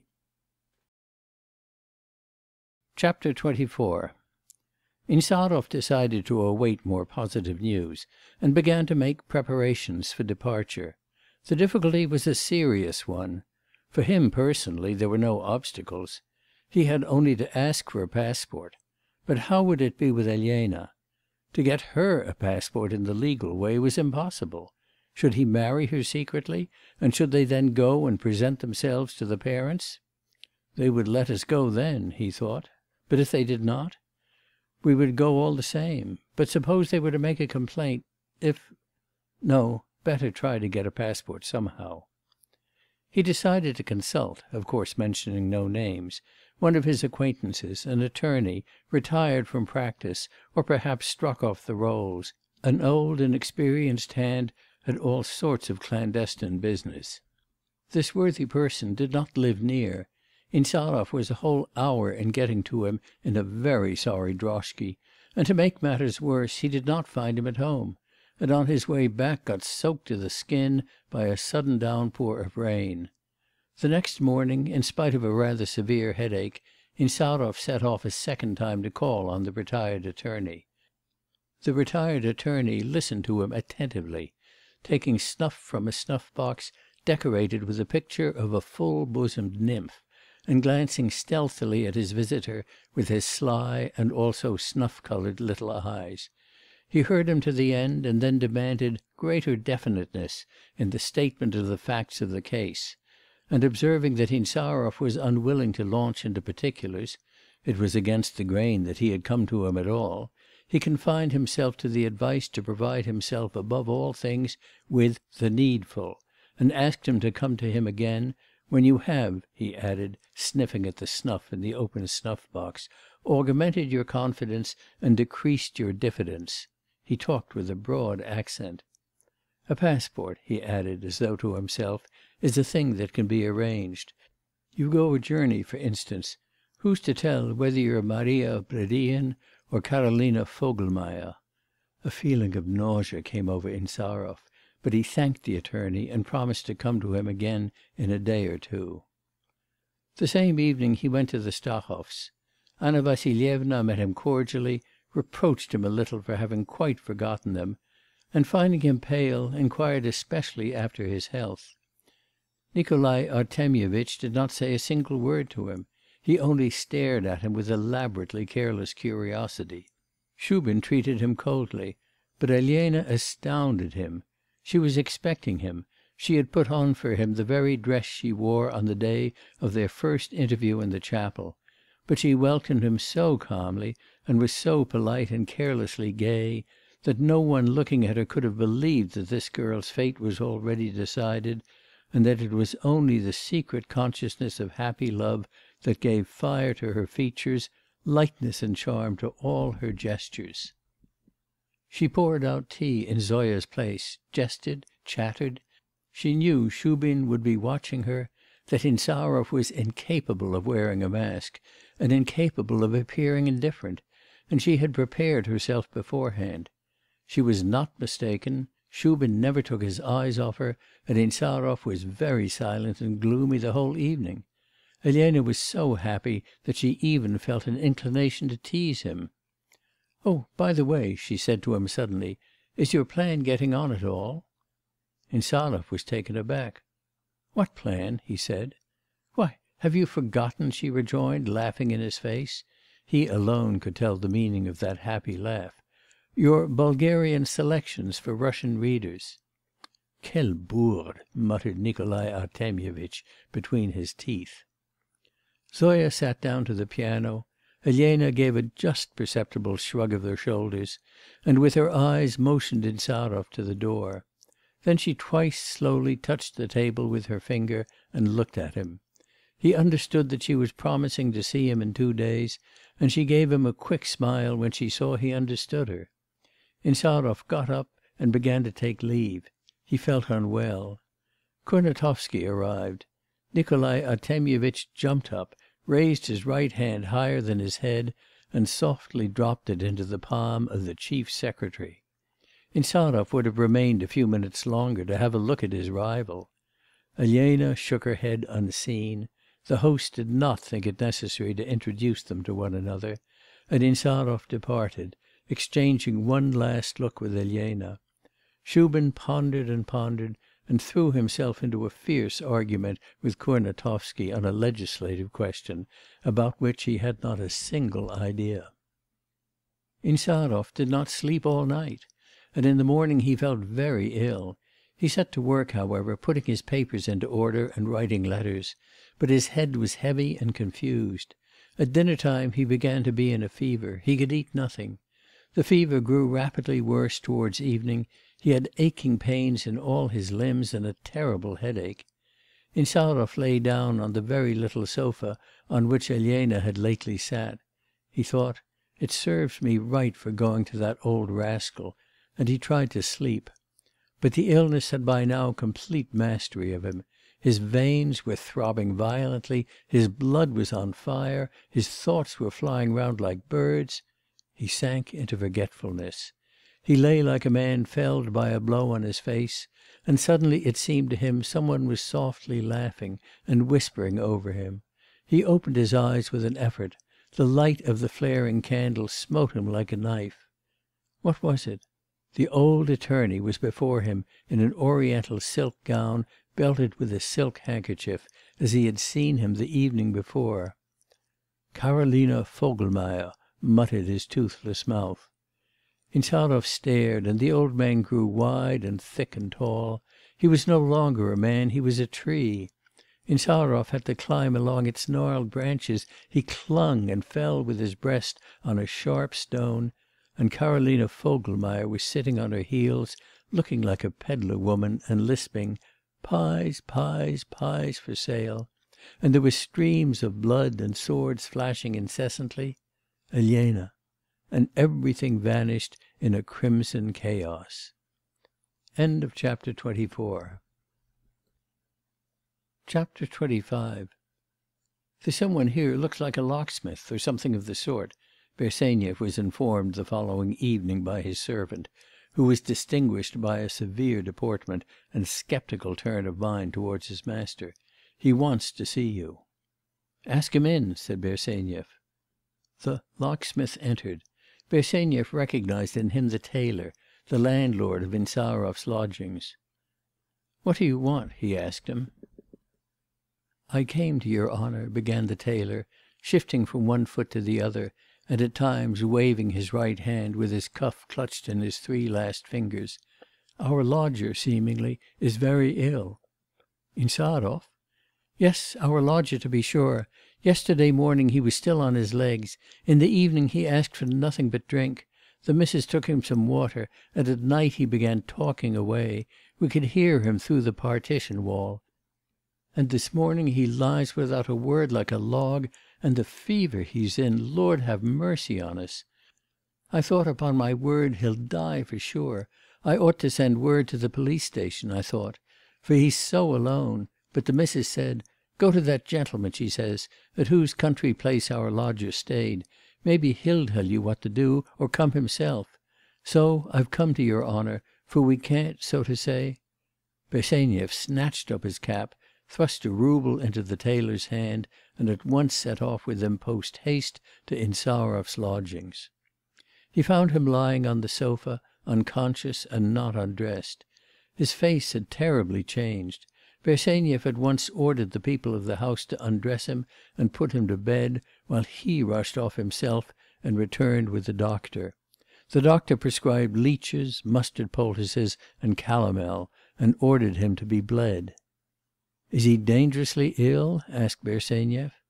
'Yes, very dangerously,' answered the doctor. 'Severe inflammation of the lungs. Peripneumonia fully developed, and the brain perhaps affected; but the patient is young. His very strength is something against him now. I was sent for too late. Still we will do all that science dictates.' The doctor was young himself, and still believed in science. Bersenyev stayed the night.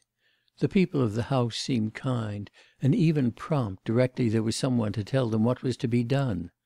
An assistant arrived, and began to carry out the medical measures. Towards morning Insarov revived for a few minutes, recognised Bersenyev, asked, 'Am I ill, then?' looked about him with the vague listless bewilderment of a man dangerously ill, and again relapsed into unconsciousness.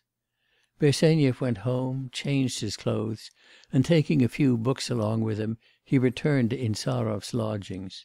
He made up his mind to stay there, at least for a time; he shut in Insarov's bed with screens, and arranged a little place for himself by the sofa. The day passed slowly and drearily. Bersenyev did not leave the room except to get his dinner. The evening came. He lighted a candle with a shade, and settled down to a book. Everything was still around.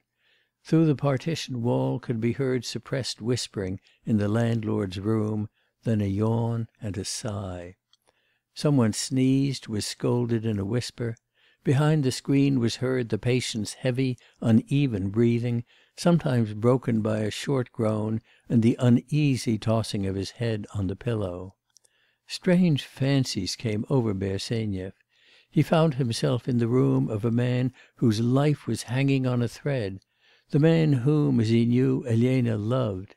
He remembered that night when Shubin had overtaken him, and declared that she loved him, him, Bersenyev.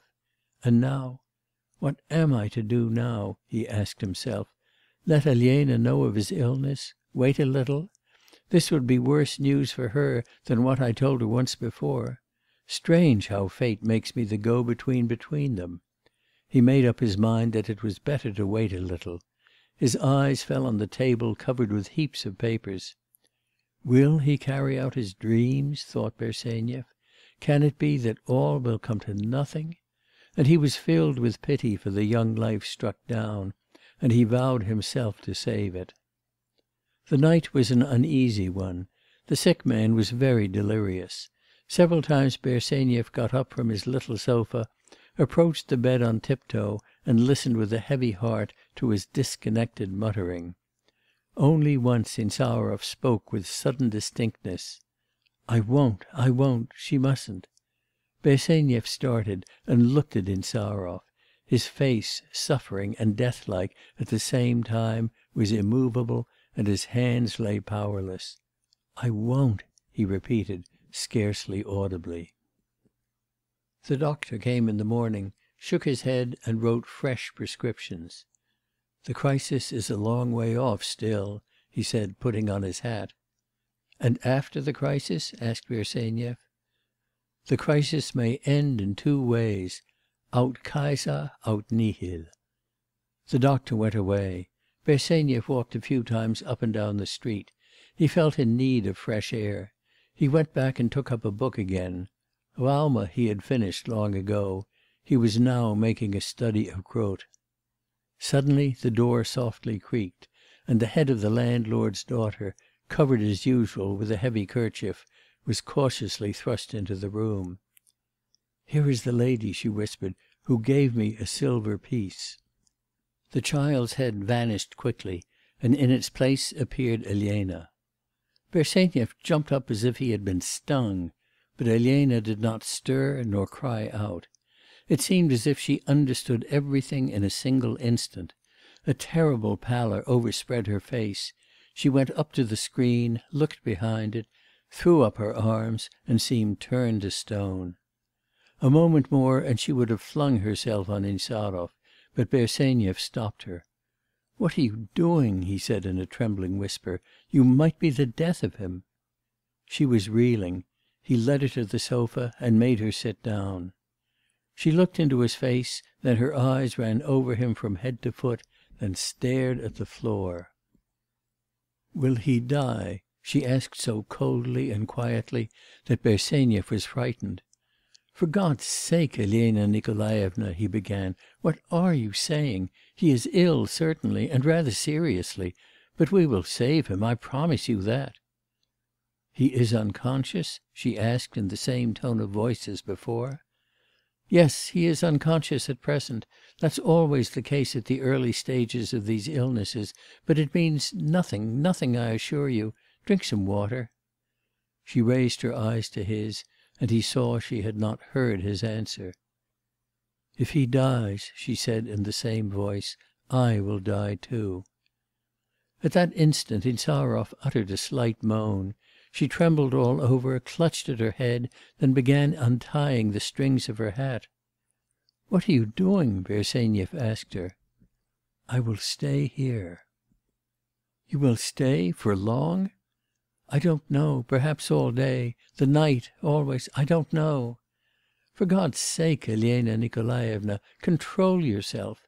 I could not, of course, have any expectation of seeing you here, but still I assume you have come for a short time. Remember, they may miss you at home." "What then?" "They will look for you find you." "What then?"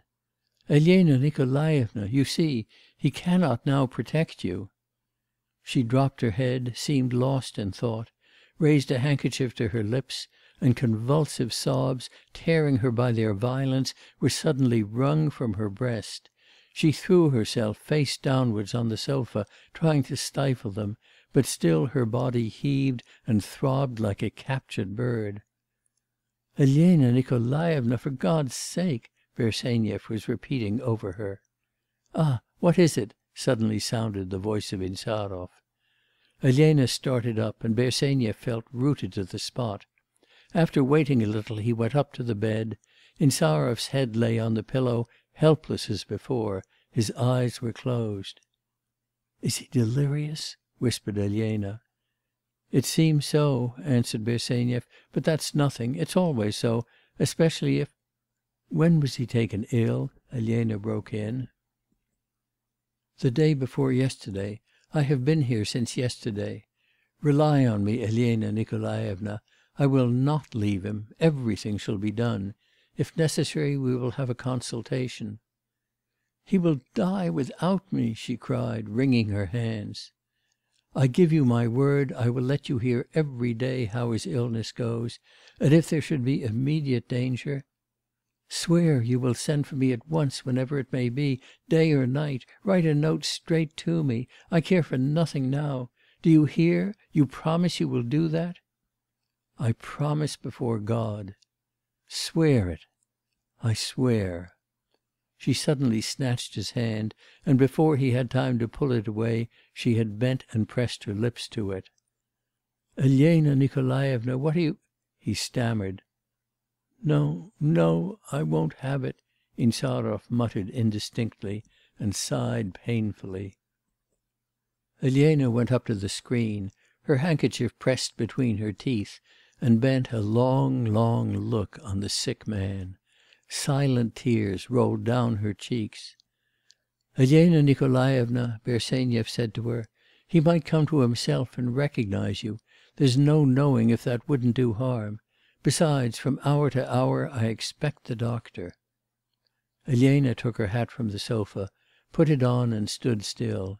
Her eyes strayed mournfully over the room; she seemed to be remembering. 'I cannot go away,' she whispered at last. Bersenyev pressed her hand. 'Try to pull yourself together,' he said. 'Calm yourself. You are leaving him in my care. I will come to you this very evening.' Elena looked at him and said, 'O my good, kind friend!' broke into sobs and rushed away. Bersenyev leaned against the door. A feeling of sorrow and bitterness, not without a kind of strange consolation, overcame him. 'My good, kind friend,' he thought, and shrugged his shoulders. 'Who is there?' he heard Insarov's voice. Bersenyev went up to him. 'I am here, Dmitri Nikanorovitch. How are you? How do you feel?' 'Are you alone?' asked the sick man. 'Yes.' 'And she?' 'Whom do you mean?' Bersenyev asked almost in dismay. Insarov was silent. 'Mignonette,' he murmured, and his eyes closed again. End of chapter XXVI For eight whole days Insarov lay between life and death. The doctor was incessantly visiting him, interested as a young man in a difficult case. Shubin heard of Insarov's critical position, and made inquiries after him.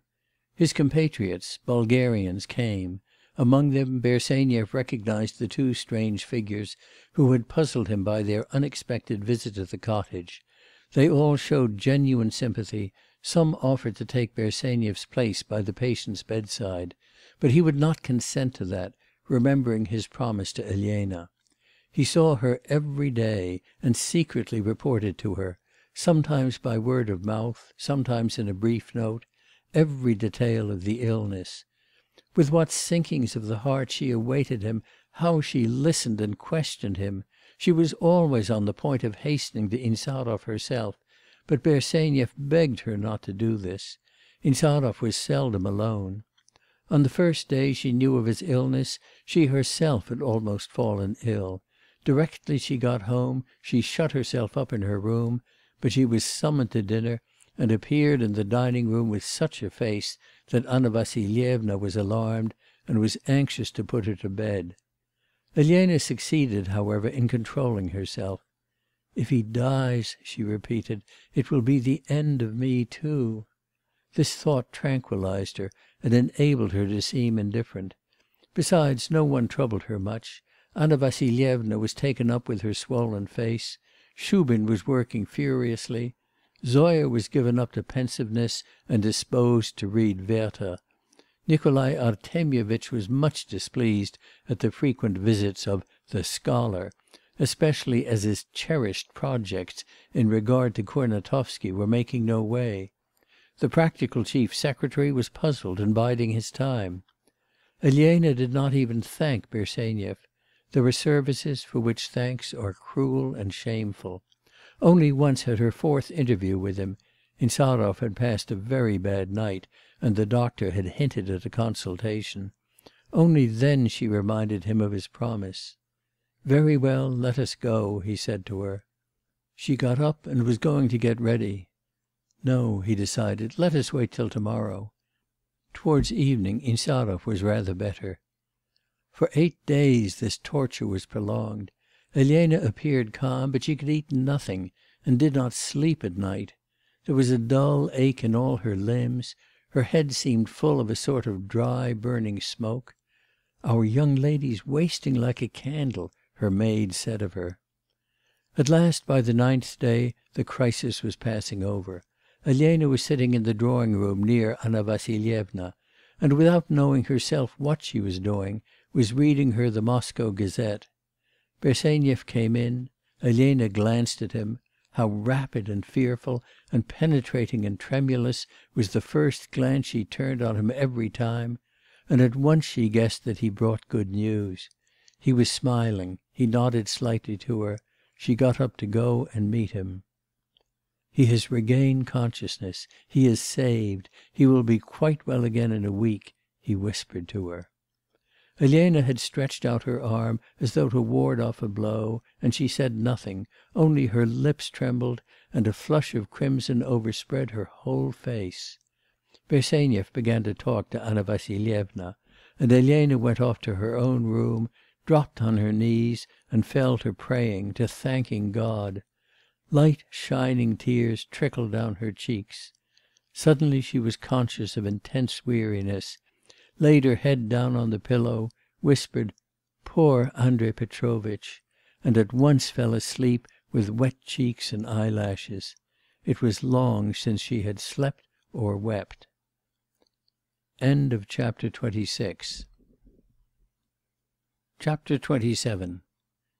Bersenyev's words turned out only partly true; the danger was over, but Insarov gained strength slowly, and the doctor talked of a complete undermining of the whole system. The patient left his bed for all that, and began to walk about the room. Bersenyev went home to his own lodging, but he came every day to his still feeble friend, and every day as before he informed Elena of the state of his health. Insarov did not dare to write to her, and only indirectly in his conversations with Bersenyev referred to her; but Bersenyev, with assumed carelessness, told him about his visits to the Stahovs, trying, however, to give him to understand that Elena had been deeply distressed, and that now she was calmer. Elena, too, did not write to Insarov; she had a plan in her head.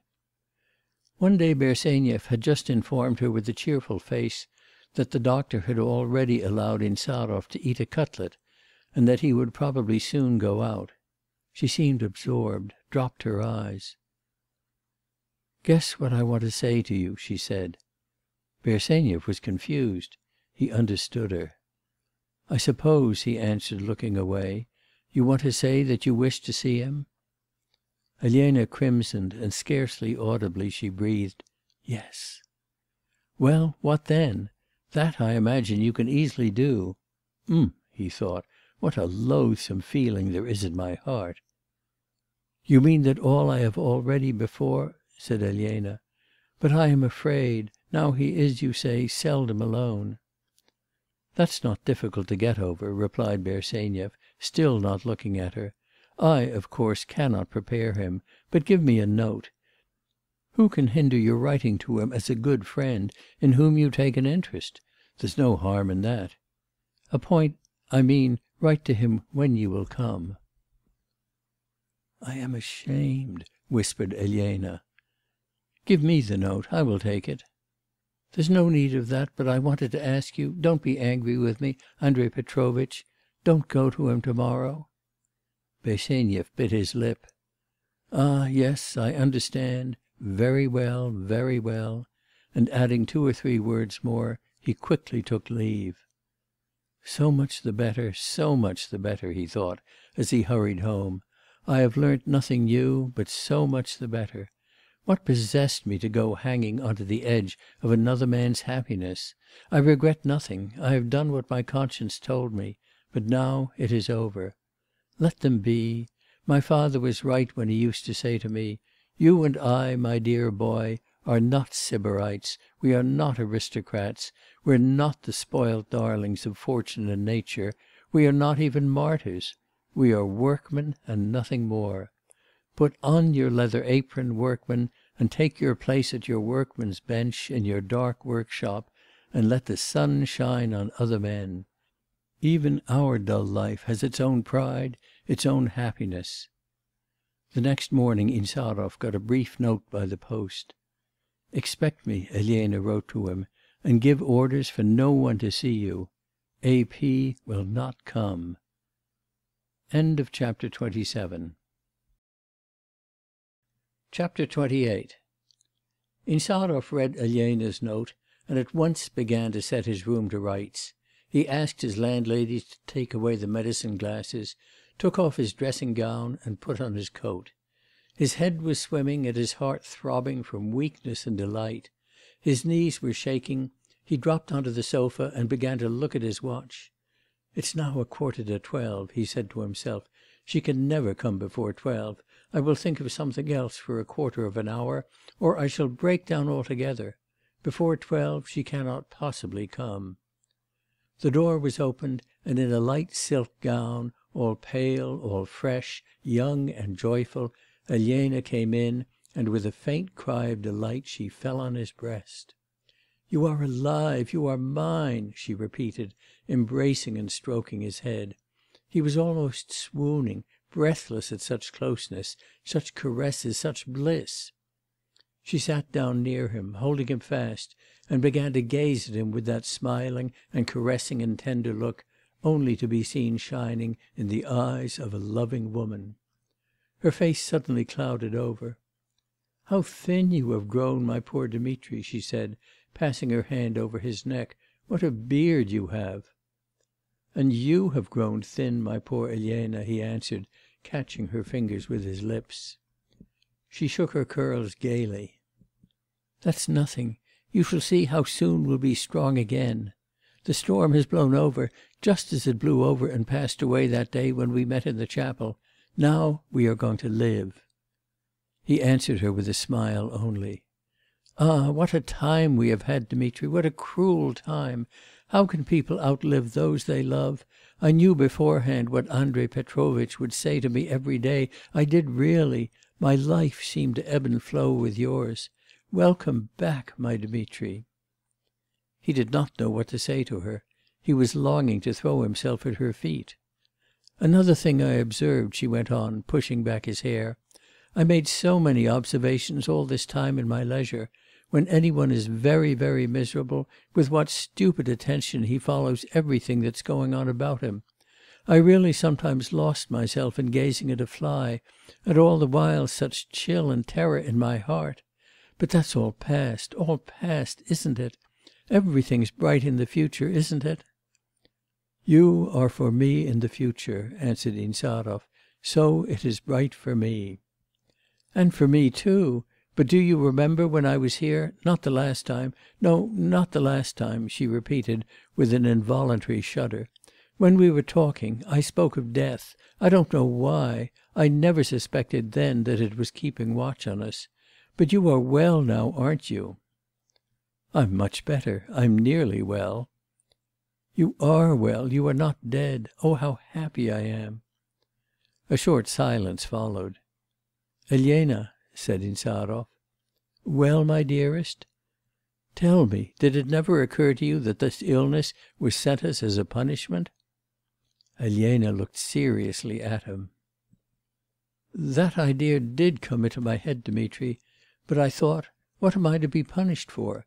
What duty have I transgressed? Against whom have I sinned? Perhaps my conscience is not like other people's, but it was silent. Or perhaps I am guilty towards you? I hinder you, I stop you.' 'You don't stop me, Elena; we will go together.' 'Yes, Dmitri, let us go together. I will follow you. That is my duty. I love you, I know no other duty.' 'Oh, Elena!' said Insarov, 'what chains every word of yours fastens on me.' 'Why talk of chains?' she interposed. 'We are free people, you and I. Yes,' she went on, looking musingly on the floor, while with one hand she still stroked his hair, 'I experienced much lately of which I had never had any idea. If any one had told me beforehand that I, a young lady, well brought up, should go out from home alone, on all sorts of made up excuses and to go where? to a young man's lodgings, how indignant I should have been! And that has all come about, and I feel no indignation whatever. Really,' she added, and turned to Insarov. He looked at her with such an expression of adoration that she softly dropped her hand from his hair over his eyes. 'Dmitri,' she began again, 'you don't know, of course; I saw you there in that dreadful bed, I saw you in the clutches of death, unconscious.' 'You saw me?' 'Yes.' He was silent for a little. 'And Bersenyev was here?' She nodded. Insarov bowed down before her. 'Oh, Elena,' he whispered, 'I don't dare to look at you.' 'Why? Andrei Petrovitch is so good, I was not ashamed before him. And what have I to be ashamed of? I am ready to tell all the world that I am yours. And Andrei Petrovitch I trust like a brother.' 'He saved me!' cried Insarov. 'He is the noblest, kindest of men.' 'Yes, and do you know I owe everything to him? Do you know that it was he who first told me that you loved me? And if I could tell you everything yes, he is a noble man.' Insarov looked steadily at Elena. 'He is in love with you, isn't he?' Elena dropped her eyes. 'He did love me,' she said in an undertone. Insarov pressed her hand warmly. 'Oh, you Russians,' he said, 'you have hearts of pure gold. And he, he has been waiting on me, he has not slept at night, and you, you, my angel! No reproaches, no hesitations, and all this for me, for me? 'Yes, yes, all for you, because they love you. Ah, Dmitri, how strange it is! I think I have talked to you of it before; but it doesn't matter. I like to repeat it, and you will like to hear it. When I saw you the first time ' 'Why are there tears in your eyes?' Insarov interrupted her. 'Tears? Are there?' She wiped her eyes with her handkerchief. 'Oh, what a silly boy! He doesn't know yet that people weep from happiness. I wanted to tell you; when I saw you the first time, I saw nothing special in you, really. I remember Shubin struck me much more at first, though I never loved him; and as for Andrei Petrovitch oh, there was a moment when I thought isn't this he? And with you there was nothing of that sort, but afterwards, afterwards, you took my heart by storm.' 'Have pity on me,' began Insarov. He tried to get up, but dropped down on to the sofa again at once. 'What's the matter with you?' inquired Elena anxiously. 'Nothing. I am still rather weak. I am not strong enough yet for such happiness.' 'Then sit quietly. Don't dare to move, don't get excited,' she added, threatening him with her finger. 'And why have you left off your dressing gown? It's too soon to begin to be a dandy. Sit down, and I will tell you stories. Listen and be quiet. To talk much is bad for you after your illness.' She began to talk to him about Shubin, about Kurnatovsky, and what she had been doing for the last fortnight of how war seemed, judging from the newspapers, inevitable; and so directly he was perfectly well again, he must, without losing a minute, make arrangements for them to start. All this she told him sitting beside him, leaning on his shoulder. He listened to her, listened, turning pale and red. Sometimes he tried to stop her; suddenly he drew himself up. 'Elena,' he said to her in a strange, hard voice, 'leave me, go away.' 'What?' she replied in bewilderment. 'You feel ill?' she added quickly. 'No, I'm all right; but please leave me now.' 'I don't understand you. You drive me away? What are you doing?' she said suddenly. He had bent over from the sofa almost to the ground, and was pressing her feet to his lips. 'Don't do that, Dmitri, Dmitri!' He got up. 'Then leave me. You see, Elena, when I was taken ill, I did not lose consciousness at first. I knew I was on the edge of the abyss, even in the fever, in delirium I knew, I felt vaguely that it was death coming to me. I took leave of life, of you, of everything; I gave up hope. And this return to life so suddenly, this light after the darkness you, you near me, with me, your voice, your breath it's more than I can stand. I feel I love you passionately, I hear you call yourself mine, I cannot answer for myself. You must go.' 'Dmitri,' whispered Elena, and she nestled her head on his shoulder. Only now she understood him. 'Elena,' he went on, 'I love you, you know that; I am ready to give my life for you. Why have you come to me now, when I am weak, when I can't control myself, when all my blood's on fire? You are mine, you say; you love me.' 'Dmitri!' she repeated. She flushed all over, and pressed still closer to him. 'Elena, have pity on me. Go away. I feel as if I should die. I can't stand these violent emotions. My whole soul yearns for you. Think, death was almost parting us. And now you are here, you are in my arms, Elena.' She was trembling all over. "Take me then,' she whispered, scarcely above her breath. End of chapter XXIX Nikolai Artemyevitch was walking up and down in his study with a scowl on his face. Shubin was sitting at the window with his legs crossed, tranquilly smoking a cigar. "Leave off tramping from corner to corner, please,' he observed, knocking the ash off his cigar. 'I keep expecting you to speak; there's a rick in my neck from watching you. Besides, there's something artificial, melodramatic, in your striding.' 'You can never do anything but joke,' responded Nikolai Artemyevitch. 'You won't enter into my position, you refuse to realise that I am used to that woman, that I am attached to her in fact, that her absence is bound to distress me. Here it's October, winter is upon us. What can she be doing in Revel?' 'She must be knitting stockings. For herself, for herself; not for you. "You may laugh, you may laugh, but I tell you I know no woman like her. Such honesty, such disinterestedness!" "Has she cashed that bill yet?' inquired Shubin. "Such disinterestedness,' replied Nikolai Artemyevitch. "It's astonishing. They tell me there are a million other women in the world.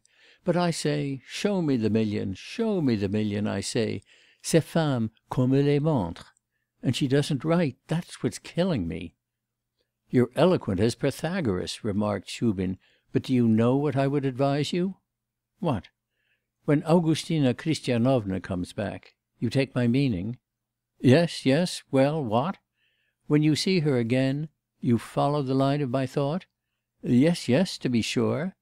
'Try beating her; see what that would do.' Nikolai Artemyevitch turned away exasperated. 'I thought he was really going to give me some practical advice. But what can one expect from him, an artist, a man of no principles?' 'No principles! By the way, I'm told your favourite, Mr. Kurnatovsky, the man of principle, cleaned you out of a hundred roubles last night. That was hardly delicate, you must own now.' 'What of it? We were playing high. Of course I might expect but they understand so little how to appreciate him in this house." "That he thought "Get what I can,"' put in Shubin, "whether he's to be my father in law or not, is still on the knees of the gods, but a hundred roubles is worth something to a man who doesn't take bribes." "Father in law? How the devil am I his father in law? Vous rêvez, mon cher. Of course, any other girl would be delighted with such a suitor. Only consider: a man of spirit and intellect, who has gained a position in the world, served in two provinces ' 'Very likely. To be sure, that's how it should be. Practical, a business man ' 'And a capital hand at cards,' Shubin remarked again. "To be sure, and a capital hand at cards. But Elena Nikolaevna is there any understanding her? I should be glad to know if there is any one who would undertake to make out what it is she wants. One day she's cheerful, another she's dull; all of a sudden she's so thin, there's no looking at her; and then suddenly she's well again, and all without any apparent reason.' A disagreeable looking manservant came in with a cup of coffee, cream and sugar on a tray. "The father is pleased with the suitor,' pursued Nikolai Artemyevitch, breaking off a lump of sugar, 'but what is that to the daughter? That was all very well in the old patriarchal days, but now we have changed all that. Nous avons changé tout ça. Nowadays a young girl talks to any one she thinks fit, reads what she thinks fit, she goes about Moscow alone, without a groom or a maid, just as in Paris, and all that is permitted. The other day I asked: "Where is Elena Nikolaevna?" I'm told she has gone out. Where? No one knows. Is that the proper thing?' 'Take your coffee and let the man go,' said Shubin. 'You say yourself that one ought not devant les domestiques,' he added in an undertone. The servant gave Shubin a dubious look, while Nikolai Artemyevitch took the cup of coffee, added some cream, and seized some ten lumps of sugar. 'I was just going to say, when the servant came in,' he began, 'that I count for nothing in this house. That's the long and short of the matter. For nowadays every one judges from appearances. One man's an empty headed fool, but gives himself airs of importance, and he's respected; while another, very likely, has talents which might which might gain him great distinction, but through modesty "Aren't you a born statesman?" asked Shubin in a jeering voice. 'Give over playing the fool!' Nikolai Artemyevitch cried with heat. 'You forget yourself. Here you have another proof that I count for nothing in this house, nothing.' 'Anna Vassilyevna ill uses you? Poor fellow!' said Shubin, stretching. 'Ah, Nikolai Artemyevitch, we're a pair of sinners. You had much better be getting a little present ready for Anna Vassilyevna; it's her birthday in a day or two, and you know how she appreciates the least attention on your part.' 'Yes, yes, yes,' answered Nikolai Artemyevitch hastily. 'I'm much obliged to you for reminding me. Of course, of course; to be sure. I have a little thing, a dressing case; I bought it the other day at Rosenstrauch's but I don't know really if it will do." "I suppose you bought it for her, the lady at Revel?' 'Why, certainly; I had some idea." "Well, in that case it will be sure to do.' Shubin got up from his seat. 'Are we going out this evening, Pavel Yakovlitch, eh?' Nikolai Artemyevitch asked with an amicable leer. "Why, yes; you are going to your club." "After the club, after the club.' Shubin stretched himself again.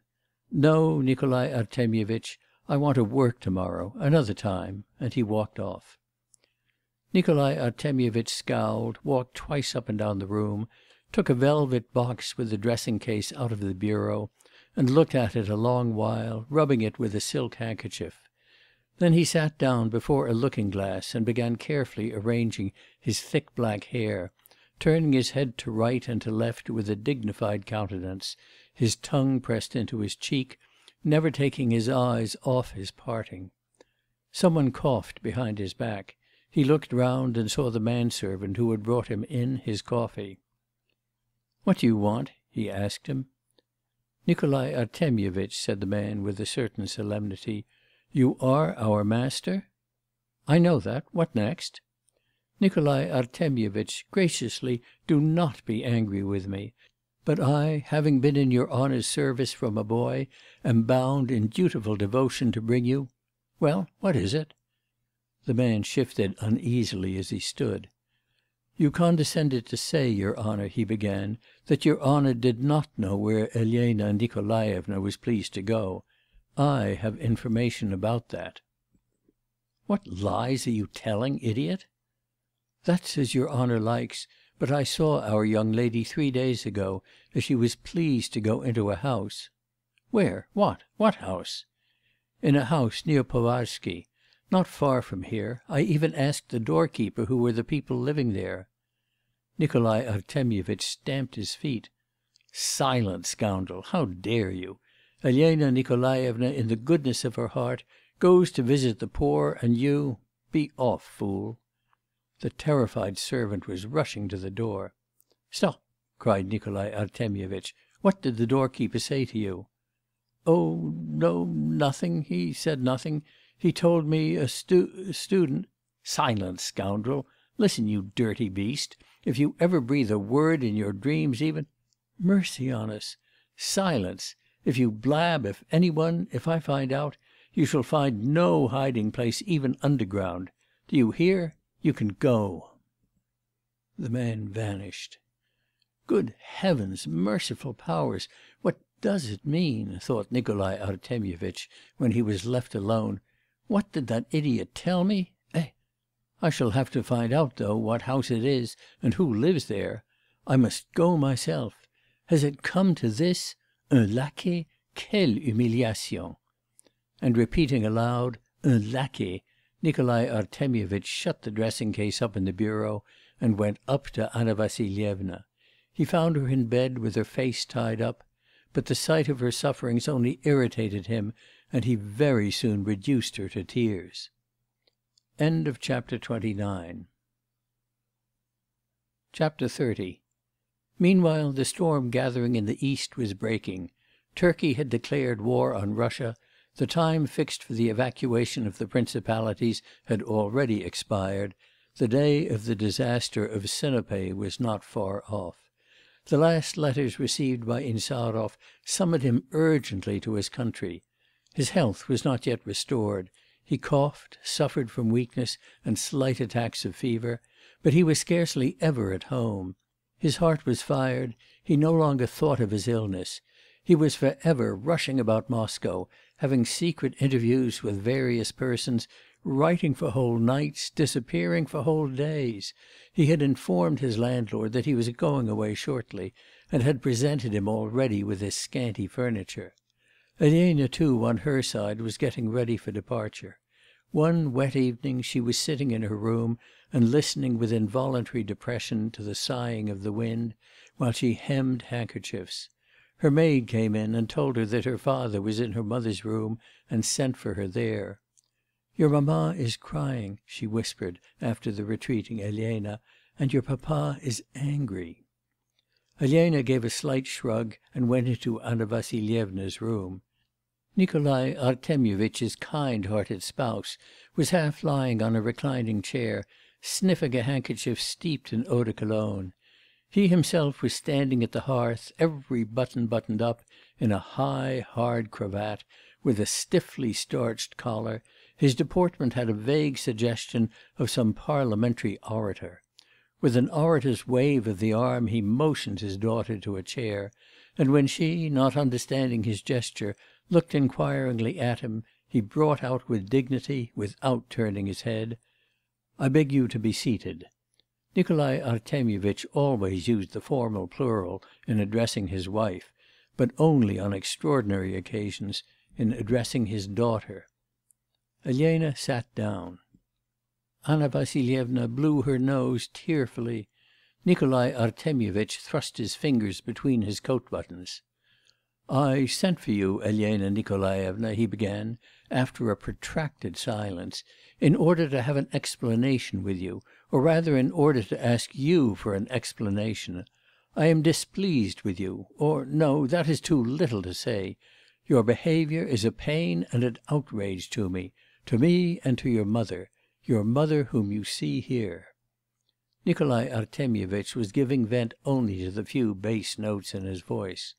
Elena gazed in silence at him, then at Anna Vassilyevna, and turned pale. 'There was a time,' Nikolai Artemyevitch resumed, when daughters did not allow themselves to look down on their parents, when the parental authority forced the disobedient to tremble. That time has passed unhappily; so at least many persons imagine; but let me tell you, there are still laws which do not permit do not permit. In fact there are still laws. I beg you to mark that. There are still laws ' 'But, papa ' Elena was beginning. 'I beg you not to interrupt me. Let us turn in thought to the past. I and Anna Vassilyevna have performed our duty. I and Anna Vassilyevna have spared nothing in your education, neither care nor expense. What you have gained from our care is a different question; but I had the right to expect I and Anna Vassilyevna had the right to expect that you would at least hold sacred the principles of morality which we have que nous avons inculqués, which we have instilled into you, our only daughter. We had the right to expect that no new "ideas" could touch that, so to speak, holy shrine. And what do we find? I am not now speaking of frivolities characteristic of your sex and age; but who could have anticipated that you could so far forget yourself ' 'Papa,' said Elena, 'I know what you are going to say.' 'No, you don't know what I am going to say!' cried Nikolai Artemyevitch in a falsetto shriek, suddenly losing the majesty of his oratorical pose, the smooth dignity of his speech, and his bass notes. 'You don't know, vile hussy!' 'For mercy's sake, Nicolas,' murmured Anna Vassilyevna, 'vous me faites mourir. Don't tell me que je vous fais mourir, Anna Vassilyevna. You can't conceive what you will hear directly. Prepare yourself for the worst, I warn you.' Anna Vassilyevna seemed stupefied. 'No,' resumed Nikolai Artemyevitch, turning to Elena, 'you don't know what I am going to say.' 'I am to blame towards you,' she began. 'Ah, at last!' 'I am to blame towards you,' pursued Elena, 'for not having long ago confessed ' 'But do you know,' Nikolai Artemyevitch interrupted, 'that I can crush you with one word?' Elena raised her eyes to look at him. 'Yes, madam, with one word. It's useless to look at me.' He crossed his arms on his breast. 'Allow me to ask you, do you know a certain house near Povarsky? Have you visited that house?' He stamped. 'Answer me, worthless girl, and don't try to hide the truth. People, people, servants, madam, de vil laquais have seen you, as you went in there, to your ' Elena was crimson, her eyes were blazing. 'I have no need to hide anything,' she declared. 'Yes, I have visited that house.' 'Exactly! Do you hear, do you hear, Anna Vassilyevna? And you know, I presume, who lives there?' 'Yes, I know my husband.' Nikolai Artemyevitch's eyes were starting out of his head. 'Your ' 'My husband,' repeated Elena. 'I am married to Dmitri Nikanorovitch Insarov.' 'You married?' was all Anna Vassilyevna could articulate. 'Yes, mamma. Forgive me. A fortnight ago we were secretly married.' Anna Vassilyevna fell back in her chair. Nikolai Artemyevitch stepped two paces back. 'Married! to that vagrant, that Montenegrin! The daughter of Nikolai Stahov, of the higher nobility, married to a vagrant, a nobody, without her parents' sanction! And you imagine I shall let the matter rest, that I shall not make a complaint, that I will allow you, that you that to the nunnery with you, and he shall go to prison, to hard labour. Anna Vassilyevna, inform her at once that you will cut off her inheritance.' 'Nikolai Artemyevitch, for God's sake!' moaned Anna Vassilyevna. 'And when and how was this done? Who married you? Where? How? Good God! What will all our friends think, what will the world say? And you, shameless hypocrite, could go on living under your parents' roof after such an act? Had you no fear of the wrath of heaven?'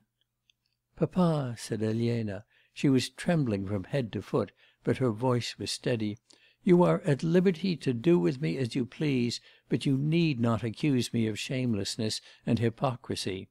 I did not want to give you pain before but I should have had to tell you all myself in a few days, because we are going away, my husband and I from here next week.' 'Going away? Where to?' 'To his own country, to Bulgaria.' 'To the Turks!' cried Anna Vassilyevna, and fell into a swoon.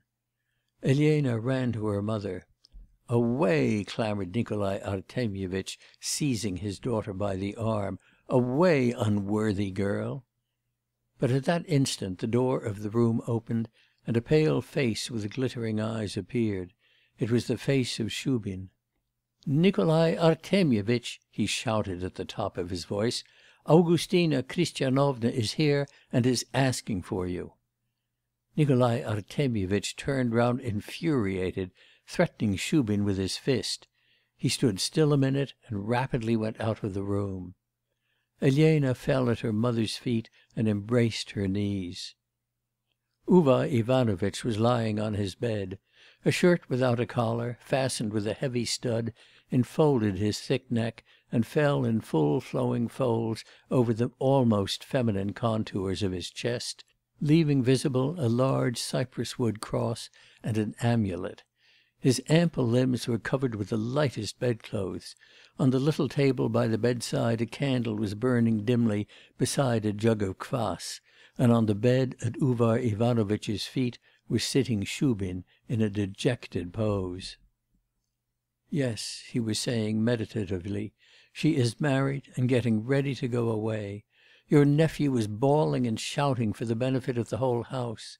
He had shut himself up for greater privacy in his wife's bedroom, but not merely the maids and the footmen, the coachman even could hear it. Now he's just tearing and raving round. He all but gave me a thrashing; he's bringing a father's curse on the scene now, as cross as a bear with a sore head; but that's of no importance. Anna Vassilyevna's crushed, but she's much more broken hearted at her daughter leaving her than at her marriage.' Uvar Ivanovitch flourished his fingers. 'A mother,' he commented, 'to be sure.' 'Your nephew,' resumed Shubin, 'threatens to lodge a complaint with the Metropolitan and the General Governor and the Minister; but it will end by her going. A happy thought to ruin his own daughter! He'll crow a little and then lower his colours.' 'They don't write,' observed Uvar Ivanovitch, and he drank out of the jug. 'To be sure; but what a storm of criticism, gossip, and comments will be raised in Moscow! She's not afraid of them. Besides, she's above them. She's going away, and it's awful to think where she's going to such a distance, such a wilderness what future awaits her there? I seem to see her setting off from a posting station in a snowstorm with thirty degrees of frost. She's leaving her country and her people, but I understand her doing it. Whom is she leaving here behind her? What people has she seen? Kurnatovsky and Bersenyev and our humble selves, and these are the best she's seen. What is there to regret about it? One thing's bad: I'm told her husband the devil, how that word sticks in my throat Insarov, I'm told, is spitting blood; that's a bad look out. I saw him the other day; his face you could model Brutus from it straight off. Do you know who Brutus was, Uvar Ivanovitch?' 'What is there to know? A man, to be sure.' 'Precisely so; he was a man. Yes, he's a wonderful face, but unhealthy, very unhealthy.' 'For fighting it makes no difference,' observed Uvar Ivanovitch. 'For fighting it makes no difference, certainly; you are pleased to express yourself with great justice to day; but for living it makes all the difference. And you see she wants to live with him a little while.' 'A youthful affair,' responded Uvar Ivanovitch. 'Yes, a youthful, glorious, bold affair. Death, life, conflict, defeat, triumph, love, freedom, country good God, grant as much to all of us! That's a very different thing from sitting up to one's neck in a bog, and pretending it's all the same to you, when in fact it really is all the same. While there, the strings are tuned to the highest pitch, to play to all the world or to break.' Shubin's head sank on his breast. 'Yes,' he resumed after a prolonged silence, 'Insarov deserves her. What nonsense, though! No one deserves her. Insarov, Insarov? What's the use of pretended modesty? We'll own he's a fine fellow, he stands on his own feet, though up to the present he has done no more than we poor sinners. And are we such absolutely worthless dirt? Am I such dirt, Uvar Ivanovitch? Has God been hard on me in every way? Has He given me no talents, no abilities? Who knows, perhaps, the name of Pavel Shubin will in time be a great name. You see that bronze farthing there lying on the table. Who knows, some day, perhaps in a century, that bronze will go to a statue of Pavel Shubin, raised in his honour by a grateful posterity.' Uvar Ivanovitch leaned on his elbow and stared at the enthusiastic artist. "That's a long way off,' he said at last with his usual gesture. "We're speaking of other people; why bring in yourself?" "Oh, great philosopher of the Russian world!' cried Shubin, "every word of yours is worth its weight in gold, and it's not to me but to you a statue ought to be raised, and I would undertake it. There, as you are lying now, in that pose, one doesn't know which is uppermost in it sloth or strength. That's how I would cast you in bronze. You aimed a just reproach at my egoism and vanity yes, yes, it's useless talking of oneself, it's useless bragging. We have no one yet, no men, look where you will. Everywhere, either small fry, nibblers, Hamlets on a small scale, self absorbed, or darkness and subterranean chaos, or idle babblers and wooden sticks. Or else they are like this: they study themselves to the most shameful detail, and are for ever feeling the pulse of every sensation and reporting to themselves. That's what I feel, that's what I think. A useful, rational occupation. No, if we only had some sensible men among us, that girl, that delicate soul, would not have run away from us, would not have slipped off like a fish to the water. What's the meaning of it, Uvar Ivanovitch? When will our time come? When will men be born among us? Give us time,' answered Uvar Ivanovitch. They will be ' 'They will be? Soil of our country, force of the black earth, thou hast said they will be. Look, I will write down your words. But why are you putting out the candle?' 'I'm going to sleep. Good bye.' End of chapter XXXI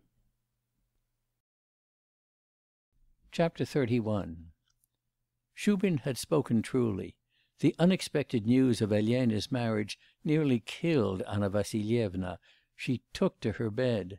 Nikolai Artemyevitch insisted on her not admitting her daughter to her presence; he seemed to be enjoying the opportunity of showing himself in the fullest sense the master of the house, with all the authority of the head of the family.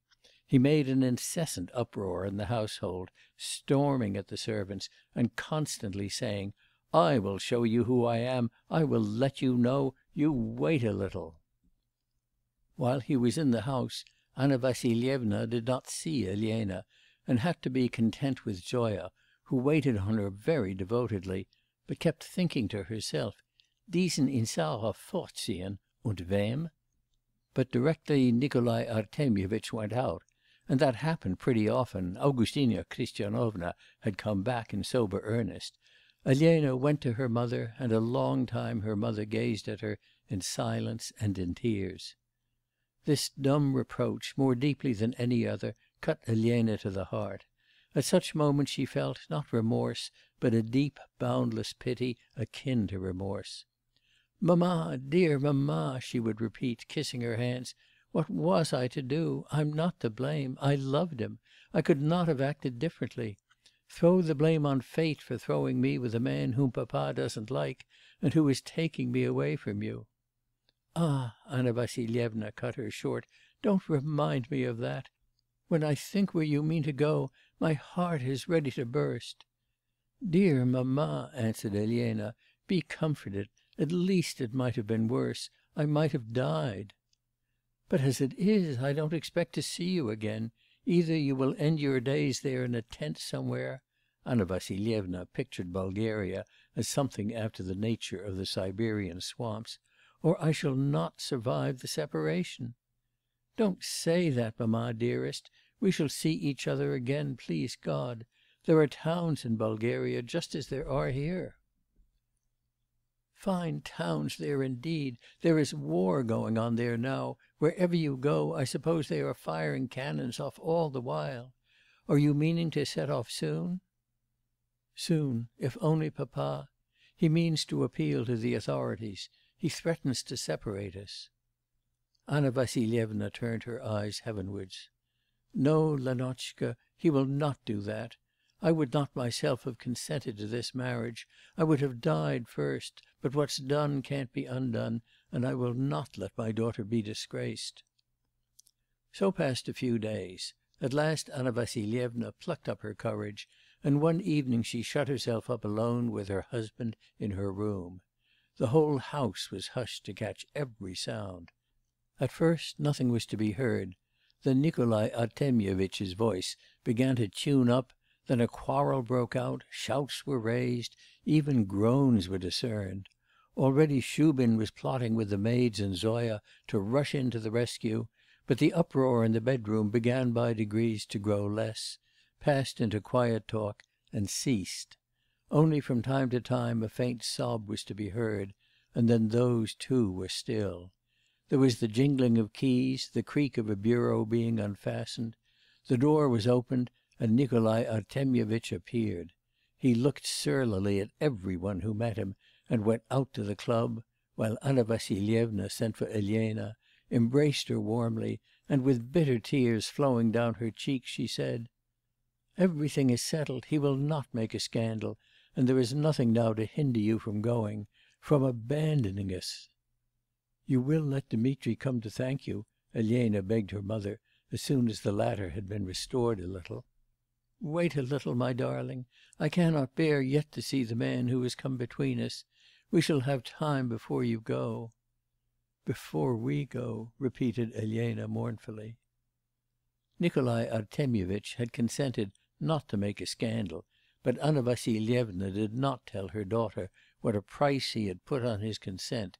She did not tell her that she had promised to pay all his debts, and had given him a thousand roubles down on the spot.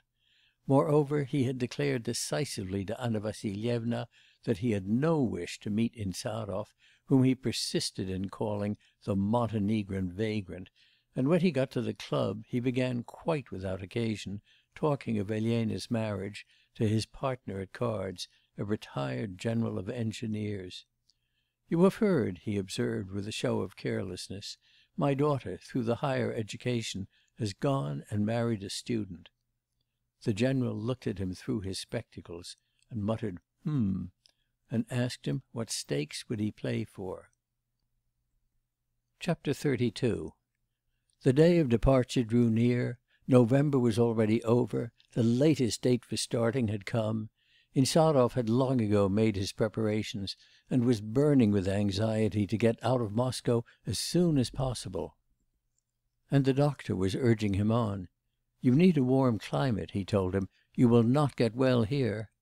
Elena too was fretting with impatience; she was worried by Insarov's pallor and his emaciation. She often looked with involuntary terror at his changed face. Her position in her parents' house had become insupportable; her mother mourned over her as over the dead, while her father treated her with contemptuous coldness. The approaching separation secretly pained him too, but he regarded it as his duty the duty of an offended father to disguise his feelings, his weakness. Anna Vassilyevna at last expressed a wish to see Insarov. He was taken up to her secretly by the back stairs. After he had entered her room, for a long time she could not speak to him; she could not even bring herself to look at him. He sat down near her chair and waited, with quiet respectfulness, for her first word. Elena sat down close and held her mother's hand in hers. At last Anna Vassilyevna raised her eyes, saying: 'God is your judge, Dmitri Nikanorovitch.' She stopped short; the reproaches died away on her lips. 'Why, you are ill!' she cried. 'Elena, your husband's ill!' 'I have been unwell, Anna Vassilyevna,' answered Insarov, 'and even now I am not quite strong yet; but I hope my native air will make me perfectly well again ah Bulgaria!' murmured Anna Vassilyevna, and she thought good God! a Bulgarian and dying, a voice as hollow as a drum, and eyes like saucers, a perfect skeleton, his coat hanging loose on his shoulders, his face as yellow as a guinea, and she's his wife, she loves him! It must be a bad dream. But ' she checked herself at once.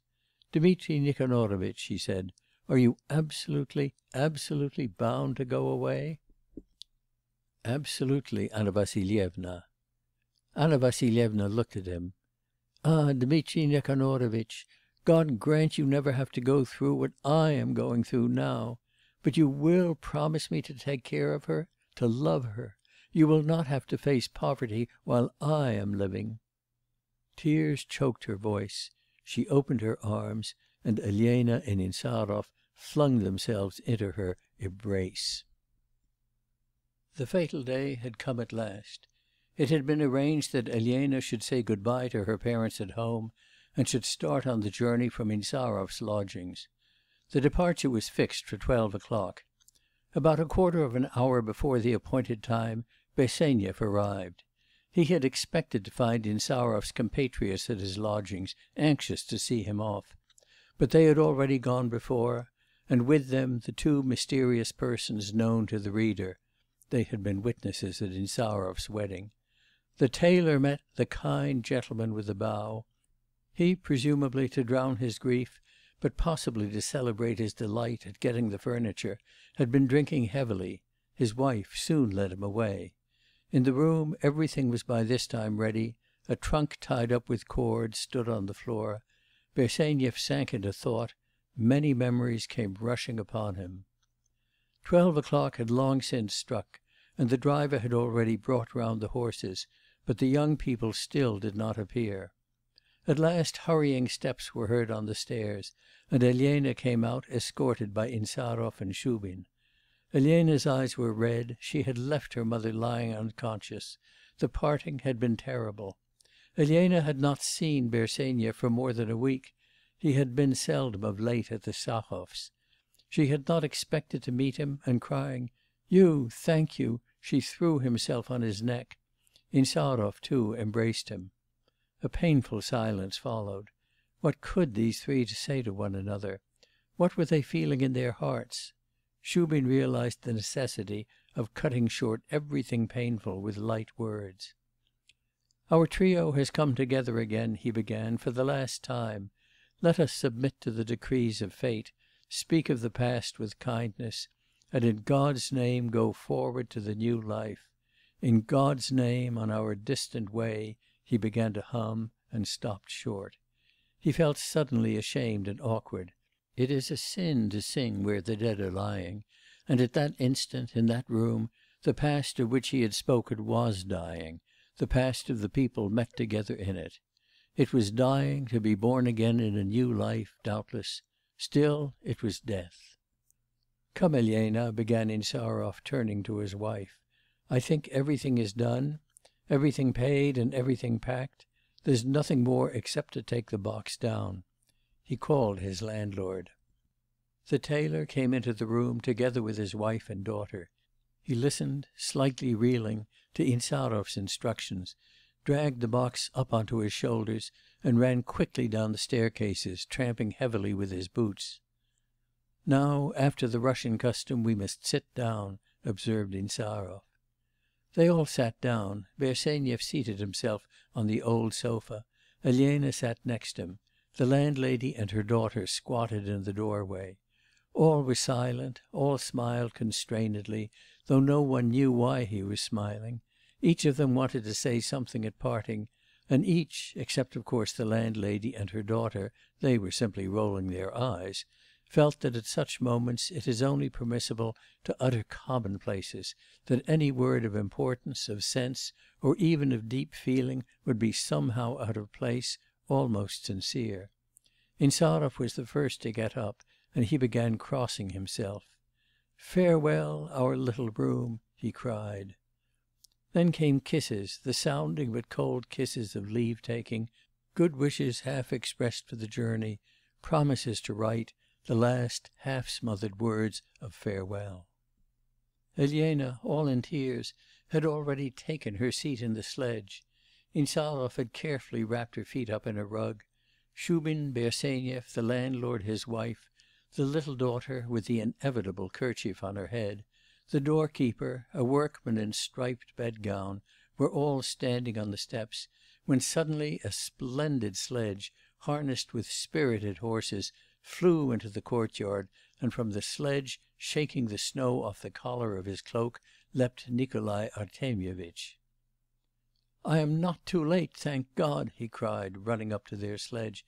'Here, Elena, is our last parental benediction,' he said, bending down under the hood, and taking from his pocket a little holy image, sewn in a velvet bag, he put it round her neck.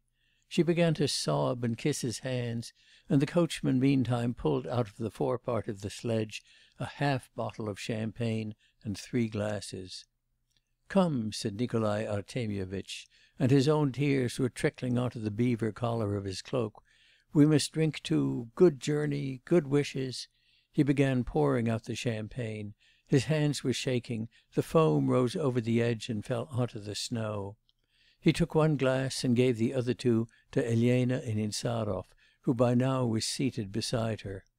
'God give you ' began Nikolai Artemyevitch, and he could not go on. He drank off the wine. They, too, drank off their glasses.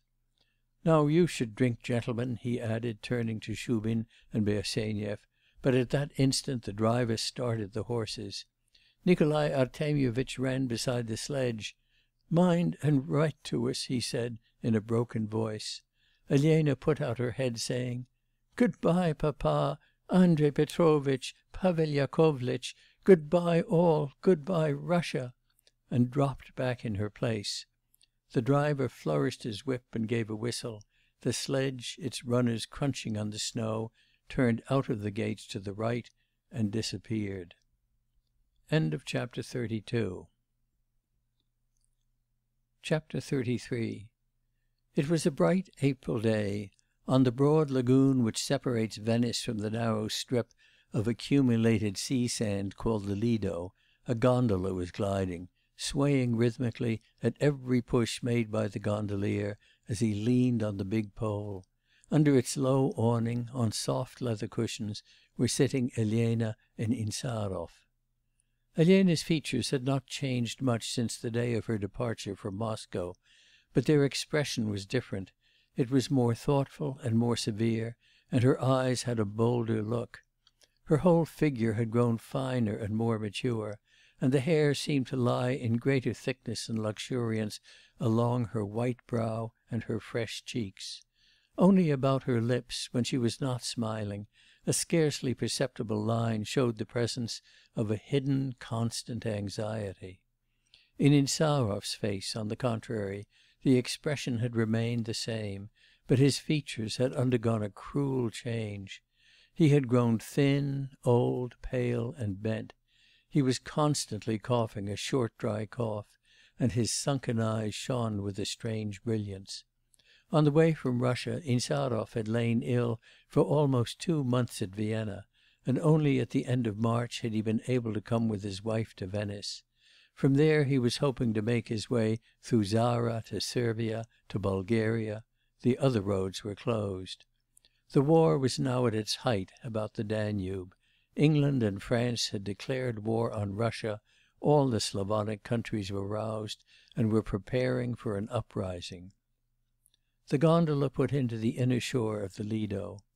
Elena and Insarov walked along the narrow sandy road, planted with sickly trees (every year they plant them and every year they die), to the outer shore of the Lido, to the sea. They walked along the beach. The Adriatic rolled its muddy blue waves before them; they raced into the shore, foaming and hissing, and drew back again, leaving fine shells and fragments of seaweed on the beach. 'What a desolate place!' observed Elena. 'I'm afraid it's too cold for you here, but I guess why you wanted to come here.' 'Cold!' rejoined Insarov with a rapid and bitter smile. 'I shall be a fine soldier if I'm to be afraid of the cold. I came here I will tell you why. I look across that sea, and I feel as though here I am nearer my country. It is there, you know,' he added, stretching out his hand to the east. 'The wind blows from there.' 'Will not this wind bring the ship you are expecting?' said Elena. 'See, there is a white sail; is that not it?' Insarov gazed seaward into the distance to where Elena was pointing. 'Renditch promised to arrange everything for us within a week,' he said. 'We can rely on him, I think. Did you hear, Elena,' he added with sudden animation, 'they say the poor Dalmatian fishermen have sacrificed their dredging weights you know, the leads they weigh their nets with for letting them down to the bottom to make bullets? They have no money, they only just live by fishing, but they have joyfully given up their last property, and now are starving. What a nation!' 'Aufgepasst!' Shouted a haughty voice behind them.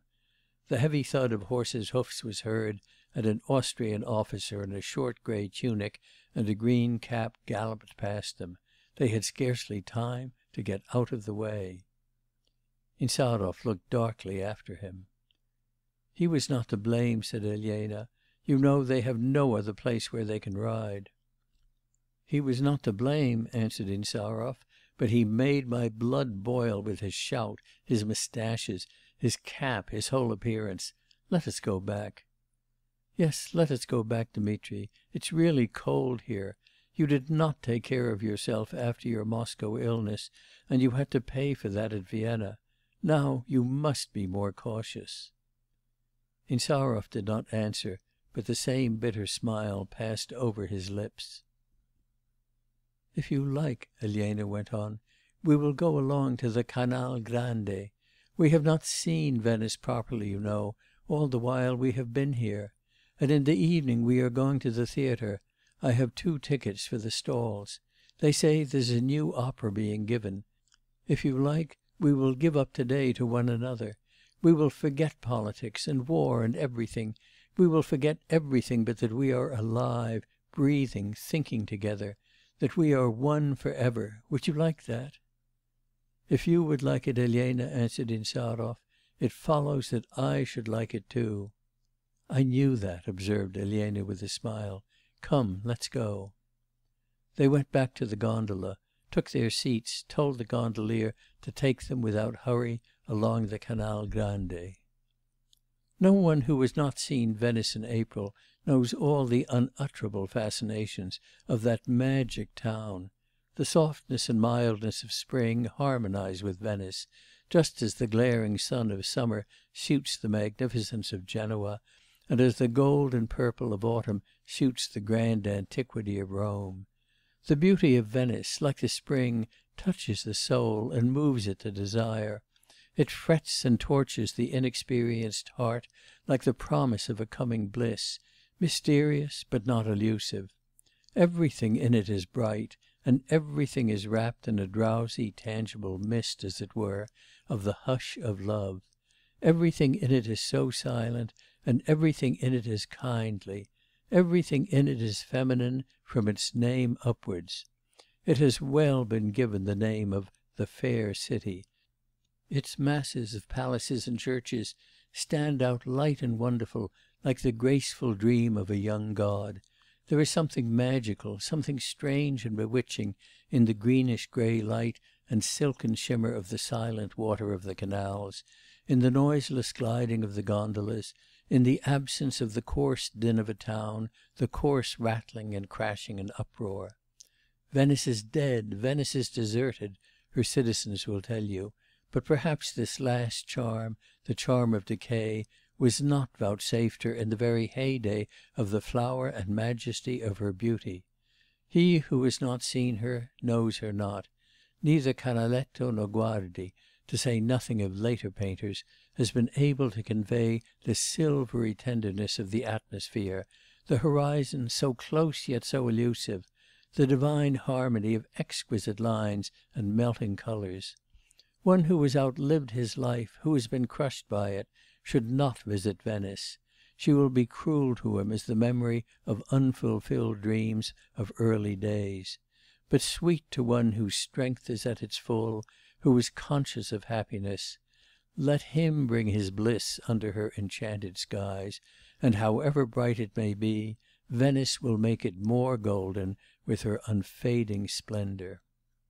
The gondola in which Insarov and Elena were sitting passed Riva degli Schiavoni, the Palace of the Doges, and the Piazzetta, and entered the Grand Canal. On both sides stretched the marble palaces; they seemed to float softly by, scarcely letting the eye seize or absorb their beauty. Elena felt herself deeply happy; in the perfect blue of her heavens there was only one dark cloud, and it was in the far distance; Insarov was much better that day. They glided as far as the acute angle of the Rialto and turned back. Elena was afraid of the chill of the churches for Insarov, but she remembered the Academy delle Belle Arti, and told the gondolier to go towards it. They quickly walked through all the rooms of that little museum.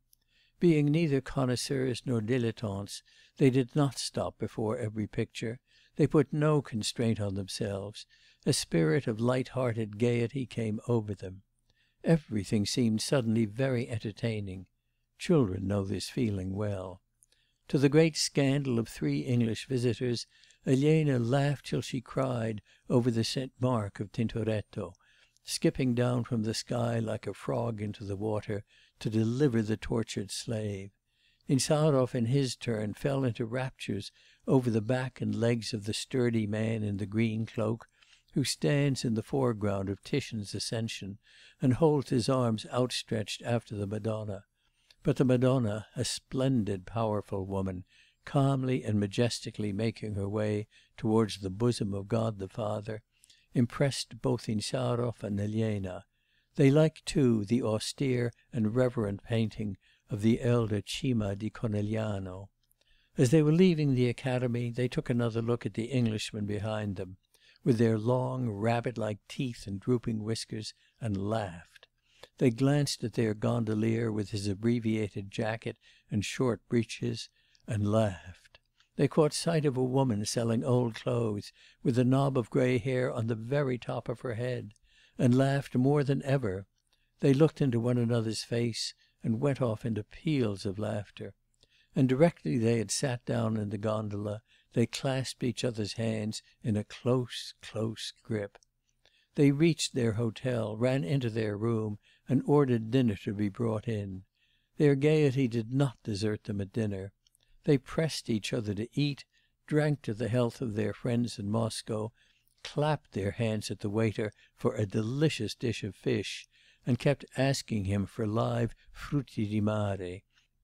The waiter shrugged his shoulders and scraped with his feet, but when he had left them he shook his head, and once even muttered with a sigh, 'Poveretti!' (poor things). After dinner they set off for the theatre. They were giving an opera of Verdi's, which though, honestly speaking, rather vulgar, has already succeeded in making the round of all the European theatres, an opera well known among Russians, La Traviata. The season in Venice was over, and none of the singers rose above the level of mediocrity; every one shouted to the best of their abilities.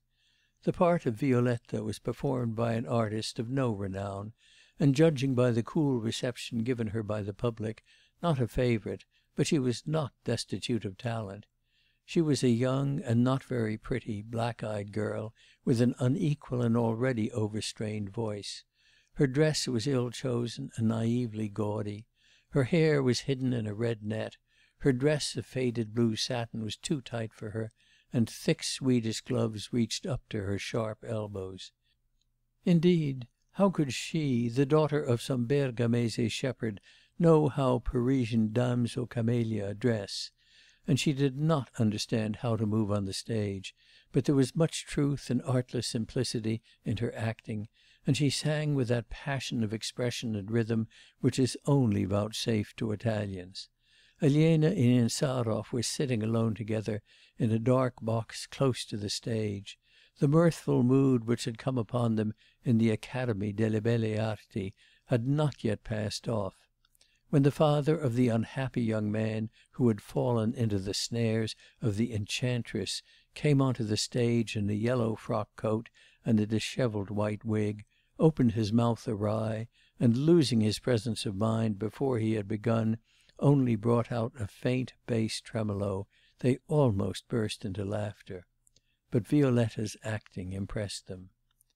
'They hardly clap that poor girl at all,' said Elena, 'but I like her a thousand times better than some conceited second rate celebrity who would grimace and attitudinise all the while for effect. This girl seems as though it were all in earnest. Look, she pays no attention to the public.'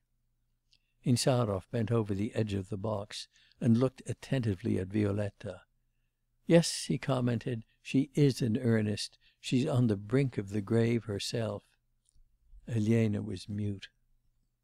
The third act began. The curtain rose.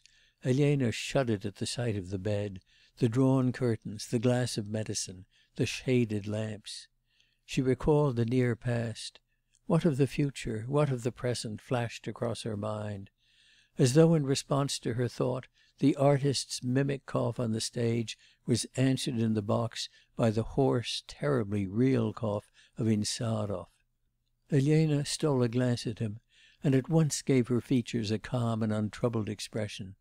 Insarov understood her, and he began himself to smile, and softly to hum the tune of the song. But he was soon quiet. Violetta's acting became steadily better and freer. She had thrown aside everything subsidiary, everything superfluous, and found herself a rare, a lofty delight for an artist. She had suddenly crossed a limit which it is impossible to define, beyond which is the abiding place of beauty. The audience was thrilled and astonished. The plain girl with the broken voice began to get a hold on it, to master it. And the singer's voice even did not sound broken now, it had gained mellowness and strength. Alfredo made his entrance; Violetta's cry of happiness almost raised that storm in the audience known as fanatismo, beside which all the applause of our northern audiences is nothing. A brief interval passed, and again the audience were in transports. The duet began, the best thing in the opera, in which the composer has succeeded in expressing all the pathos of the senseless waste of youth, the final struggle of despairing, helpless love. Caught up and carried along by the general sympathy, with tears of artistic delight and real suffering in her eyes, the singer let herself be borne along on the wave of passion within her. Her face was transfigured, and in the presence of the threatening signs of fast approaching death, the words 'Lasciami vivere, morir si giovane, let me live, to die so young,' burst from her in such a tempest of prayer rising to heaven, that the whole theatre shook with frenzied applause and shouts of delight. Elena felt cold all over. Softly her hand sought Insarov's, found it, and clasped it tightly. He responded to its pressure, but she did not look at him, nor he at her. Very different was the clasp of hands with which they had greeted each other in the gondola a few hours before. Again they glided along the Canal Grande towards their hotel. Night had set in now, a clear soft night. The same palaces met them, but they seemed different. Those that were lighted up by the moon shone with pale gold, and in this pale light all details of ornaments and lines of windows and balconies seemed lost. They stood out more clearly in the buildings that were wrapped in a light veil of unbroken shadow. The gondolas, with their little red lamps, seemed to flit past more noiselessly and swiftly than ever. Their steel beaks flashed mysteriously; mysteriously their oars rose and fell over the ripples stirred by little silvery fish. Here and there was heard the brief, subdued call of a gondolier; they never sing now. Scarcely another sound was to be heard. The hotel where Insarov and Elena were staying was on the Riva degli Schiavoni. Before they reached it they left the gondola, and walked several times round the square of St. Mark, under the arches, where numbers of holiday makers were gathered before the tiny cafes. There is a special sweetness in wandering alone with one you love, in a strange city among strangers. Everything seems beautiful and full of meaning; you feel peace and goodwill to all men, you wish all the same happiness that fills your heart.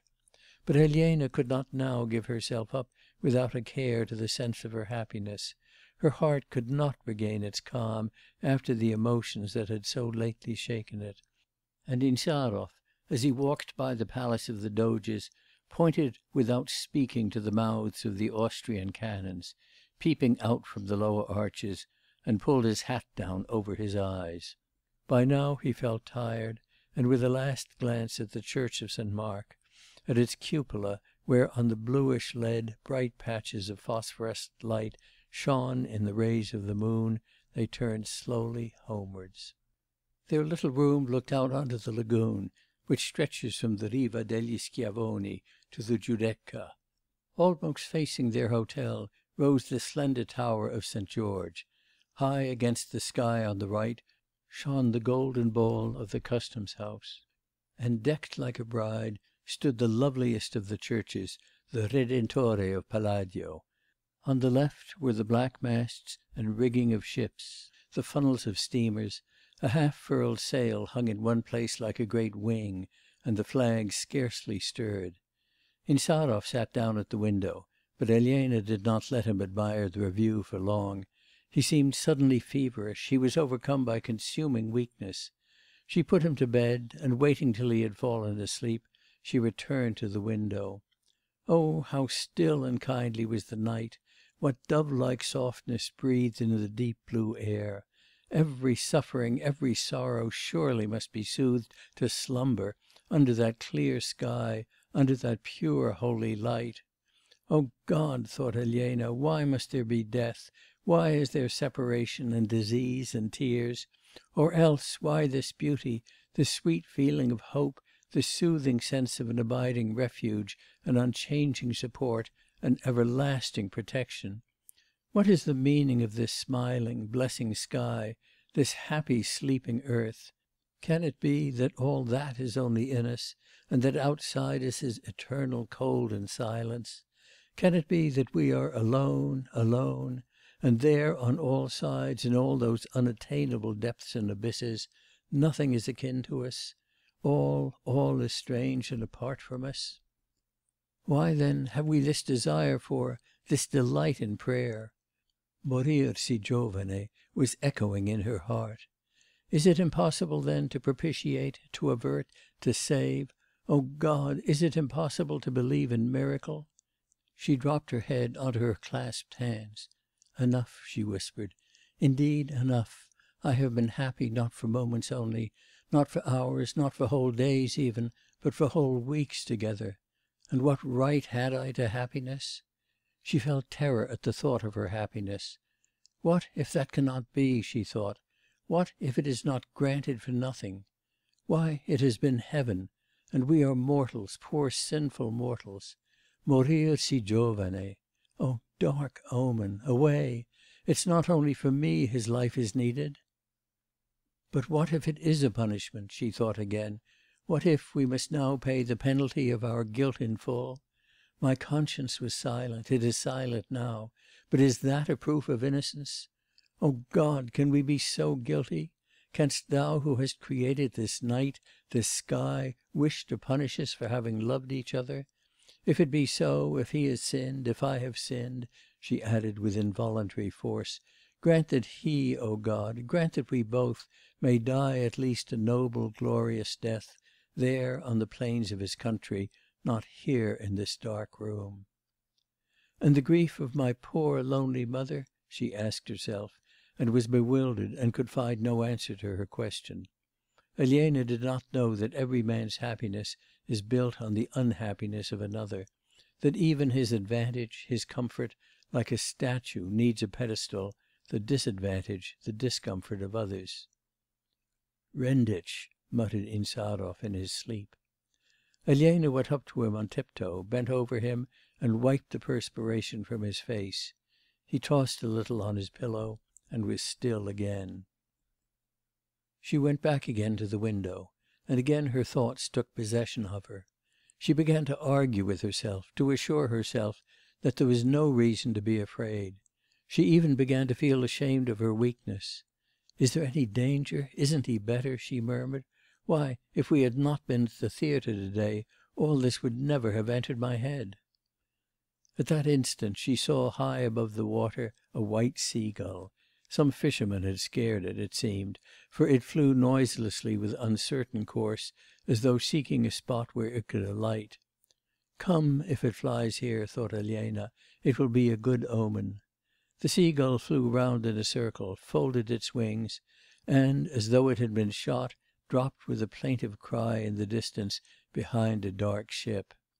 Elena shuddered; then she was ashamed of having shuddered, and without undressing she lay down on the bed beside Insarov, who was breathing quickly and heavily.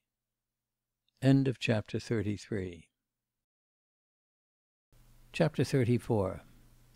Insarov waked late with a dull pain in his head, and a feeling, as he expressed it, of disgusting weakness all over.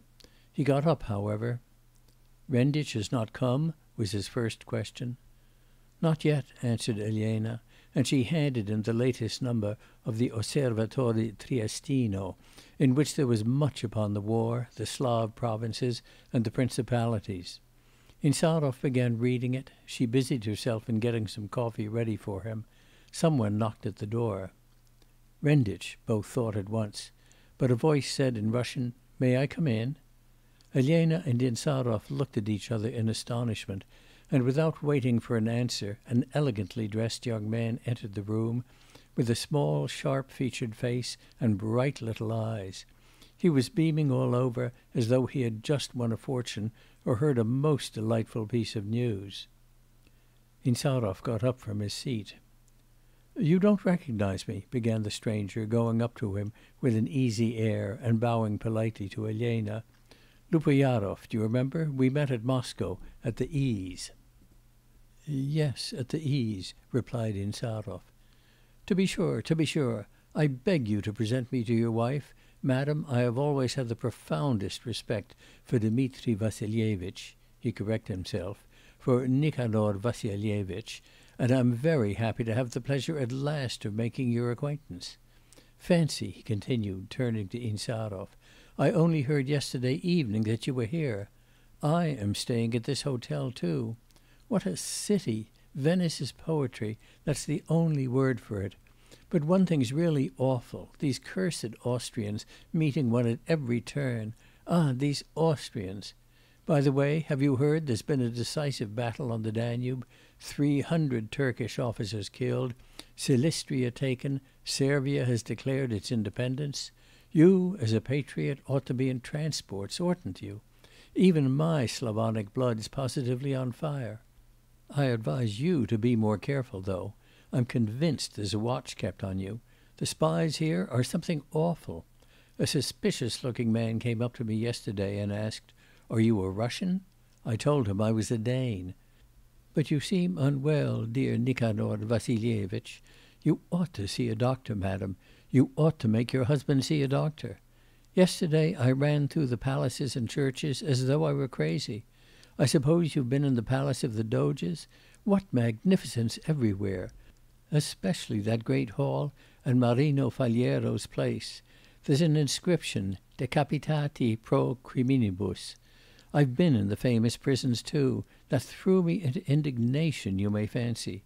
I've always, you remember perhaps, taken an interest in social questions, and taken sides against aristocracy; well, that's where I should like to send the champions of aristocracy, to those dungeons. How well Byron said I stood in Venice on the Bridge of Sighs, though he was an aristocrat too. I was always for progress; the younger generation are all for progress. And what do you say to the Anglo French business? We shall see whether they can do much, Boustrapa and Palmerston. You know Palmerston has been made Prime Minister?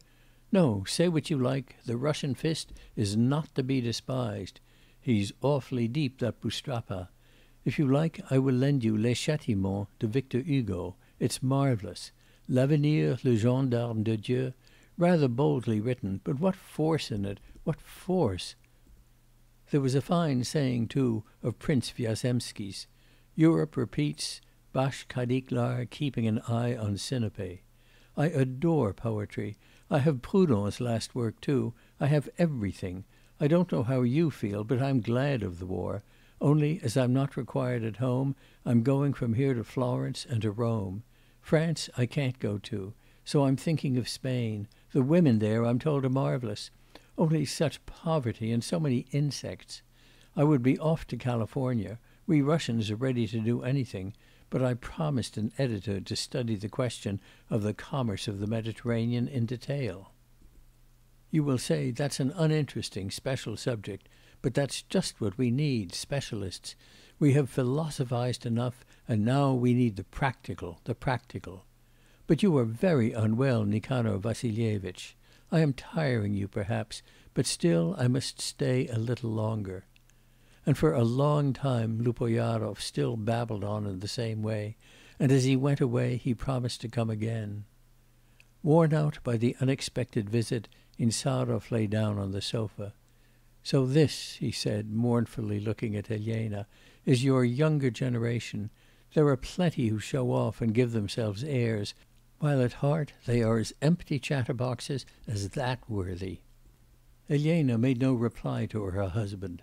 At that instant she was far more concerned at Insarov's weakness than at the character of the whole younger generation in Russia.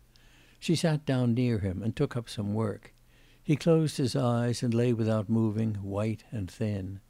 Elena glanced at his sharp profile, at his emaciated hands, and felt a sudden pang of terror. 'Dmitri,' she began. He started. 'Eh? Has Renditch come?' 'Not yet. But what do you think? You are in a fever, you are really not quite well. Shouldn't we send for a doctor?' 'That wretched gossip has frightened you. There's no necessity. I will rest a little, and it will pass off.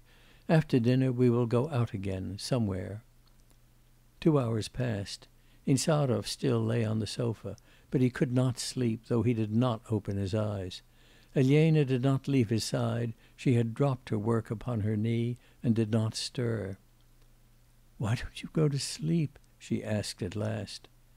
'Wait a little.' He took her hand and placed it under his head. 'There, that is nice. Wake me at once directly Renditch comes. If he says the ship is ready, we will start at once. We ought to pack everything.' 'Packing won't take long,' answered Elena. 'That fellow babbled something about a battle, about Servia,' said Insarov, after a short interval. 'I suppose he made it all up. But we must, we must start, we can't lose time. Be ready.' He fell asleep, and everything was still in the room. Elena let her head rest against the back of her chair, and gazed a long while out of the window. The weather had changed for the worse, the wind had risen, great white clouds were scudding over the sky, a slender mast was swaying in the distance, a long streamer with a red cross on it kept fluttering, falling, and fluttering again. The pendulum of the old fashioned clock ticked drearily, with a kind of melancholy whir. Elena shut her eyes; she had slept badly all night; gradually she too fell asleep. She had a strange dream. She thought that she was floating in a boat on the Tsaritsino lake with some unknown people. They did not speak, but sat motionless; no one was rowing; the boat was moving by itself. Elena was not afraid, but she felt dreary; she wanted to know who were these people, and why was she with them? She looked, and the lake grew broader; the banks vanished; now it was not a lake but a stormy sea. Immense blue silent waves rocked the boat majestically; something menacing, roaring, was rising from the depths; her unknown companions jumped up, shrieking, wringing their hands. Elena recognised their faces; her father was among them. But a kind of white whirlwind came flying over the waves; everything was turning round, everything was confounded together. Elena looked about her; as before, all around was white but it was snow, snow, boundless plains of snow. And she was not now in a boat, but travelling, as she had come from Moscow, in a sledge.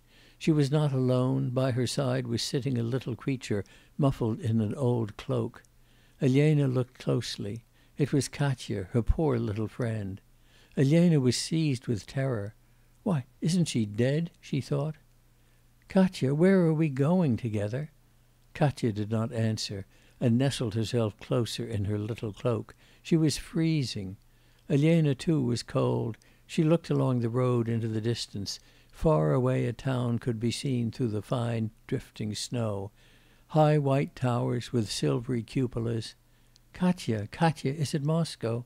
No,' thought Elena, 'it is Solovetsky monastery. It's full of little narrow cells like a beehive; it's stifling, cramping there, and Dmitri's shut up there. I must rescue him.'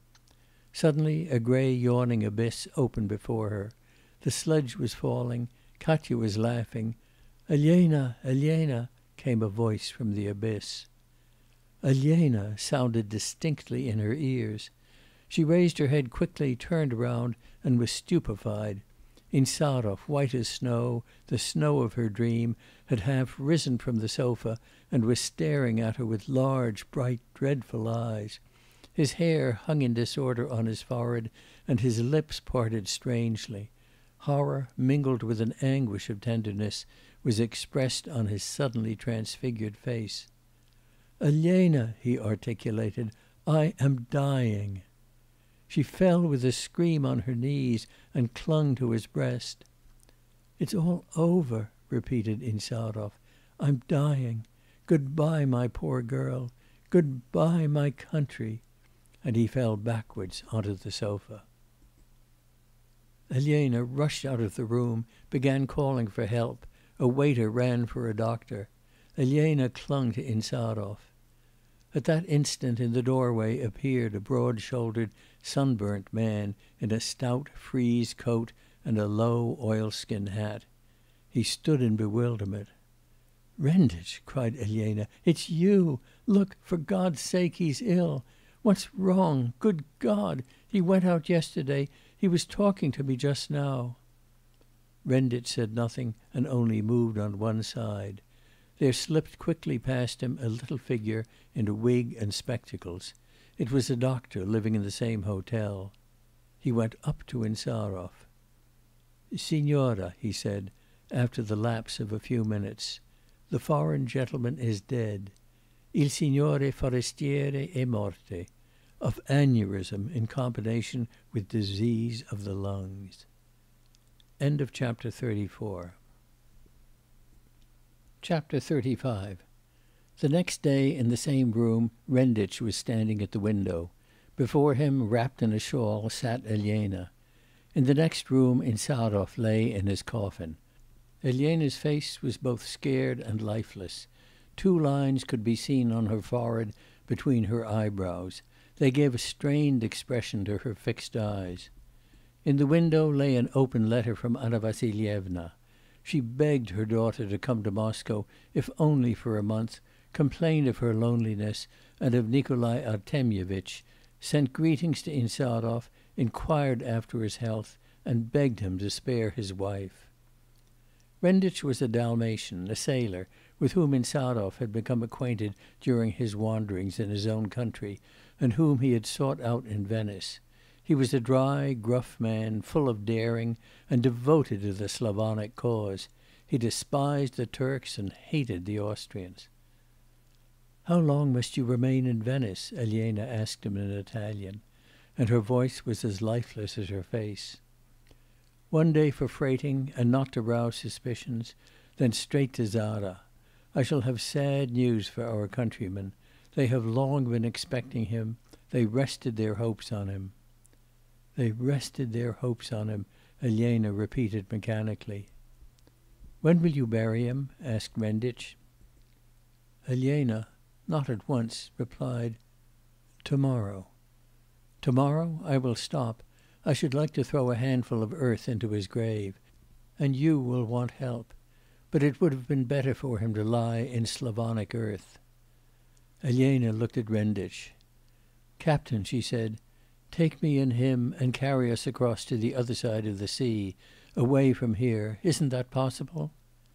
Renditch considered. 'Possible, certainly, but difficult. We shall have to come into collision with the damned authorities here. But supposing we arrange all that and bury him there, how am I to bring you back?' 'You need not bring me back.' 'What? Where will you stop?' 'I shall find some place for myself. Only take us, take me.' Renditch scratched the back of his head. "You know best, but it's all very difficult. I will try, I will try, and you expect me here in two hours' time.' He went away. Elena passed into the next room, leaned against the wall, and for a long time stood there as though turned to stone. Then she dropped on her knees, but she could not pray. There was no reproach in her heart; she did not dare to question God's will, to ask why he had not spared, pitied, saved, why he had punished her beyond her guilt, if she were guilty. Each of us is guilty by the fact that he lives and there is no one so great a thinker, so great a benefactor of mankind, that he might hope to have a right to live for the service he has done. Still Elena could not pray; she was a stone. That same night a broad bottomed boat put off from the hotel where the Insarovs lived. In the boat sat Elena with Renditch, and beside them stood a long box covered with a black cloth. They rowed for about an hour, and at last reached a small two masted ship, which was riding at anchor at the very entrance of the harbour. Elena and Renditch got into the ship; the sailors carried in the box. At midnight a storm had arisen, but early in the morning the ship had passed out of the Lido. During the day the storm raged with fearful violence, and experienced seamen in Lloyd's offices shook their heads and prophesied no good. The Adriatic Sea, between Venice, Trieste, and the Dalmatian coast, is particularly dangerous. Three weeks after Elena's departure from Vienna, Anna Vassilyevna received the following letter in Moscow: My dear parents, I am saying good bye to you for ever. You will never see me again. Dmitri died yesterday. Everything is over for me. To day I am setting off with his body to Zara. I will bury him, and what will become of me I don't know. But now I have no country but Dmitri's country. There they are preparing for revolution, they are getting ready for war. I will join the Sisters of Mercy; I will tend the sick and the wounded. I don't know what will become of me, but even after Dmitri's death I will be faithful to his memory, to the work of his whole life. I have learnt Bulgarian and Servian. Very likely I shall not have the strength to live through it all for long. So much the better. I have been brought to the edge of the precipice, and I must fall over. Fate did not bring us together for nothing; who knows? Perhaps I killed him; now it is his turn to draw me after him. I sought happiness, and I shall find perhaps death. It seems it was to be thus. It seems it was a sin. But death covers all and reconciles all, does it not?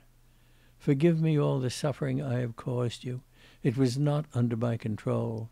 But how could I return to Russia? What have I to do in Russia?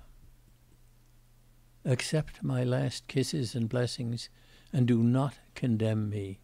R. Nearly five years have passed since then and no further news of Elena has come. All letters and inquiries were fruitless. In vain did Nikolai Artemyevitch himself make a journey to Venice and to Zara after peace was concluded. In Venice he learnt what is already known to the reader; but in Zara no one could give him any positive information about Renditch and the ship he had taken. There were dark rumours that some years back, after a great storm, the sea had thrown up on shore a coffin in which had been found a man's body. But according to other, more trustworthy accounts, this coffin had not been thrown up by the sea at all, but had been carried over and buried near the shore by a foreign lady coming from Venice. Some added that they had seen this lady afterwards in Herzegovina, with the forces which were there assembled. They even described her dress, black from head to foot. However it was, all trace of Elena had disappeared beyond recovery for ever; and no one knows whether she is still living, whether she is hidden away somewhere, or whether the petty drama of life is over, the little ferment of her existence is at end, and she has found death in her turn. It happens at times that a man wakes up and asks himself with involuntary horror: Can I be already thirty, forty, fifty? How is it life has passed so soon? How is it death has moved up so close? Death is like a fisher who catches fish in his net and leaves them for a while in the water. The fish is still swimming, but the net is round him, and the fisher will draw him up when he thinks fit. What became of the other characters of our story? Anna Vassilyevna is still living; she is aged very much since the blow that has fallen on her, is less complaining, but far more wretched. Nikolai Artemyevitch, too, has grown older and greyer, and has parted from Augustina Christianovna. He has taken now to abusing everything foreign. His housekeeper, a handsome woman of thirty, a Russian, wears silk dresses and gold rings and bracelets. Kurnatovsky, like every man of ardent temperament and dark complexion, a devoted admirer of pretty blondes, married Zoya; she is in complete subjection to him, and has even given up thinking in German. Bersenyev is in Heidelberg; he has been sent abroad at the expense of the government; he has visited Berlin and Paris, and is not wasting his time; he has become a thoroughly efficient professor. The attention of the learned public has been caught by his two articles on some peculiarities of ancient law as regards judicial sentences, and on the significance of cities in civilization. It is only a pity that both articles are written in rather a heavy style, disfigured by foreign words. Shubin is in Rome; he is completely given up to his art, and is reckoned one of the most remarkable and promising of young sculptors. Severe tourists consider that he has not sufficiently studied the antique, that he has no style, and reckon him one of the French school. He has had a great many orders from the English and Americans. Of late there has been much talk about a Bacchante of his; the Russian Count Boboshkin, the well known millionaire, thought of buying it for one thousand scudi, but decided in preference to give three thousand to another sculptor, French pur sang for a group entitled "A youthful shepherdess dying for love in the bosom of the genius of spring.' Shubin writes from time to time to Uvar Ivanovitch, who alone has remained quite unaltered in all respects.